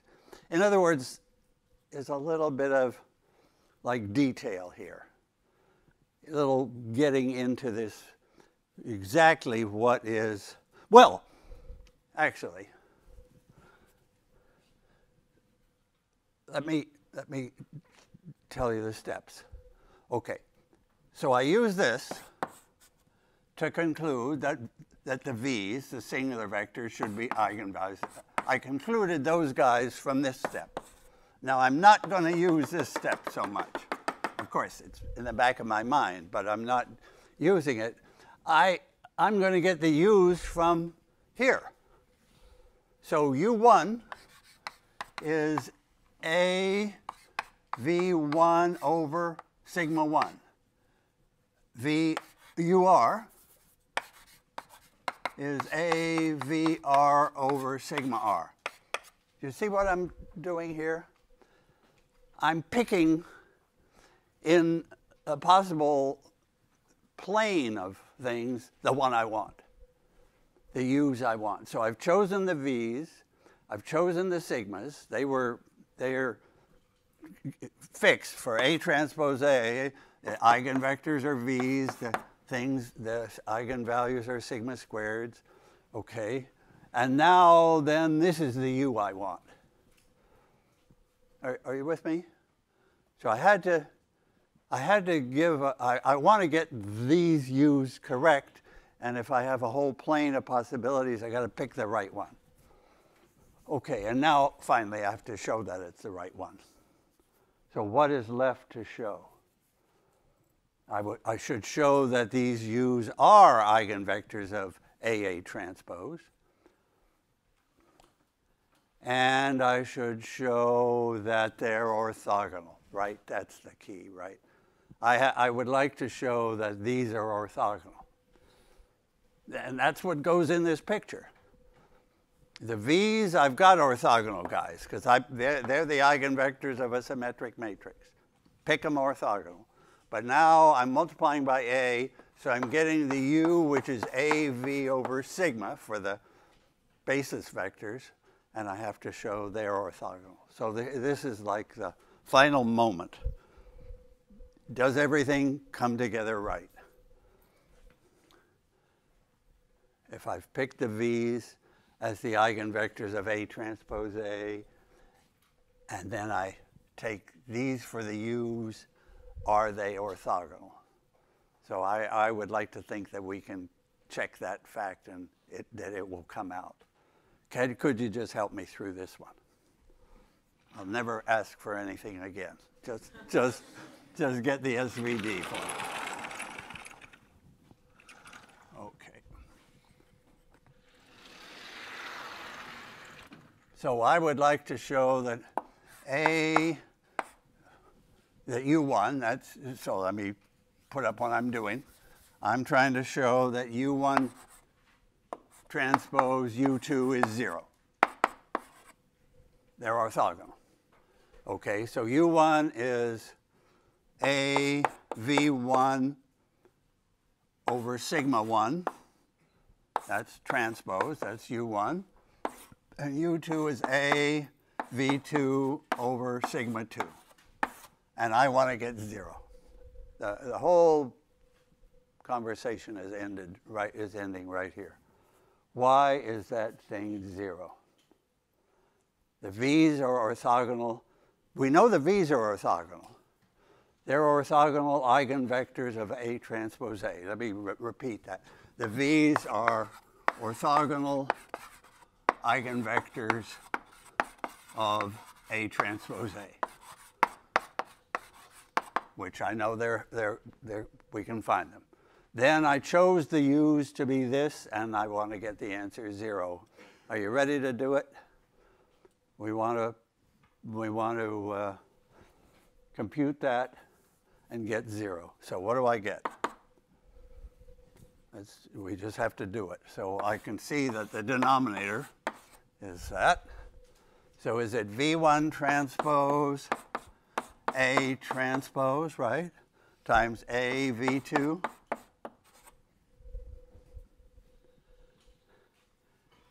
And I'm hoping to get zero. Do I get zero here? You hope so.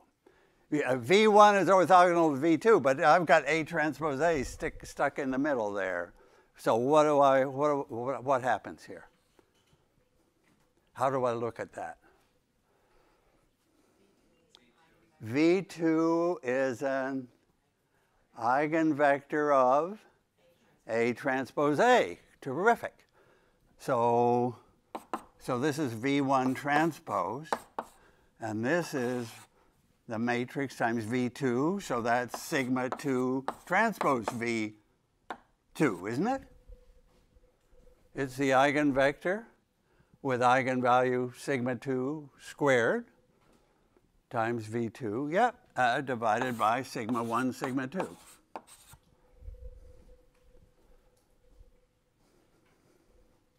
So the A's are out of there now.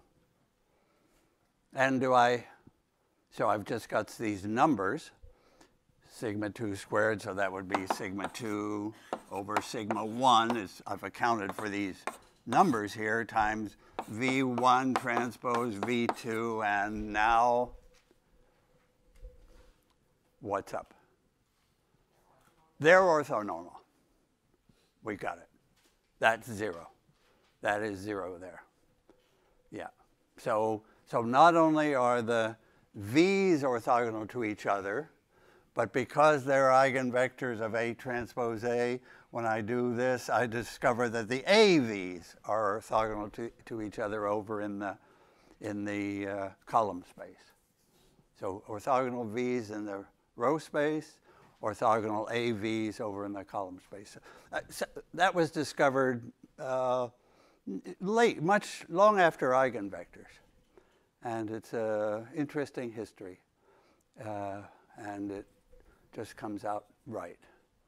And then it was discovered, but not much used for, oh, 100 years probably. And then uh, people saw that it was exactly the right thing, and data matrices became important, which are large uh, rectangular matrices. And we have not, oh, I better say a word, just a word here, about actually computing the V's and the sigmas and the U's. So how would you actually find them? You, what I most want to say is you would not go this A transpose A route.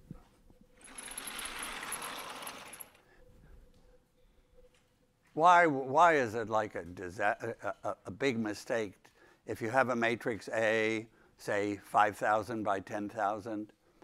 Uh, why is it a mistake to actually use A transpose A in the computation? We used it big, heavily in the proof. And we could find another proof that wouldn't use it so much. But why would I not do, why would I not multiply these two together it's very big, very expensive. It, it adds in a whole lot of um, round off. You have a matrix that's now, its vulnerability to round off errors is squared. That's called its condition number gets squared, and you just don't go there.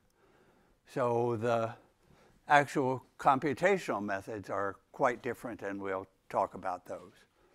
But the, the A transpose A, because it's symmetric, positive, definite, made the proof so nice. That's, that's what you, you've seen the nicest proof, I'd say, of the. Uh, now, and now I should think about the geometry.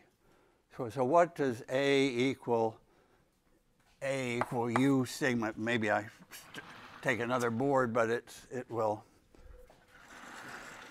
fill it but it's a good U sigma V transpose. I, so it's got three factors there. And I would like, and the, each factor is kind of a special matrix. U and V are orthogonal matrix, so I think of those as rotations. Sigma is a diagonal matrix. I think of it as stretching. So now I'm just going to draw the picture. So here's uh, unit vectors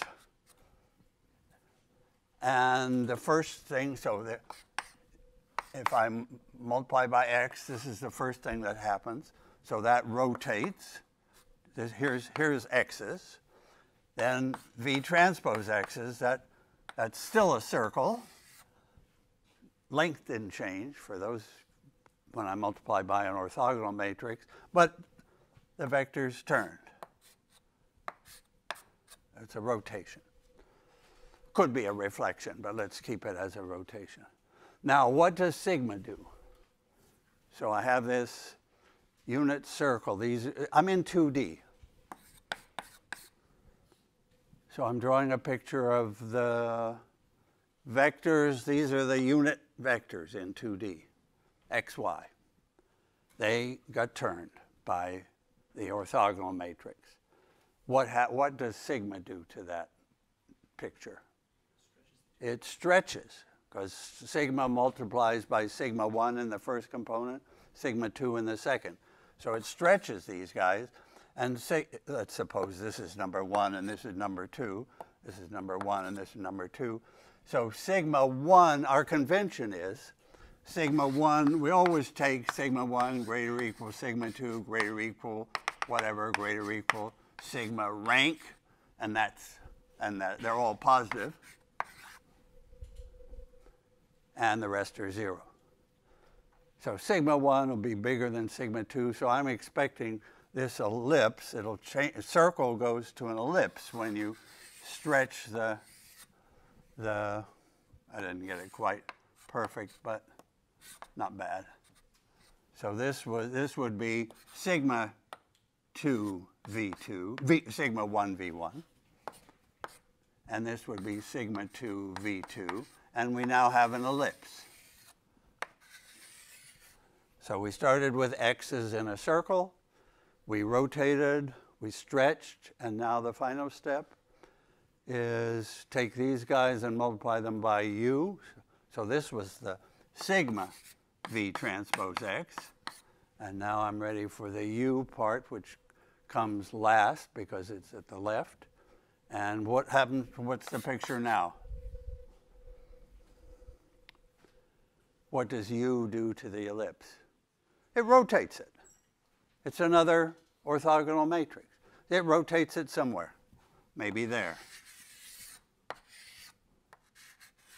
And now we see the u's, u2 and u1. Do ah maybe maybe they're there maybe I, uh, well let me let me think about that. Basically, that's not that's right. So, so this SVD is telling us something quite remarkable, that every linear transformation, every matrix multiplication, factors into a rotation times a stretch times a different rotation, but possibly different. Actually, when would the u be the same as the v? Here's a good question. When, when is u the same as v? When are the two singular vectors just the same? A square. Because a would have to be square. And we want this to be the same as q lambda q transpose, if they're the same. So the u's would be the same as the v's when the matrix is symmetric. And actually, we need it to be positive definite. Why is that? Because our convention is these guys are greater or equal to zero. These guys, if, if, if it's going to be the same, then so for a positive, definite, symmetric matrix, the the uh, the s the s that we started with is the same as the u as the a on the next line. Yeah, the, the, the q is the u, the q transpose is the v transpose, the lambda is the sigma. So those are the good matrices, and they're the ones that you can't improve. Basically, they're so good you can you can't make a positive, definite symmetric matrix better than it is. Well, maybe diagonalize it or something, but okay. Now, I, I think of like one question here that, that helps, to, helps me anyway to keep this figure straight. Uh, how I want to count the parameters in this factorization. Uh, uh how, uh, so I'm two by two. I'm two by two. So A has four numbers, A, B, C, D. Then I guess I feel that four numbers should appear on the right-hand side. Somehow the U and the sigma and the V transpose should use up a total of four numbers. So we have a, a nice count, counting match between the left side that's got four numbers A, B, C, D, and the right side that's got four numbers buried in there somewhere. so can we dig them out? Uh, how many numbers in sigma? That's pretty clear. Two. Sigma 1 and sigma 2. The two eigenvalues. How many numbers in this rotation? So I, if I had a different color chalk, I would put 2 for the number of things accounted for by sigma. How many parameters does a 2 by 2 rotation require? One. And what's a, what's a good word for that one? Or the, the, that one parameter. It's like I have a cos theta, sine theta, minus sine theta, cos theta. There's a number theta. It's, it's the angle it rotates. So that's one guy to tell the rotation angle, two guys to tell the stretchings, and one more to tell the rotation from U, adding up to four. So, so those account, those match up with the four numbers A, B, C, D that we start with. Of course, it's a complicated relation between those four numbers and, and rotations and stretches, but but it's 4 equals 4 anyway. And I guess if you did 3 by 3s, oh, three by 3s, what would happen then? So let me take three. Do you want to care for 3 by 3s? Just, it's sort of satisfying to get 4 equal 4. But now, what do we get 3 by 3? We got how, how many numbers here? nine. Oh, so where are those nine numbers? Oh, how many here? That's usually the easy. Three. So what's your guess for the, how many in a rotation? In, in a 3D rotation, you take a sphere and you rotate it. How many, how many numbers to tell you what's what? to tell you what you did? Three, we hope three. Yeah, it's going to be three, three, and three for the, for the, for the three-dimensional world that we live in. So people who do rotations for a living uh, understand that a rotation in 3D. But how do you see this? Roll, pitch, and yaw. Sorry. Roll, pitch, and yaw. Roll, pitch, and yaw. That sounds good. I mean, it's three words and we've got it, right? Okay, yeah, roll, pitch, and yaw. Yeah, I guess a pilot, hopefully, knows about those three. Yeah, yeah, yeah. Wh which is roll when you sort of like forward and back? Does anybody, anybody? Roll, pitch, and yaw? Nah, you guys must So know pitch is the Pitch is, pitch is the up and down one. Pitch is the up and down one, okay. roll. Roll is like, think like a barrel roll. Yes, so. And yaw is your side. Oh, yaw, you're in a, you stay in a plane and you, okay, beautiful. Right, right. And that leads us to R4, four dimensions. Uh, what's your guess on 4D? Well, let's, we could do the count again. If it was four by four, we would have 16 numbers there. And in the middle, we always have an easy time with that. That would be four. So we got 12 left to share out. So six, somehow, six, six angles in four dimensions. Uh, well, we'll leave it there. Yeah, yeah, yeah. Okay. Okay. So there's the SVD, but without an example. Uh, examples, you know, I, I, would have to compute A transpose A and find it. So the text will do that, uh, does it for a particular matrix. Oh, yeah, the text does it for a, for a matrix 3405 that came out pretty well. Uh, a few facts we could learn, though. So the, if I multiply all the eigenvalues together, then I, for a matrix A, what do I get? I get the determinant. What if I multiply the singular values together? Well, again, I get the determinant. You can see it right away from the big formula. Take determinants. take determinants. Well, assuming the matrix A is square, so it's got a determinant. Then I take determinants, the determinant of this product, I can take the separate determinants. That has determinant equal to 1, an orthogonal matrix. The, the, uh, the uh, determinant is 1. And similarly here, so, so the product of the sigmas is also the determinant. Yeah, yeah. So the product of the sigmas is also the determinant. The product of the sigmas here will be 15, but you'll find that uh, sigma 1 is smaller than lambda 1. So here are the eigenvalues, lambda 1 less or equal to lambda 2, say, but but the singular values are outside them. Yeah. But they still multiply. Sigma 1 sig times sigma 2 will still be 15. And that's the same as lambda 1 times lambda 2. Yeah. But overall, computing the examples of the, of the SVD take more time because, um, well, yeah, you just compute A transpose A, and you've got the V's, and, and you're on your way. And you have to take the square roots of the eigenvalues.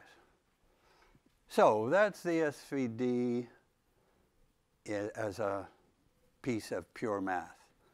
But uh, of course, what we'll do next time, starting right away, is uh, use SVD. And let me tell you, even today, the most, yeah, most important uh, pieces of the SVD. So what do I mean by pieces of the SVD? I've got one more blackboard still to write on. So here we go. So let me write out A is U, the U's times the sigmas, sigmas 1 to R times the V's. V transpose, V1 transpose down to VR transpose. So those are across. Yeah, actually, what I've written here, so there, you could say there's a large, a big economy, there's a, there's a smaller size SVD that has the real stuff that really counts and then there's a larger SVD that has a whole lot of zeros. So, so this would be the smaller one, M by R. R, this would be R by R. And these would all be positive. And this would be R by N. So that's, the, that's only using the R non-zeros. All these guys are greater than zero. Then the other one, we could fill out to get a square orthogonal matrix, the sigmas, and square v's, v1 transpose to vn transpose. So what are the shapes now? This shape is m by m. It's a proper orthogonal matrix. This one also, n by n. So this guy has to be, this is the sigma now, so it has to be what size? m by n, that's the remaining space. So it starts with the sigmas, and then it's all zeros, accounting for null space stuff. Yeah, so you, you should really see that these two are possible that, that all these zeros, when you multiply out, just give nothing, so that really the only thing that non-zero is in these bits. But there's a complete one. So what are these extra u's? They're in the null space of A, trans, of AA transpose or A transpose A. Yeah, so two sizes, the, the large size and the small size. But then the things that count are all in there. Okay. So I was going to do one more thing, and I'm, uh, let me see what what it was. So this is section 1.8 of the notes, and you'll see examples there. And you'll see a, a, a second approach to the finding the U's and V's and sigmas. I can tell you what that is, but maybe with uh, uh, just to just to do something nice at the end, let me tell you about another factorization of A that was famous, that's famous in engineering, and it's famous in in uh, geometry. So this is NEA is a U sigma V transpose. We've got that. Now the, the, the other one that I'm thinking of, I'll tell you its name. It's called the polar decomposition of a matrix. And all, all I want you to see is that it's, it's virtually here. So a polar means, what, what's polar in, uh, for a complex number, what, what, what's the polar form of a complex number? U to the IR theta. It's e to the i theta times r. Yeah. A, a real guy. So the real guy r will translate into a symmetric guy. And the e to the i theta will translate into. So what does e? Th- what kind of a matrix reminds you of e to the i theta? Orthogonal. Orthogonal. Size one. So orthogonal. So that's a very, very kind of nice. Every matrix factors into a symmetric matrix times an orthogonal matrix. And I have, of course, described these as the most important classes of matrices. And here we're saying every matrix is a S times a Q. And I'm also saying that I can get that quickly out of, out of the SVD. So I just want to do it. So I want to find an S and find a Q out of this. So to get an S, so let me just start it. U sigma, but now I'm looking for an S. So what shall I take, put in now? I put, better put in, if I've got U sigma something and I want it to be symmetric, I should put in U transpose would do it. But then if I put in U transpose, I've got to put in U. So now I've got U sigma, U transpose U is the identity. Now I've got to get V transpose. And have I got what the polar decomposition is asking for in this line? So yeah, I think, wh- what have I got here? Where's the, where's the S? in, in this. So oh, oh you see, I took the SVD and I just put the identity in there. Just shifted things a little, and now where's the S that I can read off? U sigma First three, that's an S. That's a symmetric matrix. And where's the Q? Well, I guess we can see where the Q has to be. Uh, it's here. Yeah.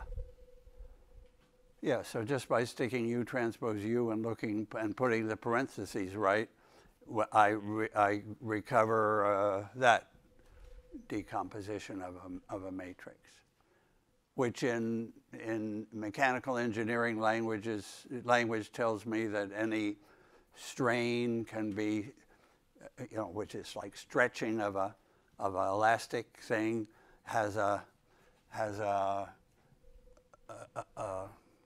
a uh, symmetric kind of a stretch and a internal twist. Yeah. So that's good. Well, this was a th- three, six, nine boards filled with matrices. Well, it is 18065, so maybe that's all right. But uh, um, the idea is to use them on a matrix of data. And I'll just tell you the key fact. The key fact. If I have a big matrix of data, A, and if I want to pull out of that matrix the important part. So that's what data science has to be doing. Out of a big matrix, some of those, some part of it is noise, some part of it is signal. I'm looking for the most important part of the signal here. So I'm looking for the most important part of the matrix. In a way, the biggest numbers, but, but that doesn't, of course, I'm, I don't look at individual numbers. So what's the biggest part of the matrix? What's the, what are the principal components? Now we're, we're really getting in. If this is a, if this, uh, you know, it could be data and we want to do statistics, so we want to see what's, what has high variance, what has low variance. We'll, we'll do these connections with statistics. But what's the important part of the matrix? Well, let me look at the U sigma V transpose. Here, yeah, let me look at it. So what's the one most important part of that, of that matrix? One, uh, the rank one, it's a rank one piece. So when I say a part, I'm, of course, it's going to be a matrix part. But so the simple matrix building block is like a rank one matrix, a something, something transpose. And what should I pull out of that as being the most important rank one matrix that's in that product? So I'll erase 1.8 while you think, what do I do to pick out the, the big deal, the, the, the thing that the data is telling me first? Well, these are orthonormal. Can, no one is bigger than another one.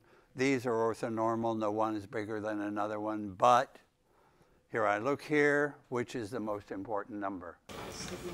Sigma 1. Sigma 1. So the part I pick out is this biggest number times its row times its column. So it's U1 sigma 1 V1 transpose is the, the top principal part of the matrix A. It's the leading part of the matrix A. It's the rank one, the biggest rank one part of the matrix is there. So computing those three guys is the first step to understanding the data. Yeah, so that's what's coming next is, and I guess tomorrow since uh, they moved, Monday, MIT declared uh, Tuesday to be Monday. Um, they they didn't change Wednesday, so I'll see you tomorrow for uh, the, the principal components. Good. The following content is provided under a Creative Commons license. Your support will help MIT OpenCourseware continue to offer high quality educational resources for free. To make a donation or to view additional materials from hundreds of MIT courses, visit MIT OpenCourseware at ocw.mit.edu. So this is a pretty key lecture. This lecture is about principal component analysis, PCA, which is a major tool in, in uh, understanding a matrix of data. So what, what is PCA about? Well, first of all, let me remember what was the whole point of last yesterday's lecture. The singular value decomposition that any matrix A could be broken into R rank one pieces, R being the rank of the matrix, and each piece has a U times a V transpose, and the good special thing is the U's are orth orthonormal, and also the V's are orthonormal. Okay, so that's the whole matrix. But we have a big matrix and we want to get the important information out of it, not all the information and people say if, if in, in uh, machine learning, if you've learned all the training data, you haven't learned anything really. You've just like copied it all in. You, the whole point of, of neural nets and uh, um, the process of machine learning is to learn important facts about the data. And now here we're at the most basic stage of that. And I claim that the important facts about the matrix are in its largest k singular values, the largest k pieces. We can take k equal 1 would tell us the largest single piece, but maybe we have space and computing power to handle 100 pieces. So I would take k equal 100. The matrix might have rank thousands. So I claim that AK is the best. Now here's the one theorem for today. That AK, using the first, the first k pieces of the SVD, is the best approximation to A of rank K. So I'll write that down. So that's, that really says why the SVD is perfect. Okay, so that's, that statement says that if, if B, another matrix, has rank K, then the distance from A to B, the error you're making in just using B, that error is greater than or equal to the error you make for the best guy. So that's a pretty straightforward, beautiful fact.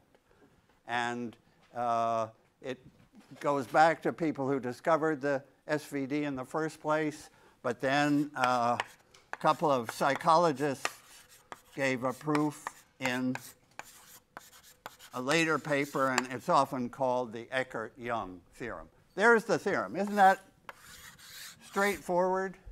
And the hypothesis is straightforward. That's pretty nice. But of course, uh, we have to think, why is it true? Why is it true? And to give meaning to the theorem, we have to say what these double bars are. Do you know the right name for this? So that double bar around a matrix is called the, the norm of the matrix, the norm. So I have to say something about matrix norms. How big is, that's a measure of how big it is. And uh, what I have to say is there are many different measures of a matrix, how large that matrix is. Let me tell you for today three possible measures of a matrix. So different ways to measure a matrix. I'll call the matrix just A maybe. But then I'm going to apply the measure to A minus B and to A minus AK and, and show that that is smaller. Okay, so I'm, I want to tell you about the norm of A, about some possible norms of A. And actually, the norms I'm going to take today will be, will have the special feature that they can be found, computed by the singular values. So let me mention the, the L2 norm. That is the largest singular value. So that's an important measure of the sort of the size of a matrix. I'm talking here, yeah, uh, uh, about a, a general m by n matrix A. Sigma 1 is, the, is, is an important norm, often called the L2 norm, and that's where that index 2 goes. Oh, I should really start with vectors, norms of vectors, and then build to norms of matrices. Let me do norms of vectors over on this side. The L2 norm of a vector, do we know what that is? That's the regular length of the vector that we all expect the square root of v1 squared up to vn squared. The, the hypotenuse, the length of the hypotenuse in n-dimensional space, that's the L2 norm because of that 2. The L1 norm of a vector is just add up those pieces without squaring and, and square rooting them, just add them. That's the L1 norm. And you might say, why do we want two norms? Or there are more norms. Let me just tell you one more. The infinity norm, and there's a reason for the 1 and the 2 and the infinity, is the largest of the v's. Okay. Have you met norms before? I don't know. These are vector norms, but maybe you have met. Then we're going to have matrix norms that maybe will be new. Um, so this is the norm that we usually think of.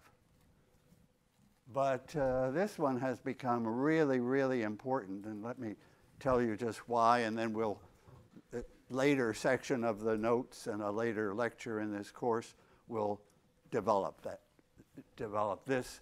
This is the L1 norm. So this is L2, L1, and L infinity, as often you see. So what's special about this one? Well, it just turned out, and it was only discovered, you know, in our lifetimes, that when you minimize some function using the L1 norm, you minim minimize some, uh, say, signal to noise or whatever you minimize, some function. If you use L1, the winning vector, the minimizing vector, turns out to be sparse. And what does sparse mean? Sparse means mostly zero components. Somehow, when I minimize in L2, which, which is historically goes back to Gauss, the greatest mathematician of all time, when you minimize something in L2, you do least squares. And you find that the guy that gives you the minimum has a lot of little numbers, a lot of little components, because when you square those little ones, they, they don't hurt much. But Gauss, so Gauss didn't do least L1 norm. That has different names, basis pursuit, and, and it comes into uh, uh, signal processing and uh, sensing. Right. And it, then it was discovered that if you minimize, uh, as we'll see in that norm, you amazingly get uh, uh, the winning vector has mo is mostly zeros. And the advantage of that is that you can understand what its components are.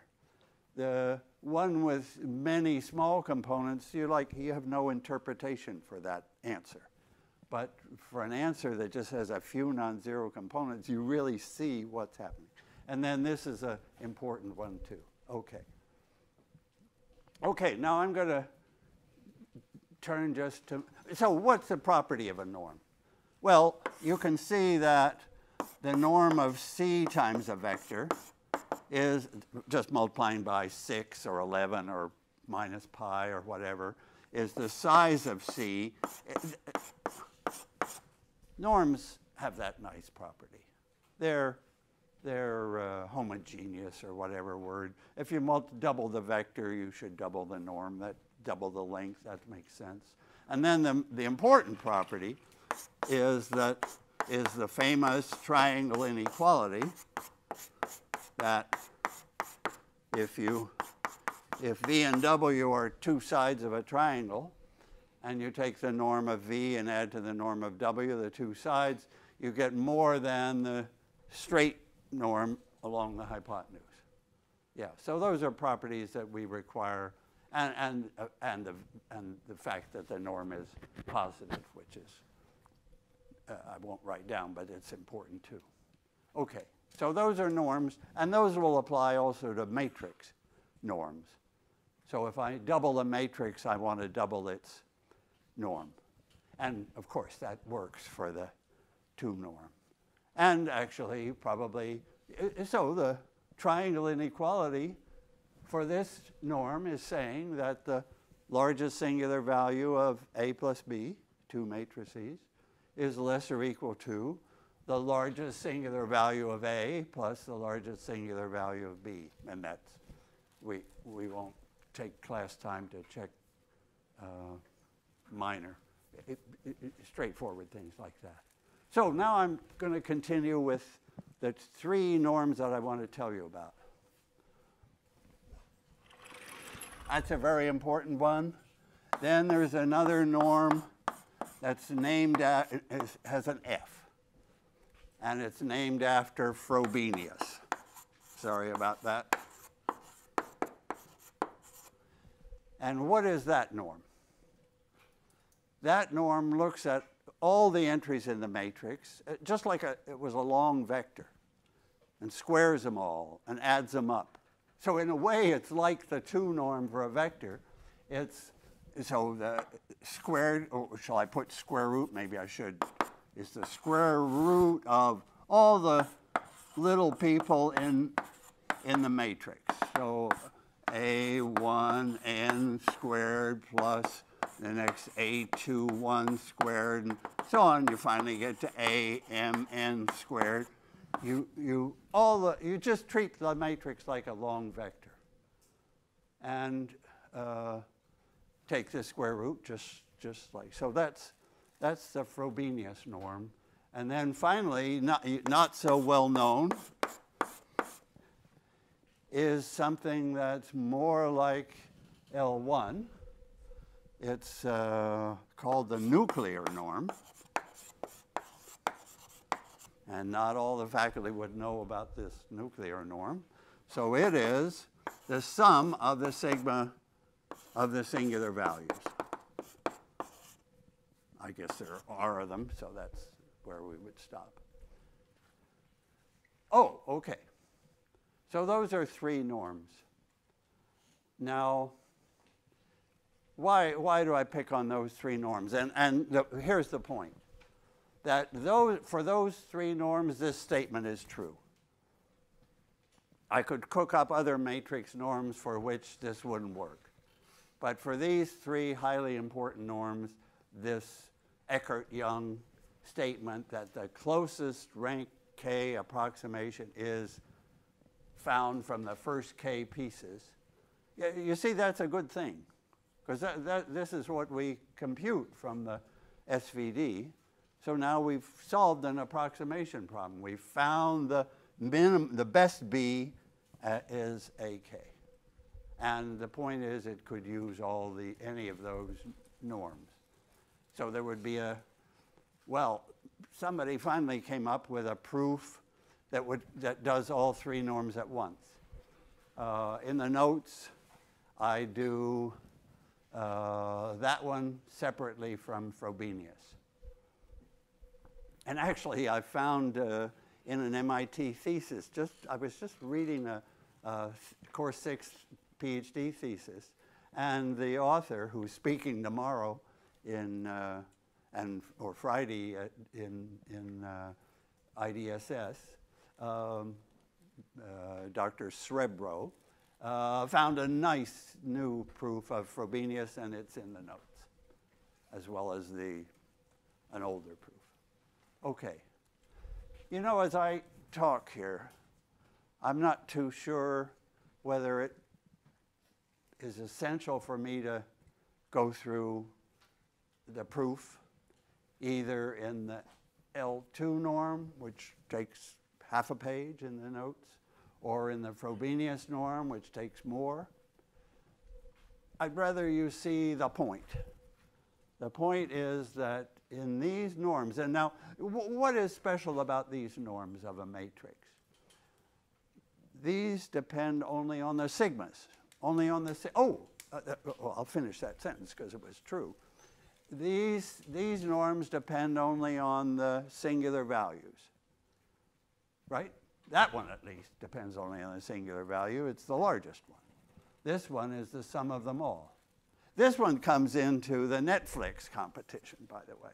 This was the right norm to win zillion dollars in the Netflix competition.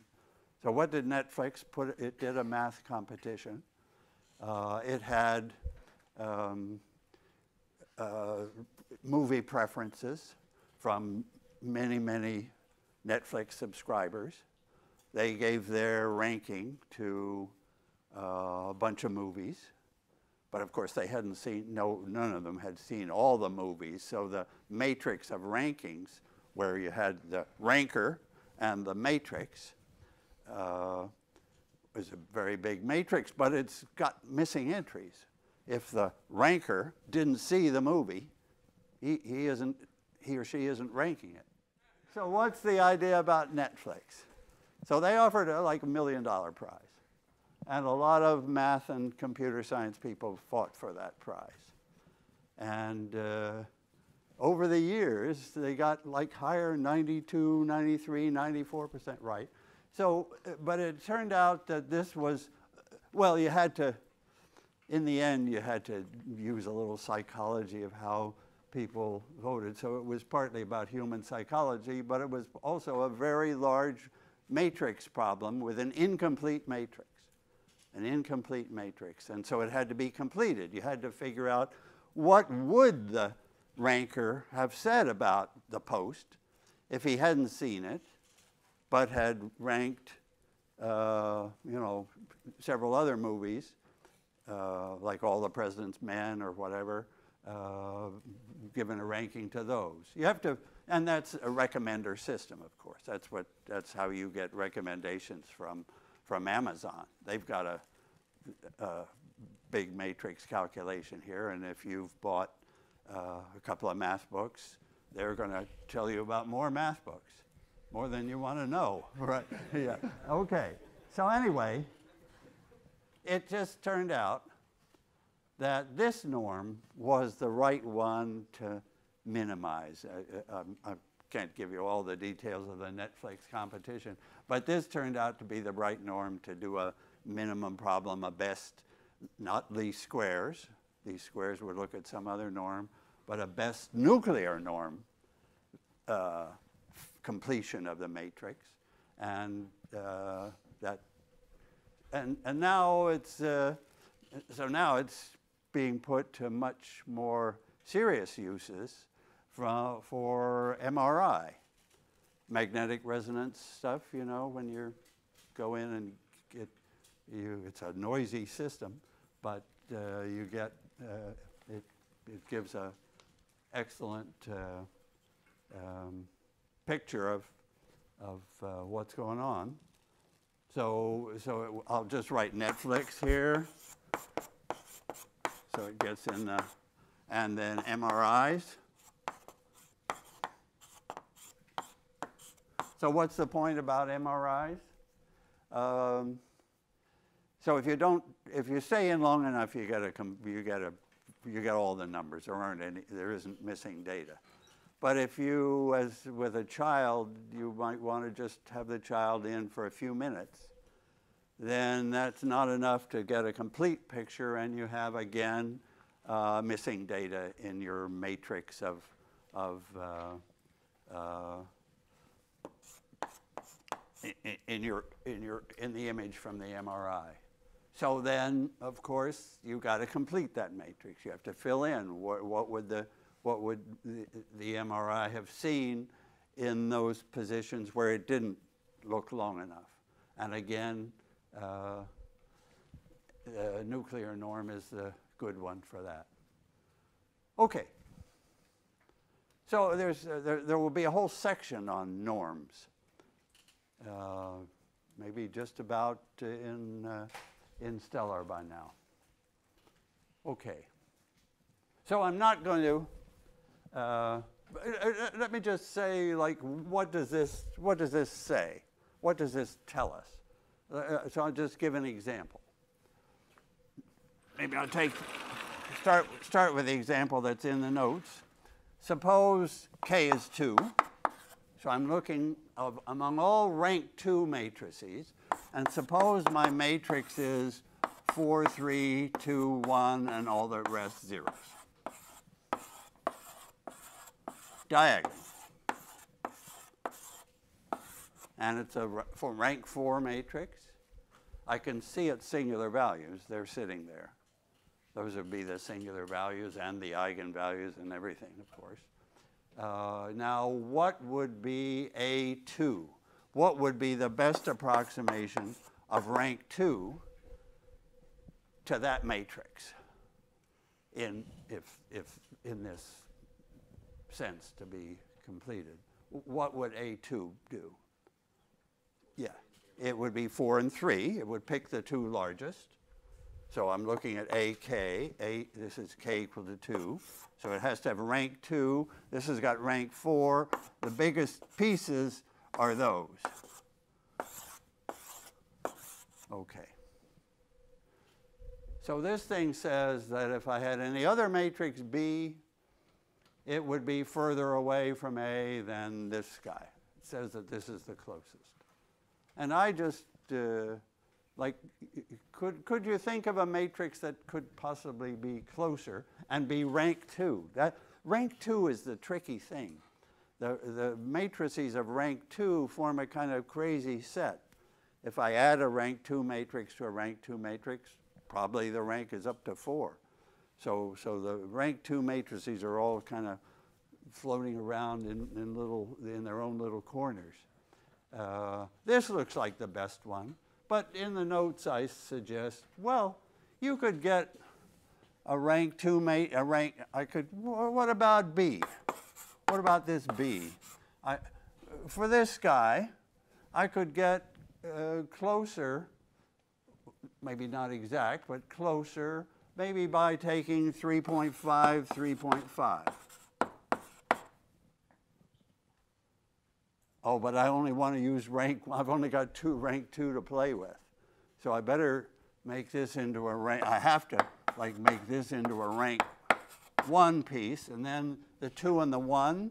So you see what I, what I thought of? I thought, man, maybe that's better.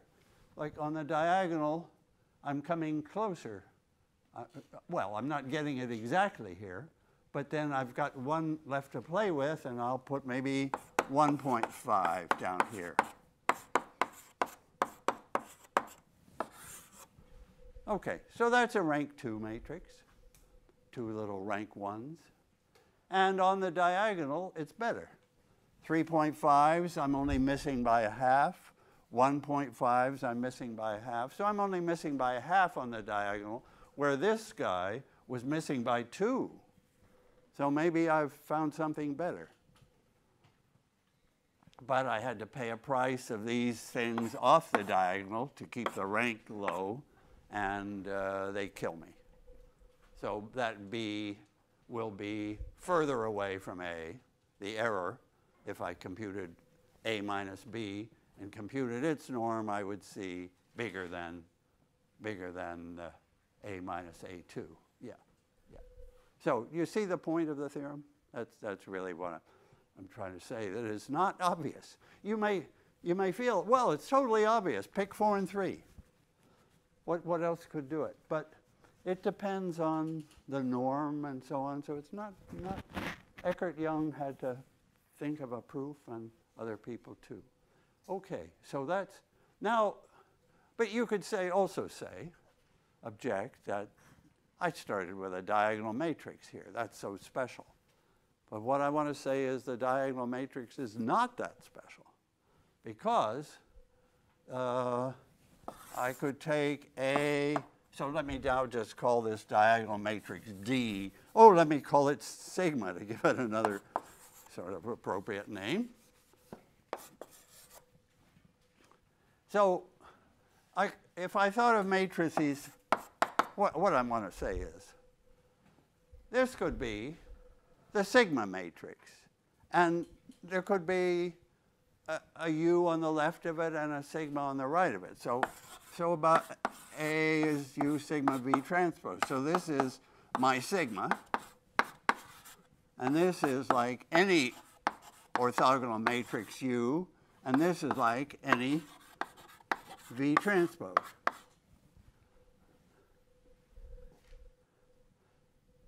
Right? I'm just saying, here's a whole lot more matrices. There's just one matrix. But now I have all these matrices with U's multiplying on the left and V transpose on, on the right. And I ask you this question. What are the singular values of that matrix? A. Here the singular values were clear, 4, 3, 2, and 1. What are the singular values of this matrix A when I've multiplied by a orthogonal guy on both sides? That's a key question.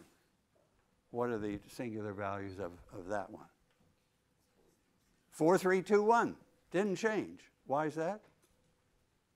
Because the singular values are the, because this has a SVD form, orthogonal times diagonal times orthogonal, and that diagonal contains the singular values. What I'm saying is that my, and our trivial little example here actually was all, all, four by fours that have these singular values. I could, uh, my whole problem is orthogonally invariant, a math guy would say.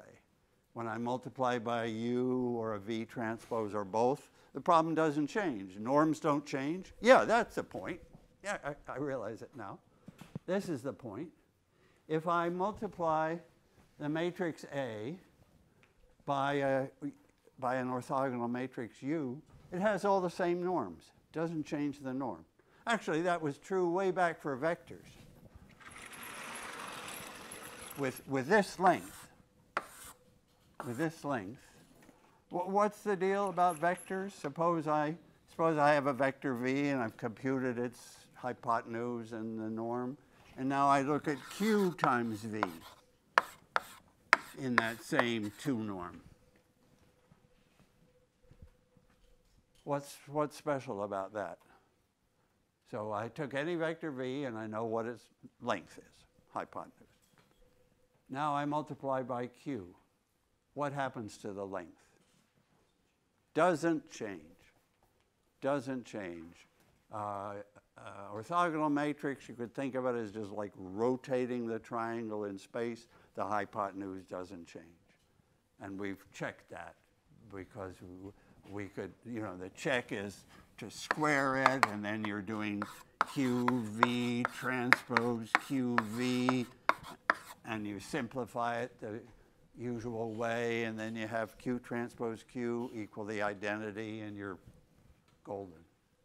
Yeah, so the result is you get the same answer as V.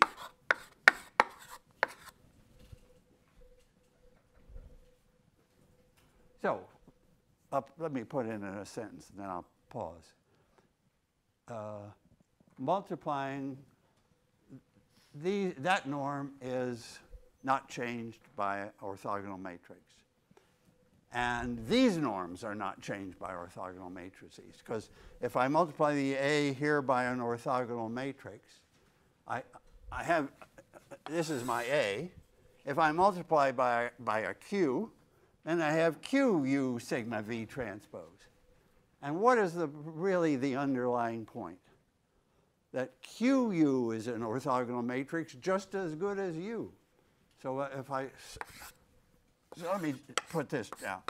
QA would be QU sigma V transpose. And now I'm asking you, what's the singular value decomposition for QA? And I hope I'm actually seeing it. What's the singular value decomposition of QA? What are the singular values? What's the diagonal matrix? Just look there for it. The diagonal matrix is sigma. What goes on the right of it? The V transpose. And what goes on the left of it is QU. Because that's orthogonal times orthogonal. Everybody in this room has to know that if I multiply two orthogonal matrices, the result is again orthogonal. So I can multiply by q, and it only affects the, the u part, not the sigma part. And so it doesn't change any of those norms. Okay, so that's fine.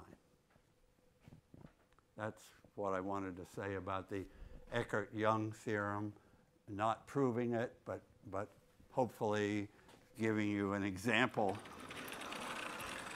there of what it means that, that this is the best rank to, to approximate that one. Okay. So that's the key math behind PCA. So now I have to want to, not, ju- not just have to, but want to, tell you about PCA. So what's, what's that about? So we have a bunch of data. And we want to see, so let me take a bunch of data, bunch of data points. Say points in the plane. So I have a bunch of data points in the plane. Uh, put- so here's my data vector. First, uh, vector x1, well, x, is that a good, maybe v1? Th- These are just two component guys. V2, they're, they're just columns with two components. So I'm, I'm just measuring like height and age. And I want to find the relationship between height and age. So the first row is, is the heights of my uh, data, and the second row is the ages. So these are, so, so I've, I've got, say, a lot of people, and these are the heights, and these are the ages, and I've got n points in 2D.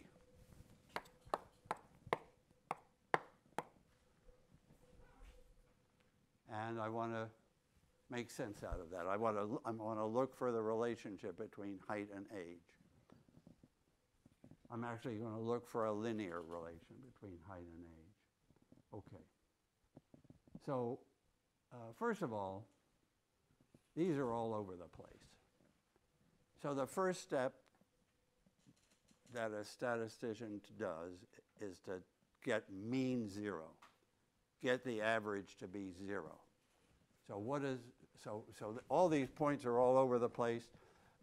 From row one, the heights, I subtract the average height.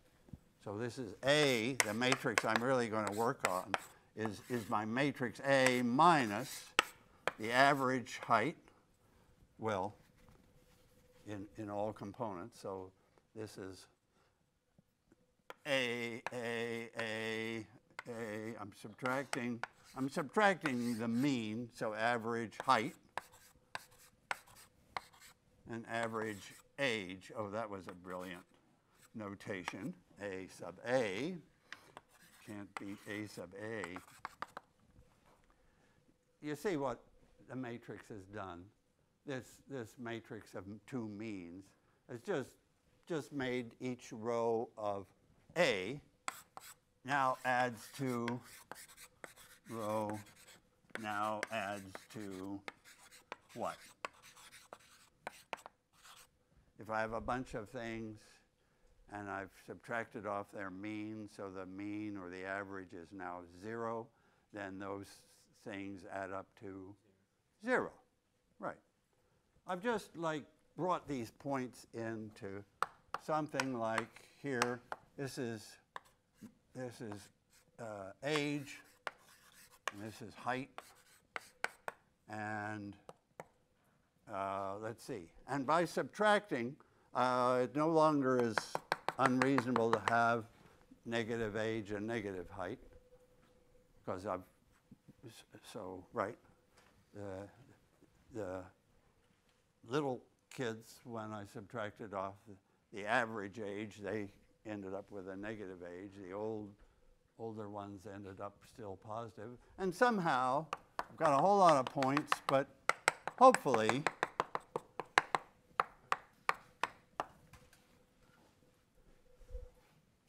their, their mean is now zero. Do you see that I've, I've centered the, the data at zero, zero? And I'm looking for, what, what am I looking for here? I'm looking for the best line. That's what I want to find. And that would be a problem in PCA. What's the best linear relation? Because PCA is limited. PCA isn't all of deep learning by any means. The whole success of deep learning was the final realization after a bunch of years that they had to have a nonlinear function in there to, to get to get to, to model serious data. But here's PCA is a linear business, and I'm looking for the best line. And you will say, wait a minute, I know how to find the best line, just use least squares. Gauss did it, can't be all bad. but PCA, and, and I was giving a talk in New York when I was just learning about this. Uh, and somebody said, what you're doing with PCA has to be the same as least squares. It's finding the best line. And I knew it wasn't, but I didn't know how to answer the question best. And now at least I know better. So the best line in least squares, can I remind you about least squares because this is not least squares. The best line of least squares, so I have some data points and I have a best line that goes through them. And, and least squares, I don't always center the data to mean zero, but I could. But what, what, what do you minimize in least squares, or least squares? If you remember the picture in linear algebra books of least squares, you, you measure the errors, like the three errors, and it's how much you're wrong at those three points. Those are the three errors, the A, A difference between AX and B, the, the B minus AX that you square and you add up those three errors. And what's different over here? I mean, there's more points, but that's not the, that's not the point. That's not the difference. The difference is in PCA, you're measuring perpendicular to the line. You're adding up all these little guys, squaring them. So you're adding up their squares and minimizing. So the points, you see it's a different problem, and therefore it has a different answer. That, that, uh, and this answer turns out to involve the uh, SVD, the sigmas, where this answer, you remember from ordinary linear algebra, just when you minimize that, you got to an equation that leads, leads to what equation for the best x? So do you remember? Yeah, what, what is it now? Everybody should know. A, yeah, we, I mean, and we will actually see it in this course because we're doing the heart of linear algebra here. We haven't done it yet, though.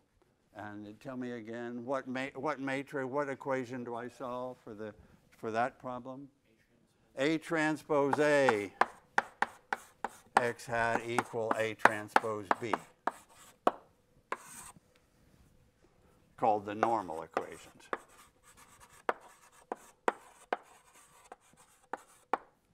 The sort of heart of, it's, this, it's this, a regression in,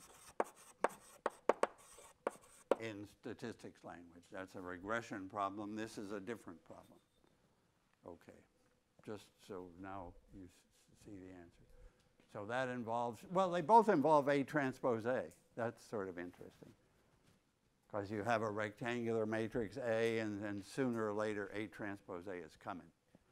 But uh, this involves solving a linear system of equations, so it's fast. And we will do it. And uh, it's very important. It's probably the most important application in 1806 but it's not the same as this one. So this is now in 1806, maybe the last day uh, is PCA. So I didn't put those letters. Principal, component, analysis, PCA, which statisticians have been doing for a long time. It's, we're not doing something brand new here. But the result is that we, so, so how does a statistician think about this problem or that data matrix? What, if you have a matrix of data, two by two rows and many columns, so many, many samples, what, uh, and we've made the mean zero, so that's the first step a statistician takes to check on the mean. What's the next step? what else does a statistician do with data to measure how its size? There's another number, there's a number that goes with the mean, and it's the variance. The mean and the variance. So somehow we're going to do variances. And it's, it will really be involved because we have two sets of data, heights and ages. We're really going to have the covariance. Covariance matrix. And it will be two by two. Because it will tell us not only the variance in the heights, that's what the first thing a statistician would think about, you know, some small people, some big people, and variation in ages, but also the link between them. How are the height age pairs? Does does more height, does more age go with more height? And of course it does. That's the whole point here. So it's this covariance matrix, and that covariance matrix, or the sample covariance matrix to give it its full name. What, what's the, so just touching on statistics for a moment here. What's the, when we see that word sample in the, in the name, what is that telling us? That's telling us that this matrix is computed from the samples, not from a theoretical probability distribution.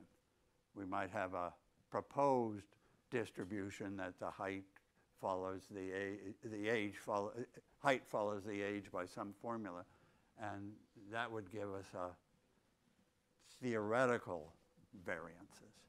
We're doing sample variances, also called empirical covariance made. Empirical says, empirical, that word means from the information, from the data. So that's what we do, and it is exactly a, a it's AA transpose. Uh, we, you have to normalize it by the number of data points, n. And then for some reason, best known to statisticians, it's n minus 1. And of course, they got to be right. They've been around a long time, and they, they, it should be n minus 1 because somehow one degree of freedom was accounted for when we took, took away the, when we made the mean zero. So, so we, anyway, no, no problem. But, but the n minus 1 is not going to affect our com computation here.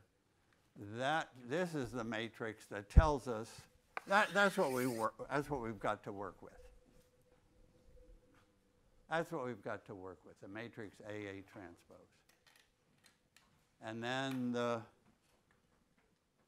so we have this problem. So we have a, yeah, I, I guess we really have a minimum problem. We want to find, well, yeah, what, what problem are we solving? And it's, yeah.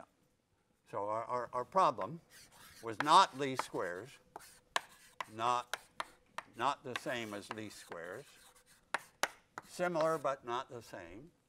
We want to minimize, so we're looking for that best line where age equals some number c times the height times the, yeah, or, or height. Maybe it would have been better to put age here and height here. No, no, we've got two unknowns. So I'm looking for C. I'm looking for the number C. Looking for the number C. And with just two minutes in class left, what is that number C going to be when I finally get the problem stated properly and then solve it? I'm going to learn that the best ratio of age to height is sigma 1. Sigma 1. That's the, that's the one that tells us how those two are connected. And the orthogonal, and what will be the best, uh, yeah, what, uh, no, maybe I, maybe I didn't answer that the right, I did, maybe I didn't get that right. Because I'm looking for, I'm looking for the vector that points in the right way. Yeah, I'm sorry. I think the answer is it's got to be there in the SVD. I think it's the vector U1. It's the principal component, U, U1. Let, let's do that properly uh, on Friday. Uh, I, I hope you see, because this was like a first step away from the highlights of linear algebra to problems solved by linear algebra and practical problems. And uh, my, my point is that the SVD solves these. Okay. The following content is provided under a Creative Commons license. Your support will help MIT OpenCourseware continue to offer high quality educational resources for free. To make a donation or to view additional materials from hundreds of MIT courses, visit MIT OpenCourseware at ocw.mit.edu. Okay, let me start one minute early. So, this being MIT, I just came from a faculty, uh, terrific uh, faculty member, Andy Lo, in, in, uh, in uh, the Sloan School. And I have to tell you what he told us, and then I had, I had to leave before he could explain why it's true. But this is like an amazing fact, which I don't want to forget. So here you go. This is, everything will be on that board. So it's, it's, it's an observation about us or other people. Maybe not us, but so suppose you have a biased coin. Uh, Maybe you don't, the people playing this game don't know, but it's 75% likely to produce heads, 25% likely to produce tails. And then the player has to guess for one flip after another heads or tails. And uh, you get a dollar if you're right, you pay a dollar if you're wrong.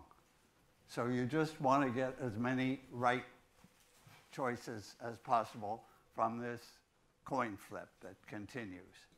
So, what should you do? Well, what I guess I hope we would do is we would not know what the probabilities were. So we would guess maybe heads the first time, tails the second time, heads the third time, and so on. But the actual result would be mostly heads. So we would learn at some point that maybe maybe not quite as soon as that, we would eventually learn that we should keep guessing heads, right? And then we would be that would be our optimal strategy to guess heads all the time. But what do people actually do? They do start like this, same way, and then they, they're beginning to learn that heads is more common. So maybe they do more heads than tails, but sometimes tails is right. And then after a little while, they maybe see that it's, yeah, or, or they're just, well, maybe they're not counting, they're just like operating like ordinary people. And what do ordinary people actually do in the long run? You would think guess heads every time, right? But they don't. In the long run, people and maybe animals and whatever guess heads three quarters of the time and tails one quarter of the time. Isn't that unbelievable? They're guessing tails a quarter of the time when the odds are never changing. Anyway, that's, that's something that economists and, and uh, other people have to explain. And if I had been able to stay another hour, I could tell you about the explanation. But anyway, that's, that's uh, I, ooh, I see I've written that on a board that I have no way to bury. So it's going to be there, and it's not the subject of 18065, but it's uh, kind of amazing, right? So there's good math problems everywhere. Okay, can I just leave you with what I know and And if I learn more, I'll come back to that question. Okay. Please turn attention this way, right? norms. A little, a few words on norms, just like that should be a word in your language. And, and so you should know what it means, and you should know there are a few of the important norms. Again, a norm is a way to measure the size of a vector, or the size of a matrix, or the size of a tensor, whatever we have, or a function, very important. The norm would be a, a, a, function like sine x from 0 to pi. What would be the size of that function? Well, if it was 2 sine x, the size would be twice as much. So the norm should reflect that. Uh, but uh, so yesterday, or Wednesday, I told you the, so there, p equals 2, 1, actually infinity, and then I'm going to put in the zero norm with a question mark because you'll see it's, that it has a problem. But let me just recall from last time. So these are the p equal to 2 is the usual sum of squares, square root, usual length of a vector. p equal 1 is this very important norm, so I would call that the L1 norm. And we'll see a lot of that. That really, I mentioned that it plays a very significant part now in compressed sensing.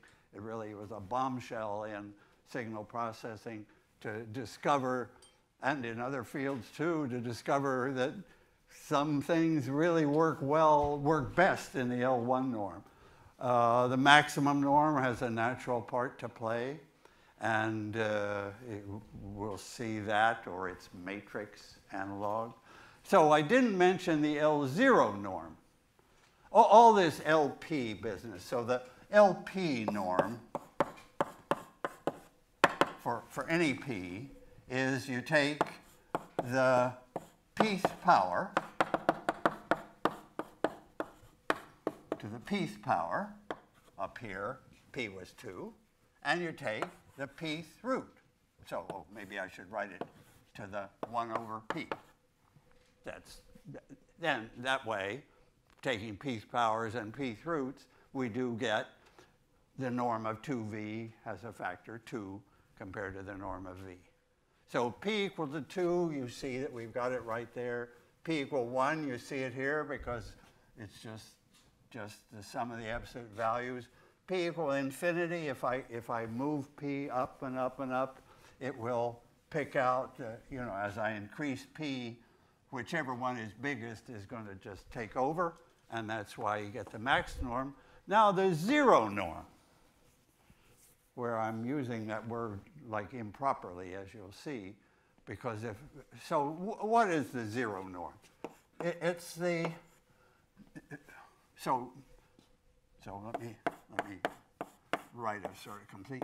It's the number of non-zeros, of non-zero components. It's the, it's the thing that you'd like to know about in question of sparsity. Does the is there just one non-zero component? Are there 11? Are there 101? Like what, that you might want to minimize that because sparse vectors and sparse matrices are much faster to compute with. You've got good stuff. But now I claim that's not a norm, the number of zero, non-zero components. Because what's the norm of 2, how does the norm of 2v compare with the norm of v, the zero norm? It would be the same. 2v has the same number of non-zeros as v. So it violates the rule for a norm. So uh, I think with these norms and all the p's in between, so actually the, the, the math papers are full of let p be between 1 and infinity and because that's the range where you do have a proper norm, as, as we will see.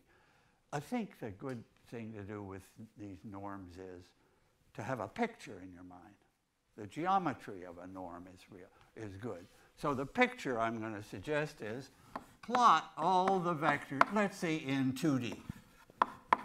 So, so two-dimensional space, R2. So I want to plot the, the vectors that have v equal 1 in these different norms. So let me ask you what, so I, here's 2D space, R2, and now I want to plot all the vectors that have the ordinary L2 length equal 1. So what does that picture look like? I, I just think a picture is really worth something. It's a circle. Thanks. It's a circle. It's a circle. This circle is has the equation, of course, v1 squared plus v2 squared equal 1. So that, I, I would call that the unit ball the, for the norm or whatever is, is a circle. Okay, now, now here comes more interesting. What about in the L1 norm?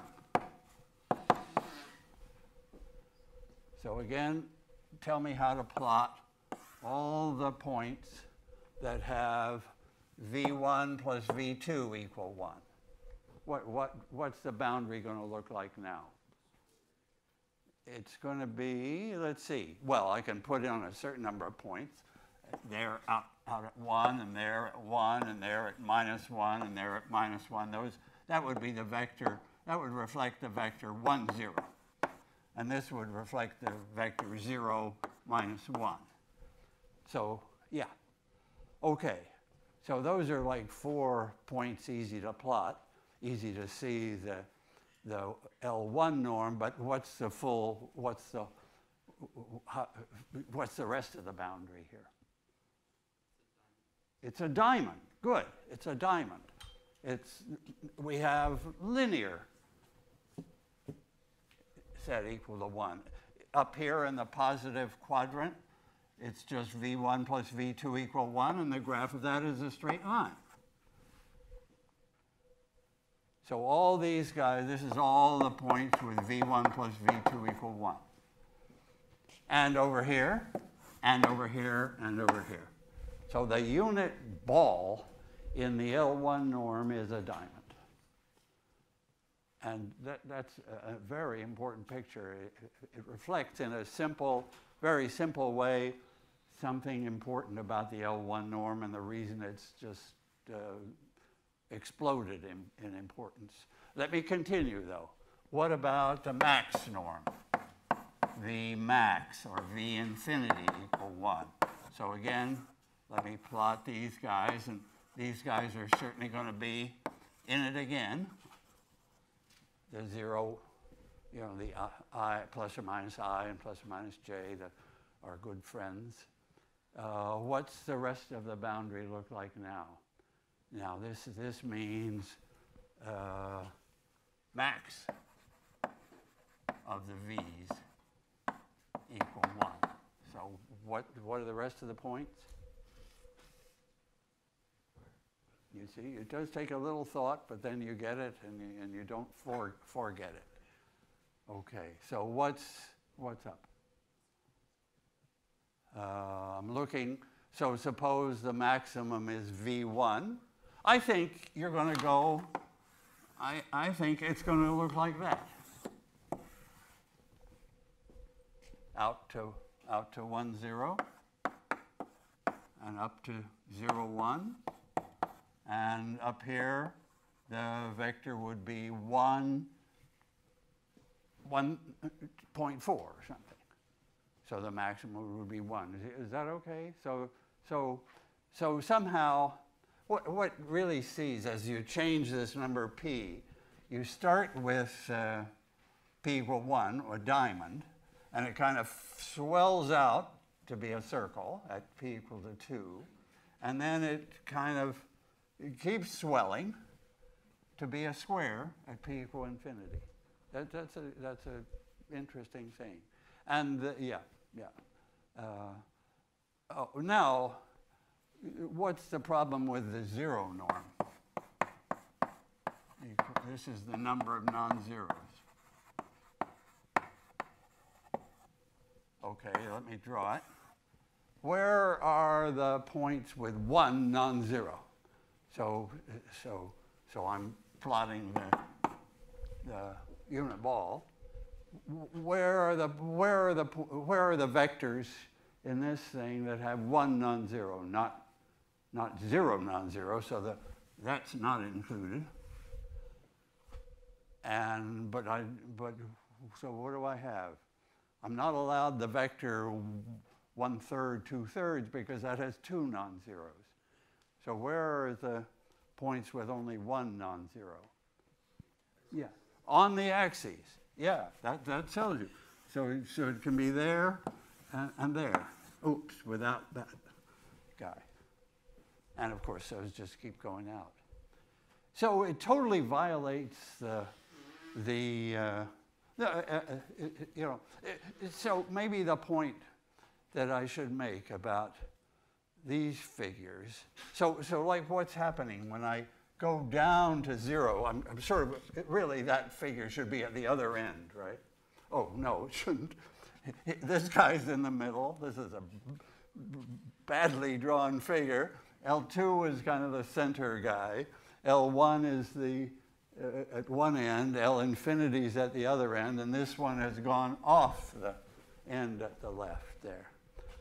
The, the, diamond has, yeah, what's happened here as, as, as that one goes down towards zero, none of these will be okay. These, these, uh, these balls will, or these sets will uh, lose weight. Uh, so they'll always have these points in, but they'll be uh, like this, and then like this, and then finally in the in the unacceptable limit. But none of those. Th th this was not any good either. This this was for p equal half, let's say. Sort of a that, that's a p equal to half, and that's not a good norm. Yeah. So maybe the thing. You, so there's a property of the circle the diamond and the square, which is, is a, a, nice math property of those, of those three sets, and is not possessed by this, as this thing loses weight, I, I lose the property. And then, of course, that's totally lost over there. Do you know what that property would be? What, what it's what? Concave, convex, convex, I would say. Convex this is a true norm, has the convex unit ball. Maybe, maybe for ball, I'm taking all of v's less or equal 1. Yeah, so I'm, I'm allowing the insides of these shapes. So this is not a convex set. That, that set, which I should maybe, so not, not convex would be this one with uh, like so. And that reflects the fact that the, uh, oh, the, the rules for a norm are broken, the triangle inequality is probably broken, and the, the, yeah, other, other stuff. Yeah. I, I think that's sort of like worth remembering. And then uh, one more norm that's uh, natural to think about is uh, so S, as in the Piazza question, S does always represent a symmetric matrix in 18065. And now I'm going to ask my norm is going to be, so I'm going to call it the S norm. So S is a, actually it's a positive definite symmetric matrix. F is a positive definite symmetric matrix. And what will I do? I'll take V transpose AV, SV, sorry, SV. Okay, what's our word for that? The energy. That's the energy in the vector V. And I'll take the square root so that I, so that I now have the length of 2 if I double v, from v to 2v, then I get a 2 here and a 2 here, and when I take the square root, I get an overall 2, and that's what I want. I want the norm to grow linearly with the 2 or 3 or whatever I multiply by. But what is the shape of this thing? So what is the what is the shape of, let me, let me put it on this board. I, I'm going to get a picture like that. So what is the shape of V transpose S V equal 1 or less or equal 1? Uh, if S is, this is a positive, symmetric positive definite. People use those three letters to tell us. I, am claiming that we get a bunch of norms. When, when do we get the L2 norm? What, uh, what matrix S would this give us the L2 norm? The identity, certainly. Now, what's going to happen if I use some different matrix S? This circle is going to change shape. I'm going to have a different norm depending on S. And a typical case would be S equal 2, 3, say. That's a positive definite symmetric matrix.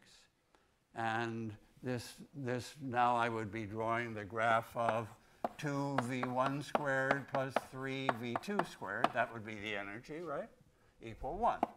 And I just want you to tell me what shape that is. So that's a perfectly good norm. It, it, you could check all its properties. They, they all come out easily. But I get a new picture, a new norm that's kind of adjustable. You could say it's a weighted norm. Weights mean that you kind of have picked some numbers sort of appropriate to the particular problem. Well, suppose those numbers are 2 and 3. What shape is the unit ball in this S norm? It's an ellipse, right. It's an ellipse. And I guess it'll actually be, so the larger number 3 will, will mean you can't go as far as, as the smaller number 2. I think it would probably be an ellipse like this. And the axes, axis length of the ellipse would probably have something to do with the 2 and the 3. Okay, so that's just, now you know really all the vector norms that are sort of natural to use. Uh, the, these come up in a natural way. They're all, as we said, the identity matrix brings us back to the 2 norm. So these are all sort of variations on the 2 norm. And these are variations as p runs from 1 up to 2 on to infinity and is not allowed to go below 1. Okay, that's norms. And then uh, maybe you can actually see from this picture. Here, here's a like somewhat hokey uh, um, idea of why it is that this norm, minimizing the, so minimizing the error in this norm. So wh what do I mean by that? I, uh, here, here would be a typical problem. Minimize subject to ax equal b, the L1, uh, sorry, I'm using x now, the L1 norm of, the L1 norm of x. how, how, so that would be an important problem. Actually, it has a name. People have spent a lot of time thinking of a fast way to solve it. It's almost like least squares. What would, what would make it more like least squares would be change that to 2.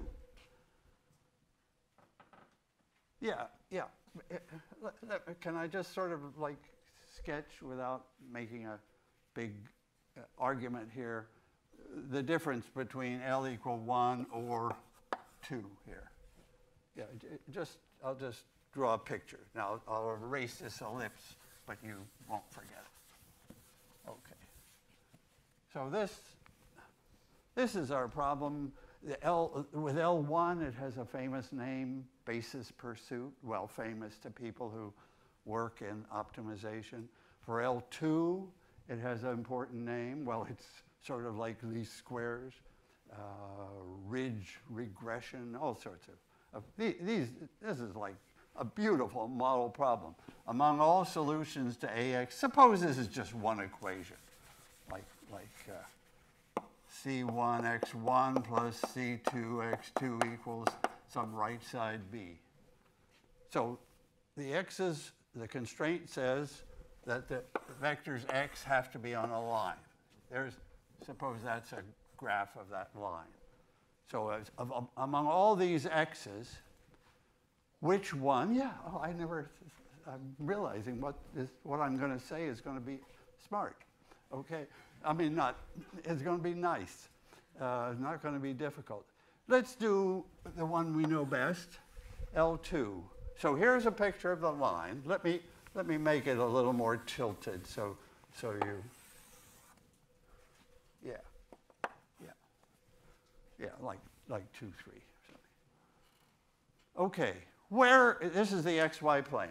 Here's x1, here's x2. Here are, the, here are the points that satisfy my condition. Which one minimizes, which point on that line minimizes has the smallest L2 norm? Which point on the line has the smallest L2 norm? Yeah, you're, you're drawing the right figure with your hands. The smallest L2 norm, L2, remember, is just how far out you go. It's, it's circular here, so it doesn't matter what direction. They're all giving the same L2 norm, it's just how far. So we're looking for the closest point on the line, because we don't want to go any further. We want to go a minimum distance with L. I'm doing L2 now. So if, uh, so where's the point at minimum distance? Yeah, it should show me again once more with hands or whatever. I, I, it'll be that. I didn't want 45 degree angles there.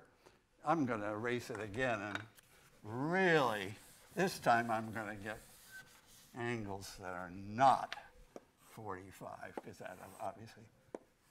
All right, brilliant. Got it. Okay, that's my line. Okay, and what's the nearest point in the L2 norm? Here's the winner in, in L2, right? The nearest point. Everybody sees that picture? So that's the, that's, you know, that's a basic uh, picture for, for minimizing something with a constraint, which is the fundamental problem of optimization, of neural nets, of everything, really, minim- of life. Uh, well, I'm getting philosophical. So, get, okay, that's, that's, but uh, of course, it always, the question always is, and maybe it's true in life too, which norm are you using? Okay, now, tell, so tell, that was the minimum in L2. That's the shortest distance, where distance means what we usually think of it as meaning. But now, let's go for the L1 norm. Which point on the line has the smallest L1 norm? So now I'm going to add the two. So if this is some point A, this is some point A0, and this is some point 0B, right there. So those two points are obviously important. And that point we could figure out the formula for, because it's, uh, we, we know what the geometry is. But I've just put those two points in. So did I get a 0b? Yeah, that's a 0. I- so let me just ask you the question. What point on that line has the smallest L1 norm? Which has the smallest L1 norm? Somebody said it, just say it a little louder so that you're on tape forever. Uh, 0b, this point. That's the winner. This is the L1 winner. And this was the L2 winner. And notice what I said earlier, and I didn't see it coming, but now I realize this is a figure to put in the notes. Uh, the winner has the most zeros. It's the sparsest vector. It's got a zero, well, out of two components, it didn't have much freedom, but it has a zero component. It's, it's on, the, on the, uh, on the axes.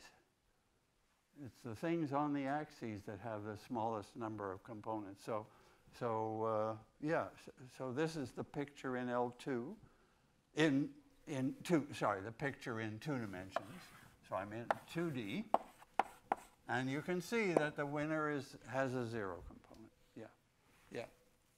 And, uh, and that's a fact that it extends into higher dimensions too, and that makes the L1 norm special, as I've said. Yeah, is there more to say about that example? That's a, for a simple 2D uh, question, that really makes the point that the L1 winner is there. It's not further. You don't go further up the line, right? Because, because then you're then you have even that's bad in all ways. you when you go up further, you're you're adding some non-zero uh, first component and you're increasing the non-zero second component. So you're that's a bad idea. That's a bad idea. This is this is the winner. And in a way, here's the picture. Yeah, oh yeah. I, I should prepare these lectures, but this one's coming out all right anyway. So this, so the picture there is the nearest ball hits at that point. And what is it? Can you see that? So that star is outside the circle. This is the L1 winner. So, and that's the nearest, that's the, that's the blow up the L1 norm until it hits. That's the point where the L1 norm hits. Uh, do you see it? Just give it a little thought. That, that, that another, another geometric way to see the answer to this problem is you start at the origin and the, you blow up the norm until you get a, a, a point on the line. That satisfies your constraint. And because you were blowing up the norm, when it hits first, that's the smallest blow up possible. That's the min, that's the guy that minimizes. Yeah, just think about that picture and I'll, I'll uh, draw it better somewhere too. Well, that's uh, vector norms. And then uh, I introduced some matrix norms, and let me just say a word about those. Yeah. Okay, a word about matrix norms. So, so the matrix norms were uh, the, uh, so, so now I have a matrix A, and I want to define those same three norms again for a matrix. And this was the 2 norm. And what was the 2 norm of a matrix? Well, it was sigma 1. Turned out to be. So I, that doesn't define it, or it could define it. Just say, okay, the largest singular value is the 2 norm of the matrix. But actually, it comes from somewhere. So I, I want to speak about this one first. The 2 norm. So, so, so it's the 2 norm of a matrix, and one way to see the 2 norm of a matrix is to connect it to the 2 norm of vectors. I'd like to connect the 2 norm of matrices to the 2 norm of vectors. And how shall I do that? I think I'm going to look at the 2 norm of AX over the 2 norm of X. So in a way, to me, that, that ratio is like the blow-up factor. If A was 7 times the identity, to, to take an easy case, if A is 7 times the identity, what will that ratio be? Say it, yeah? 7.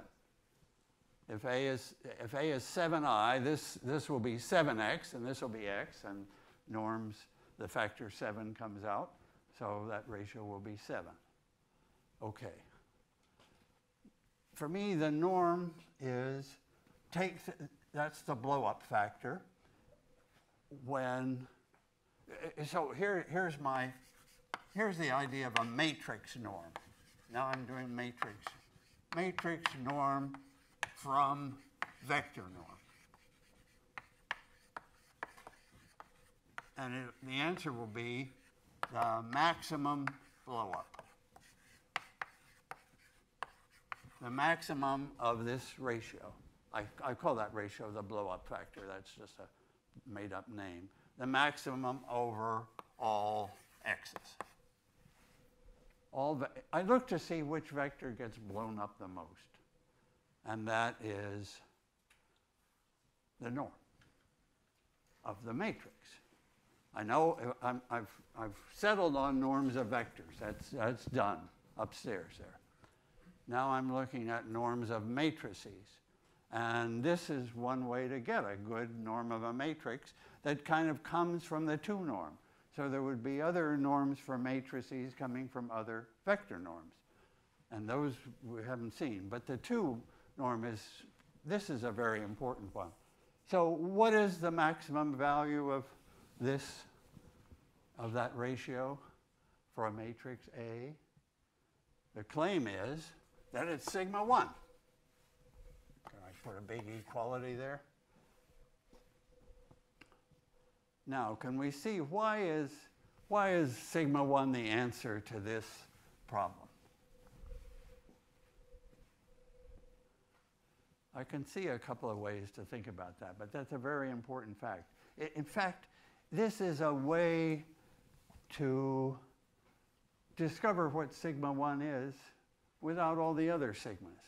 If I look for the x that has the biggest blow up factor, and by the way, which x will it be? Which x will win the max competition here and be sigma 1 times as large as, as the, uh, uh, the ratio be sigma 1. That'll be sigma 1. When is this thing sigma 1 times as large as that? For which x? Not for an eigenvector. If x was an eigenvector, what would that ratio be? Lambda. But if A is not a symmetric matrix, maybe the eigenvectors don't tell you the, the way to, the exact way to go. What, so what vector do you, would you now guess? It's not an eigenvector, it is a singular vector. And which singular vector is it probably going to be? You, V1. Yeah, V1 makes sense. Winner. So the winner of this competition is x equal V1. The first, the first right singular vector. And we better be able to check that. So again, this maximization problem, the answer tells you is in, in terms of the singular vectors. So that's a way to find this first singular vector without finding them all. And let's just plug in the first singular vector and uh, see that the ratio is, uh, see, what it, see that the ratio is sigma 1. So now let me plug it in. So, so what do I have? I, I want A V1 over length of V1. Okay. And I'm hoping to get that answer. Well, what's the bottom of the denominator here? The length of V1 is 1. So no big deal there. That's 1. What, what's the length of the, of the top one? So, so is AV1. Now, what is AV1? If V1 is the first singular, first right singular vector, then AV1 is sigma 1 times U1. Remember the singular vector deals were AV equals sigma U. AV K equals sigma K UK. Remember that. So they're not eigenvectors. They're singular vectors. So that's, that is, uh, AV1 is the length of sigma 1 U1, and it's divided by 1, and, and of course, U1 is also a unit vector, so I just get sigma 1. Okay. So that's another way to say that you can find sigma 1 by solving this maximum problem, and you get that sigma 1. Okay. And I could get other norms, matrix norms, by, by maximizing that blow up factor in that vector norm. I won't do that now, just to keep uh, control of what we've got. Now, what, were the, what was the next matrix norm that came in last time? Very, very important one for deep learning and neural nets. It's, somehow it's a little simpler than this guy. And what's the, what was that matrix norm? What, what letter, whose name goes here? Frobenius. So capital F for Frobenius. And that, and what was that? That was the square root of the sum of the all the add up, add all the aij squareds for all over the matrix and then take the square root. And then somebody asked a good question after class on Wednesday. What has that got to do with the sigmas? Because I, I, I, my point was that these norms are the guys that go with the sigmas, that, that have nice formulas for the sigmas. And here it is. It's the square root of the sum of the squares of all the sigmas. This is, so I, let me write Frobenius again.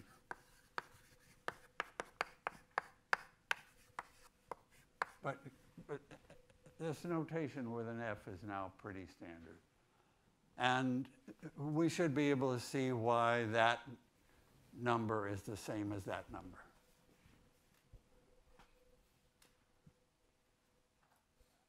Um, yeah, I could. I could give you a reason, or I could put it on the problem set.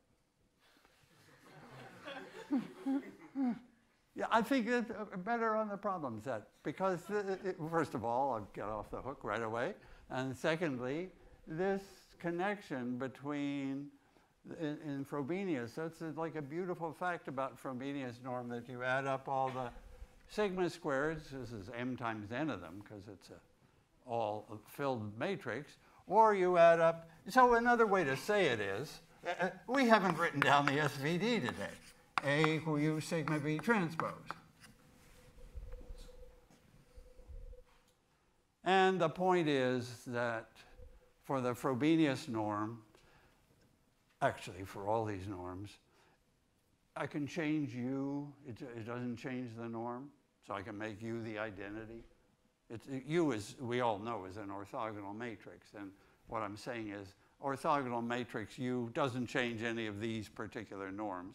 So suppose it was the identity, same here. That could be the identity without changing the norm. So we're down to the norm of the, the Frobenius. So what's the Frobenius norm of, the, of that guy? What's the Frobenius norm of that diagonal matrix? Well, you're supposed to add up the squares of all the numbers in the matrix, and what do you get? You get that, right? So that's why this is the same as this, because the orthogonal guy there and the orthogonal guy there make no difference in the norm. But that takes checking, right? Yeah. But that's another way to see why the Frobenius norm gives this. And then finally, this was the nuclear norm. And actually, just before the, my lunch lecture on the subject of probability, I've had a learning morning.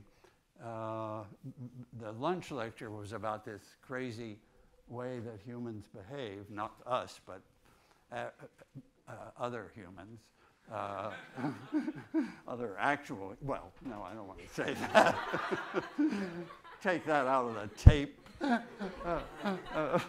Yeah, okay. Anyway, that was that lecture. Well, before that was a lecture uh, for an hour plus uh, about deep learning by somebody who really, really has under, begun to understand what is happening inside. How does that gradient descent optimization algorithm pick out what what does it pick out as the as as the thing it learns? This this is going to be the you know our goal in the in this course. We're not there yet, but the, his conjecture is that that yeah. So it's a conjecture. He doesn't have a proof. He's got proofs of some nice cases where things commute, but he hasn't got the whole thing yet. But it's pretty terrific work. So this this was Professor Srebro, who's at, at in, in Chicago. So he just announced his conjecture, and his conjecture is that in in a model case, the deep learning that we'll learn about with the gradient descent that we'll learn about to find the best weights that the point is that there are in a typical deep learning problem these days there are many more weights than samples. And so there are a lot of possible minima many different weights give the same minimum loss because there's so many weights. It's, the problem is like got too many variables. But it turns out to be a very, very good thing. That's part of the success. And the, he believes that, uh, that the, uh, in a model situation that the, that, that optimization by gradient descent picks out the, the weights that minimize the nuclear norm. So this would be a norm of a lot of weights. And uh, he thinks that's where the system goes. We'll see this. This was, comes up in compressed sensing, as I mentioned last time. So this, but now I, I have to remember what was, what was the definition.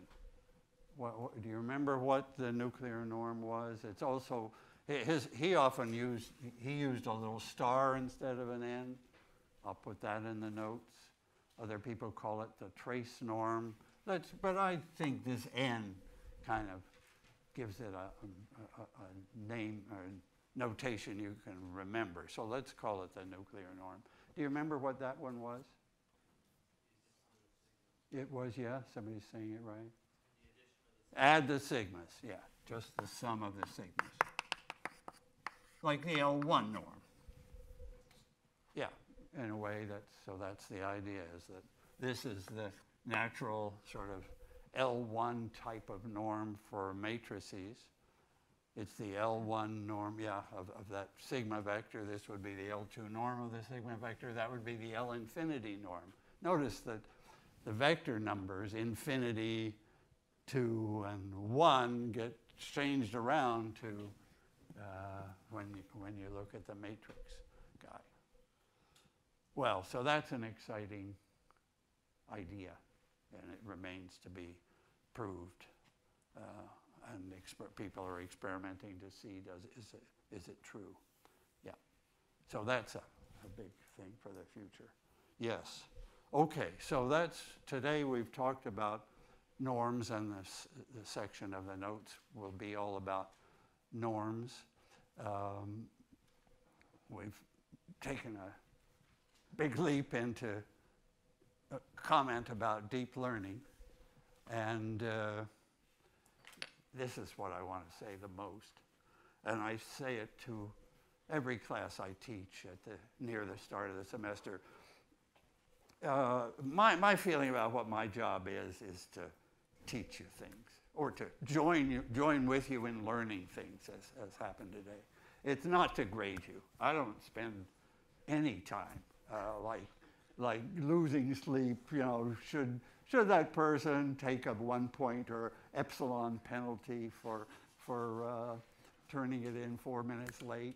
Uh, hell with that, right? We've got a lot to do here. And uh, so, anyway, we'll get on with the job.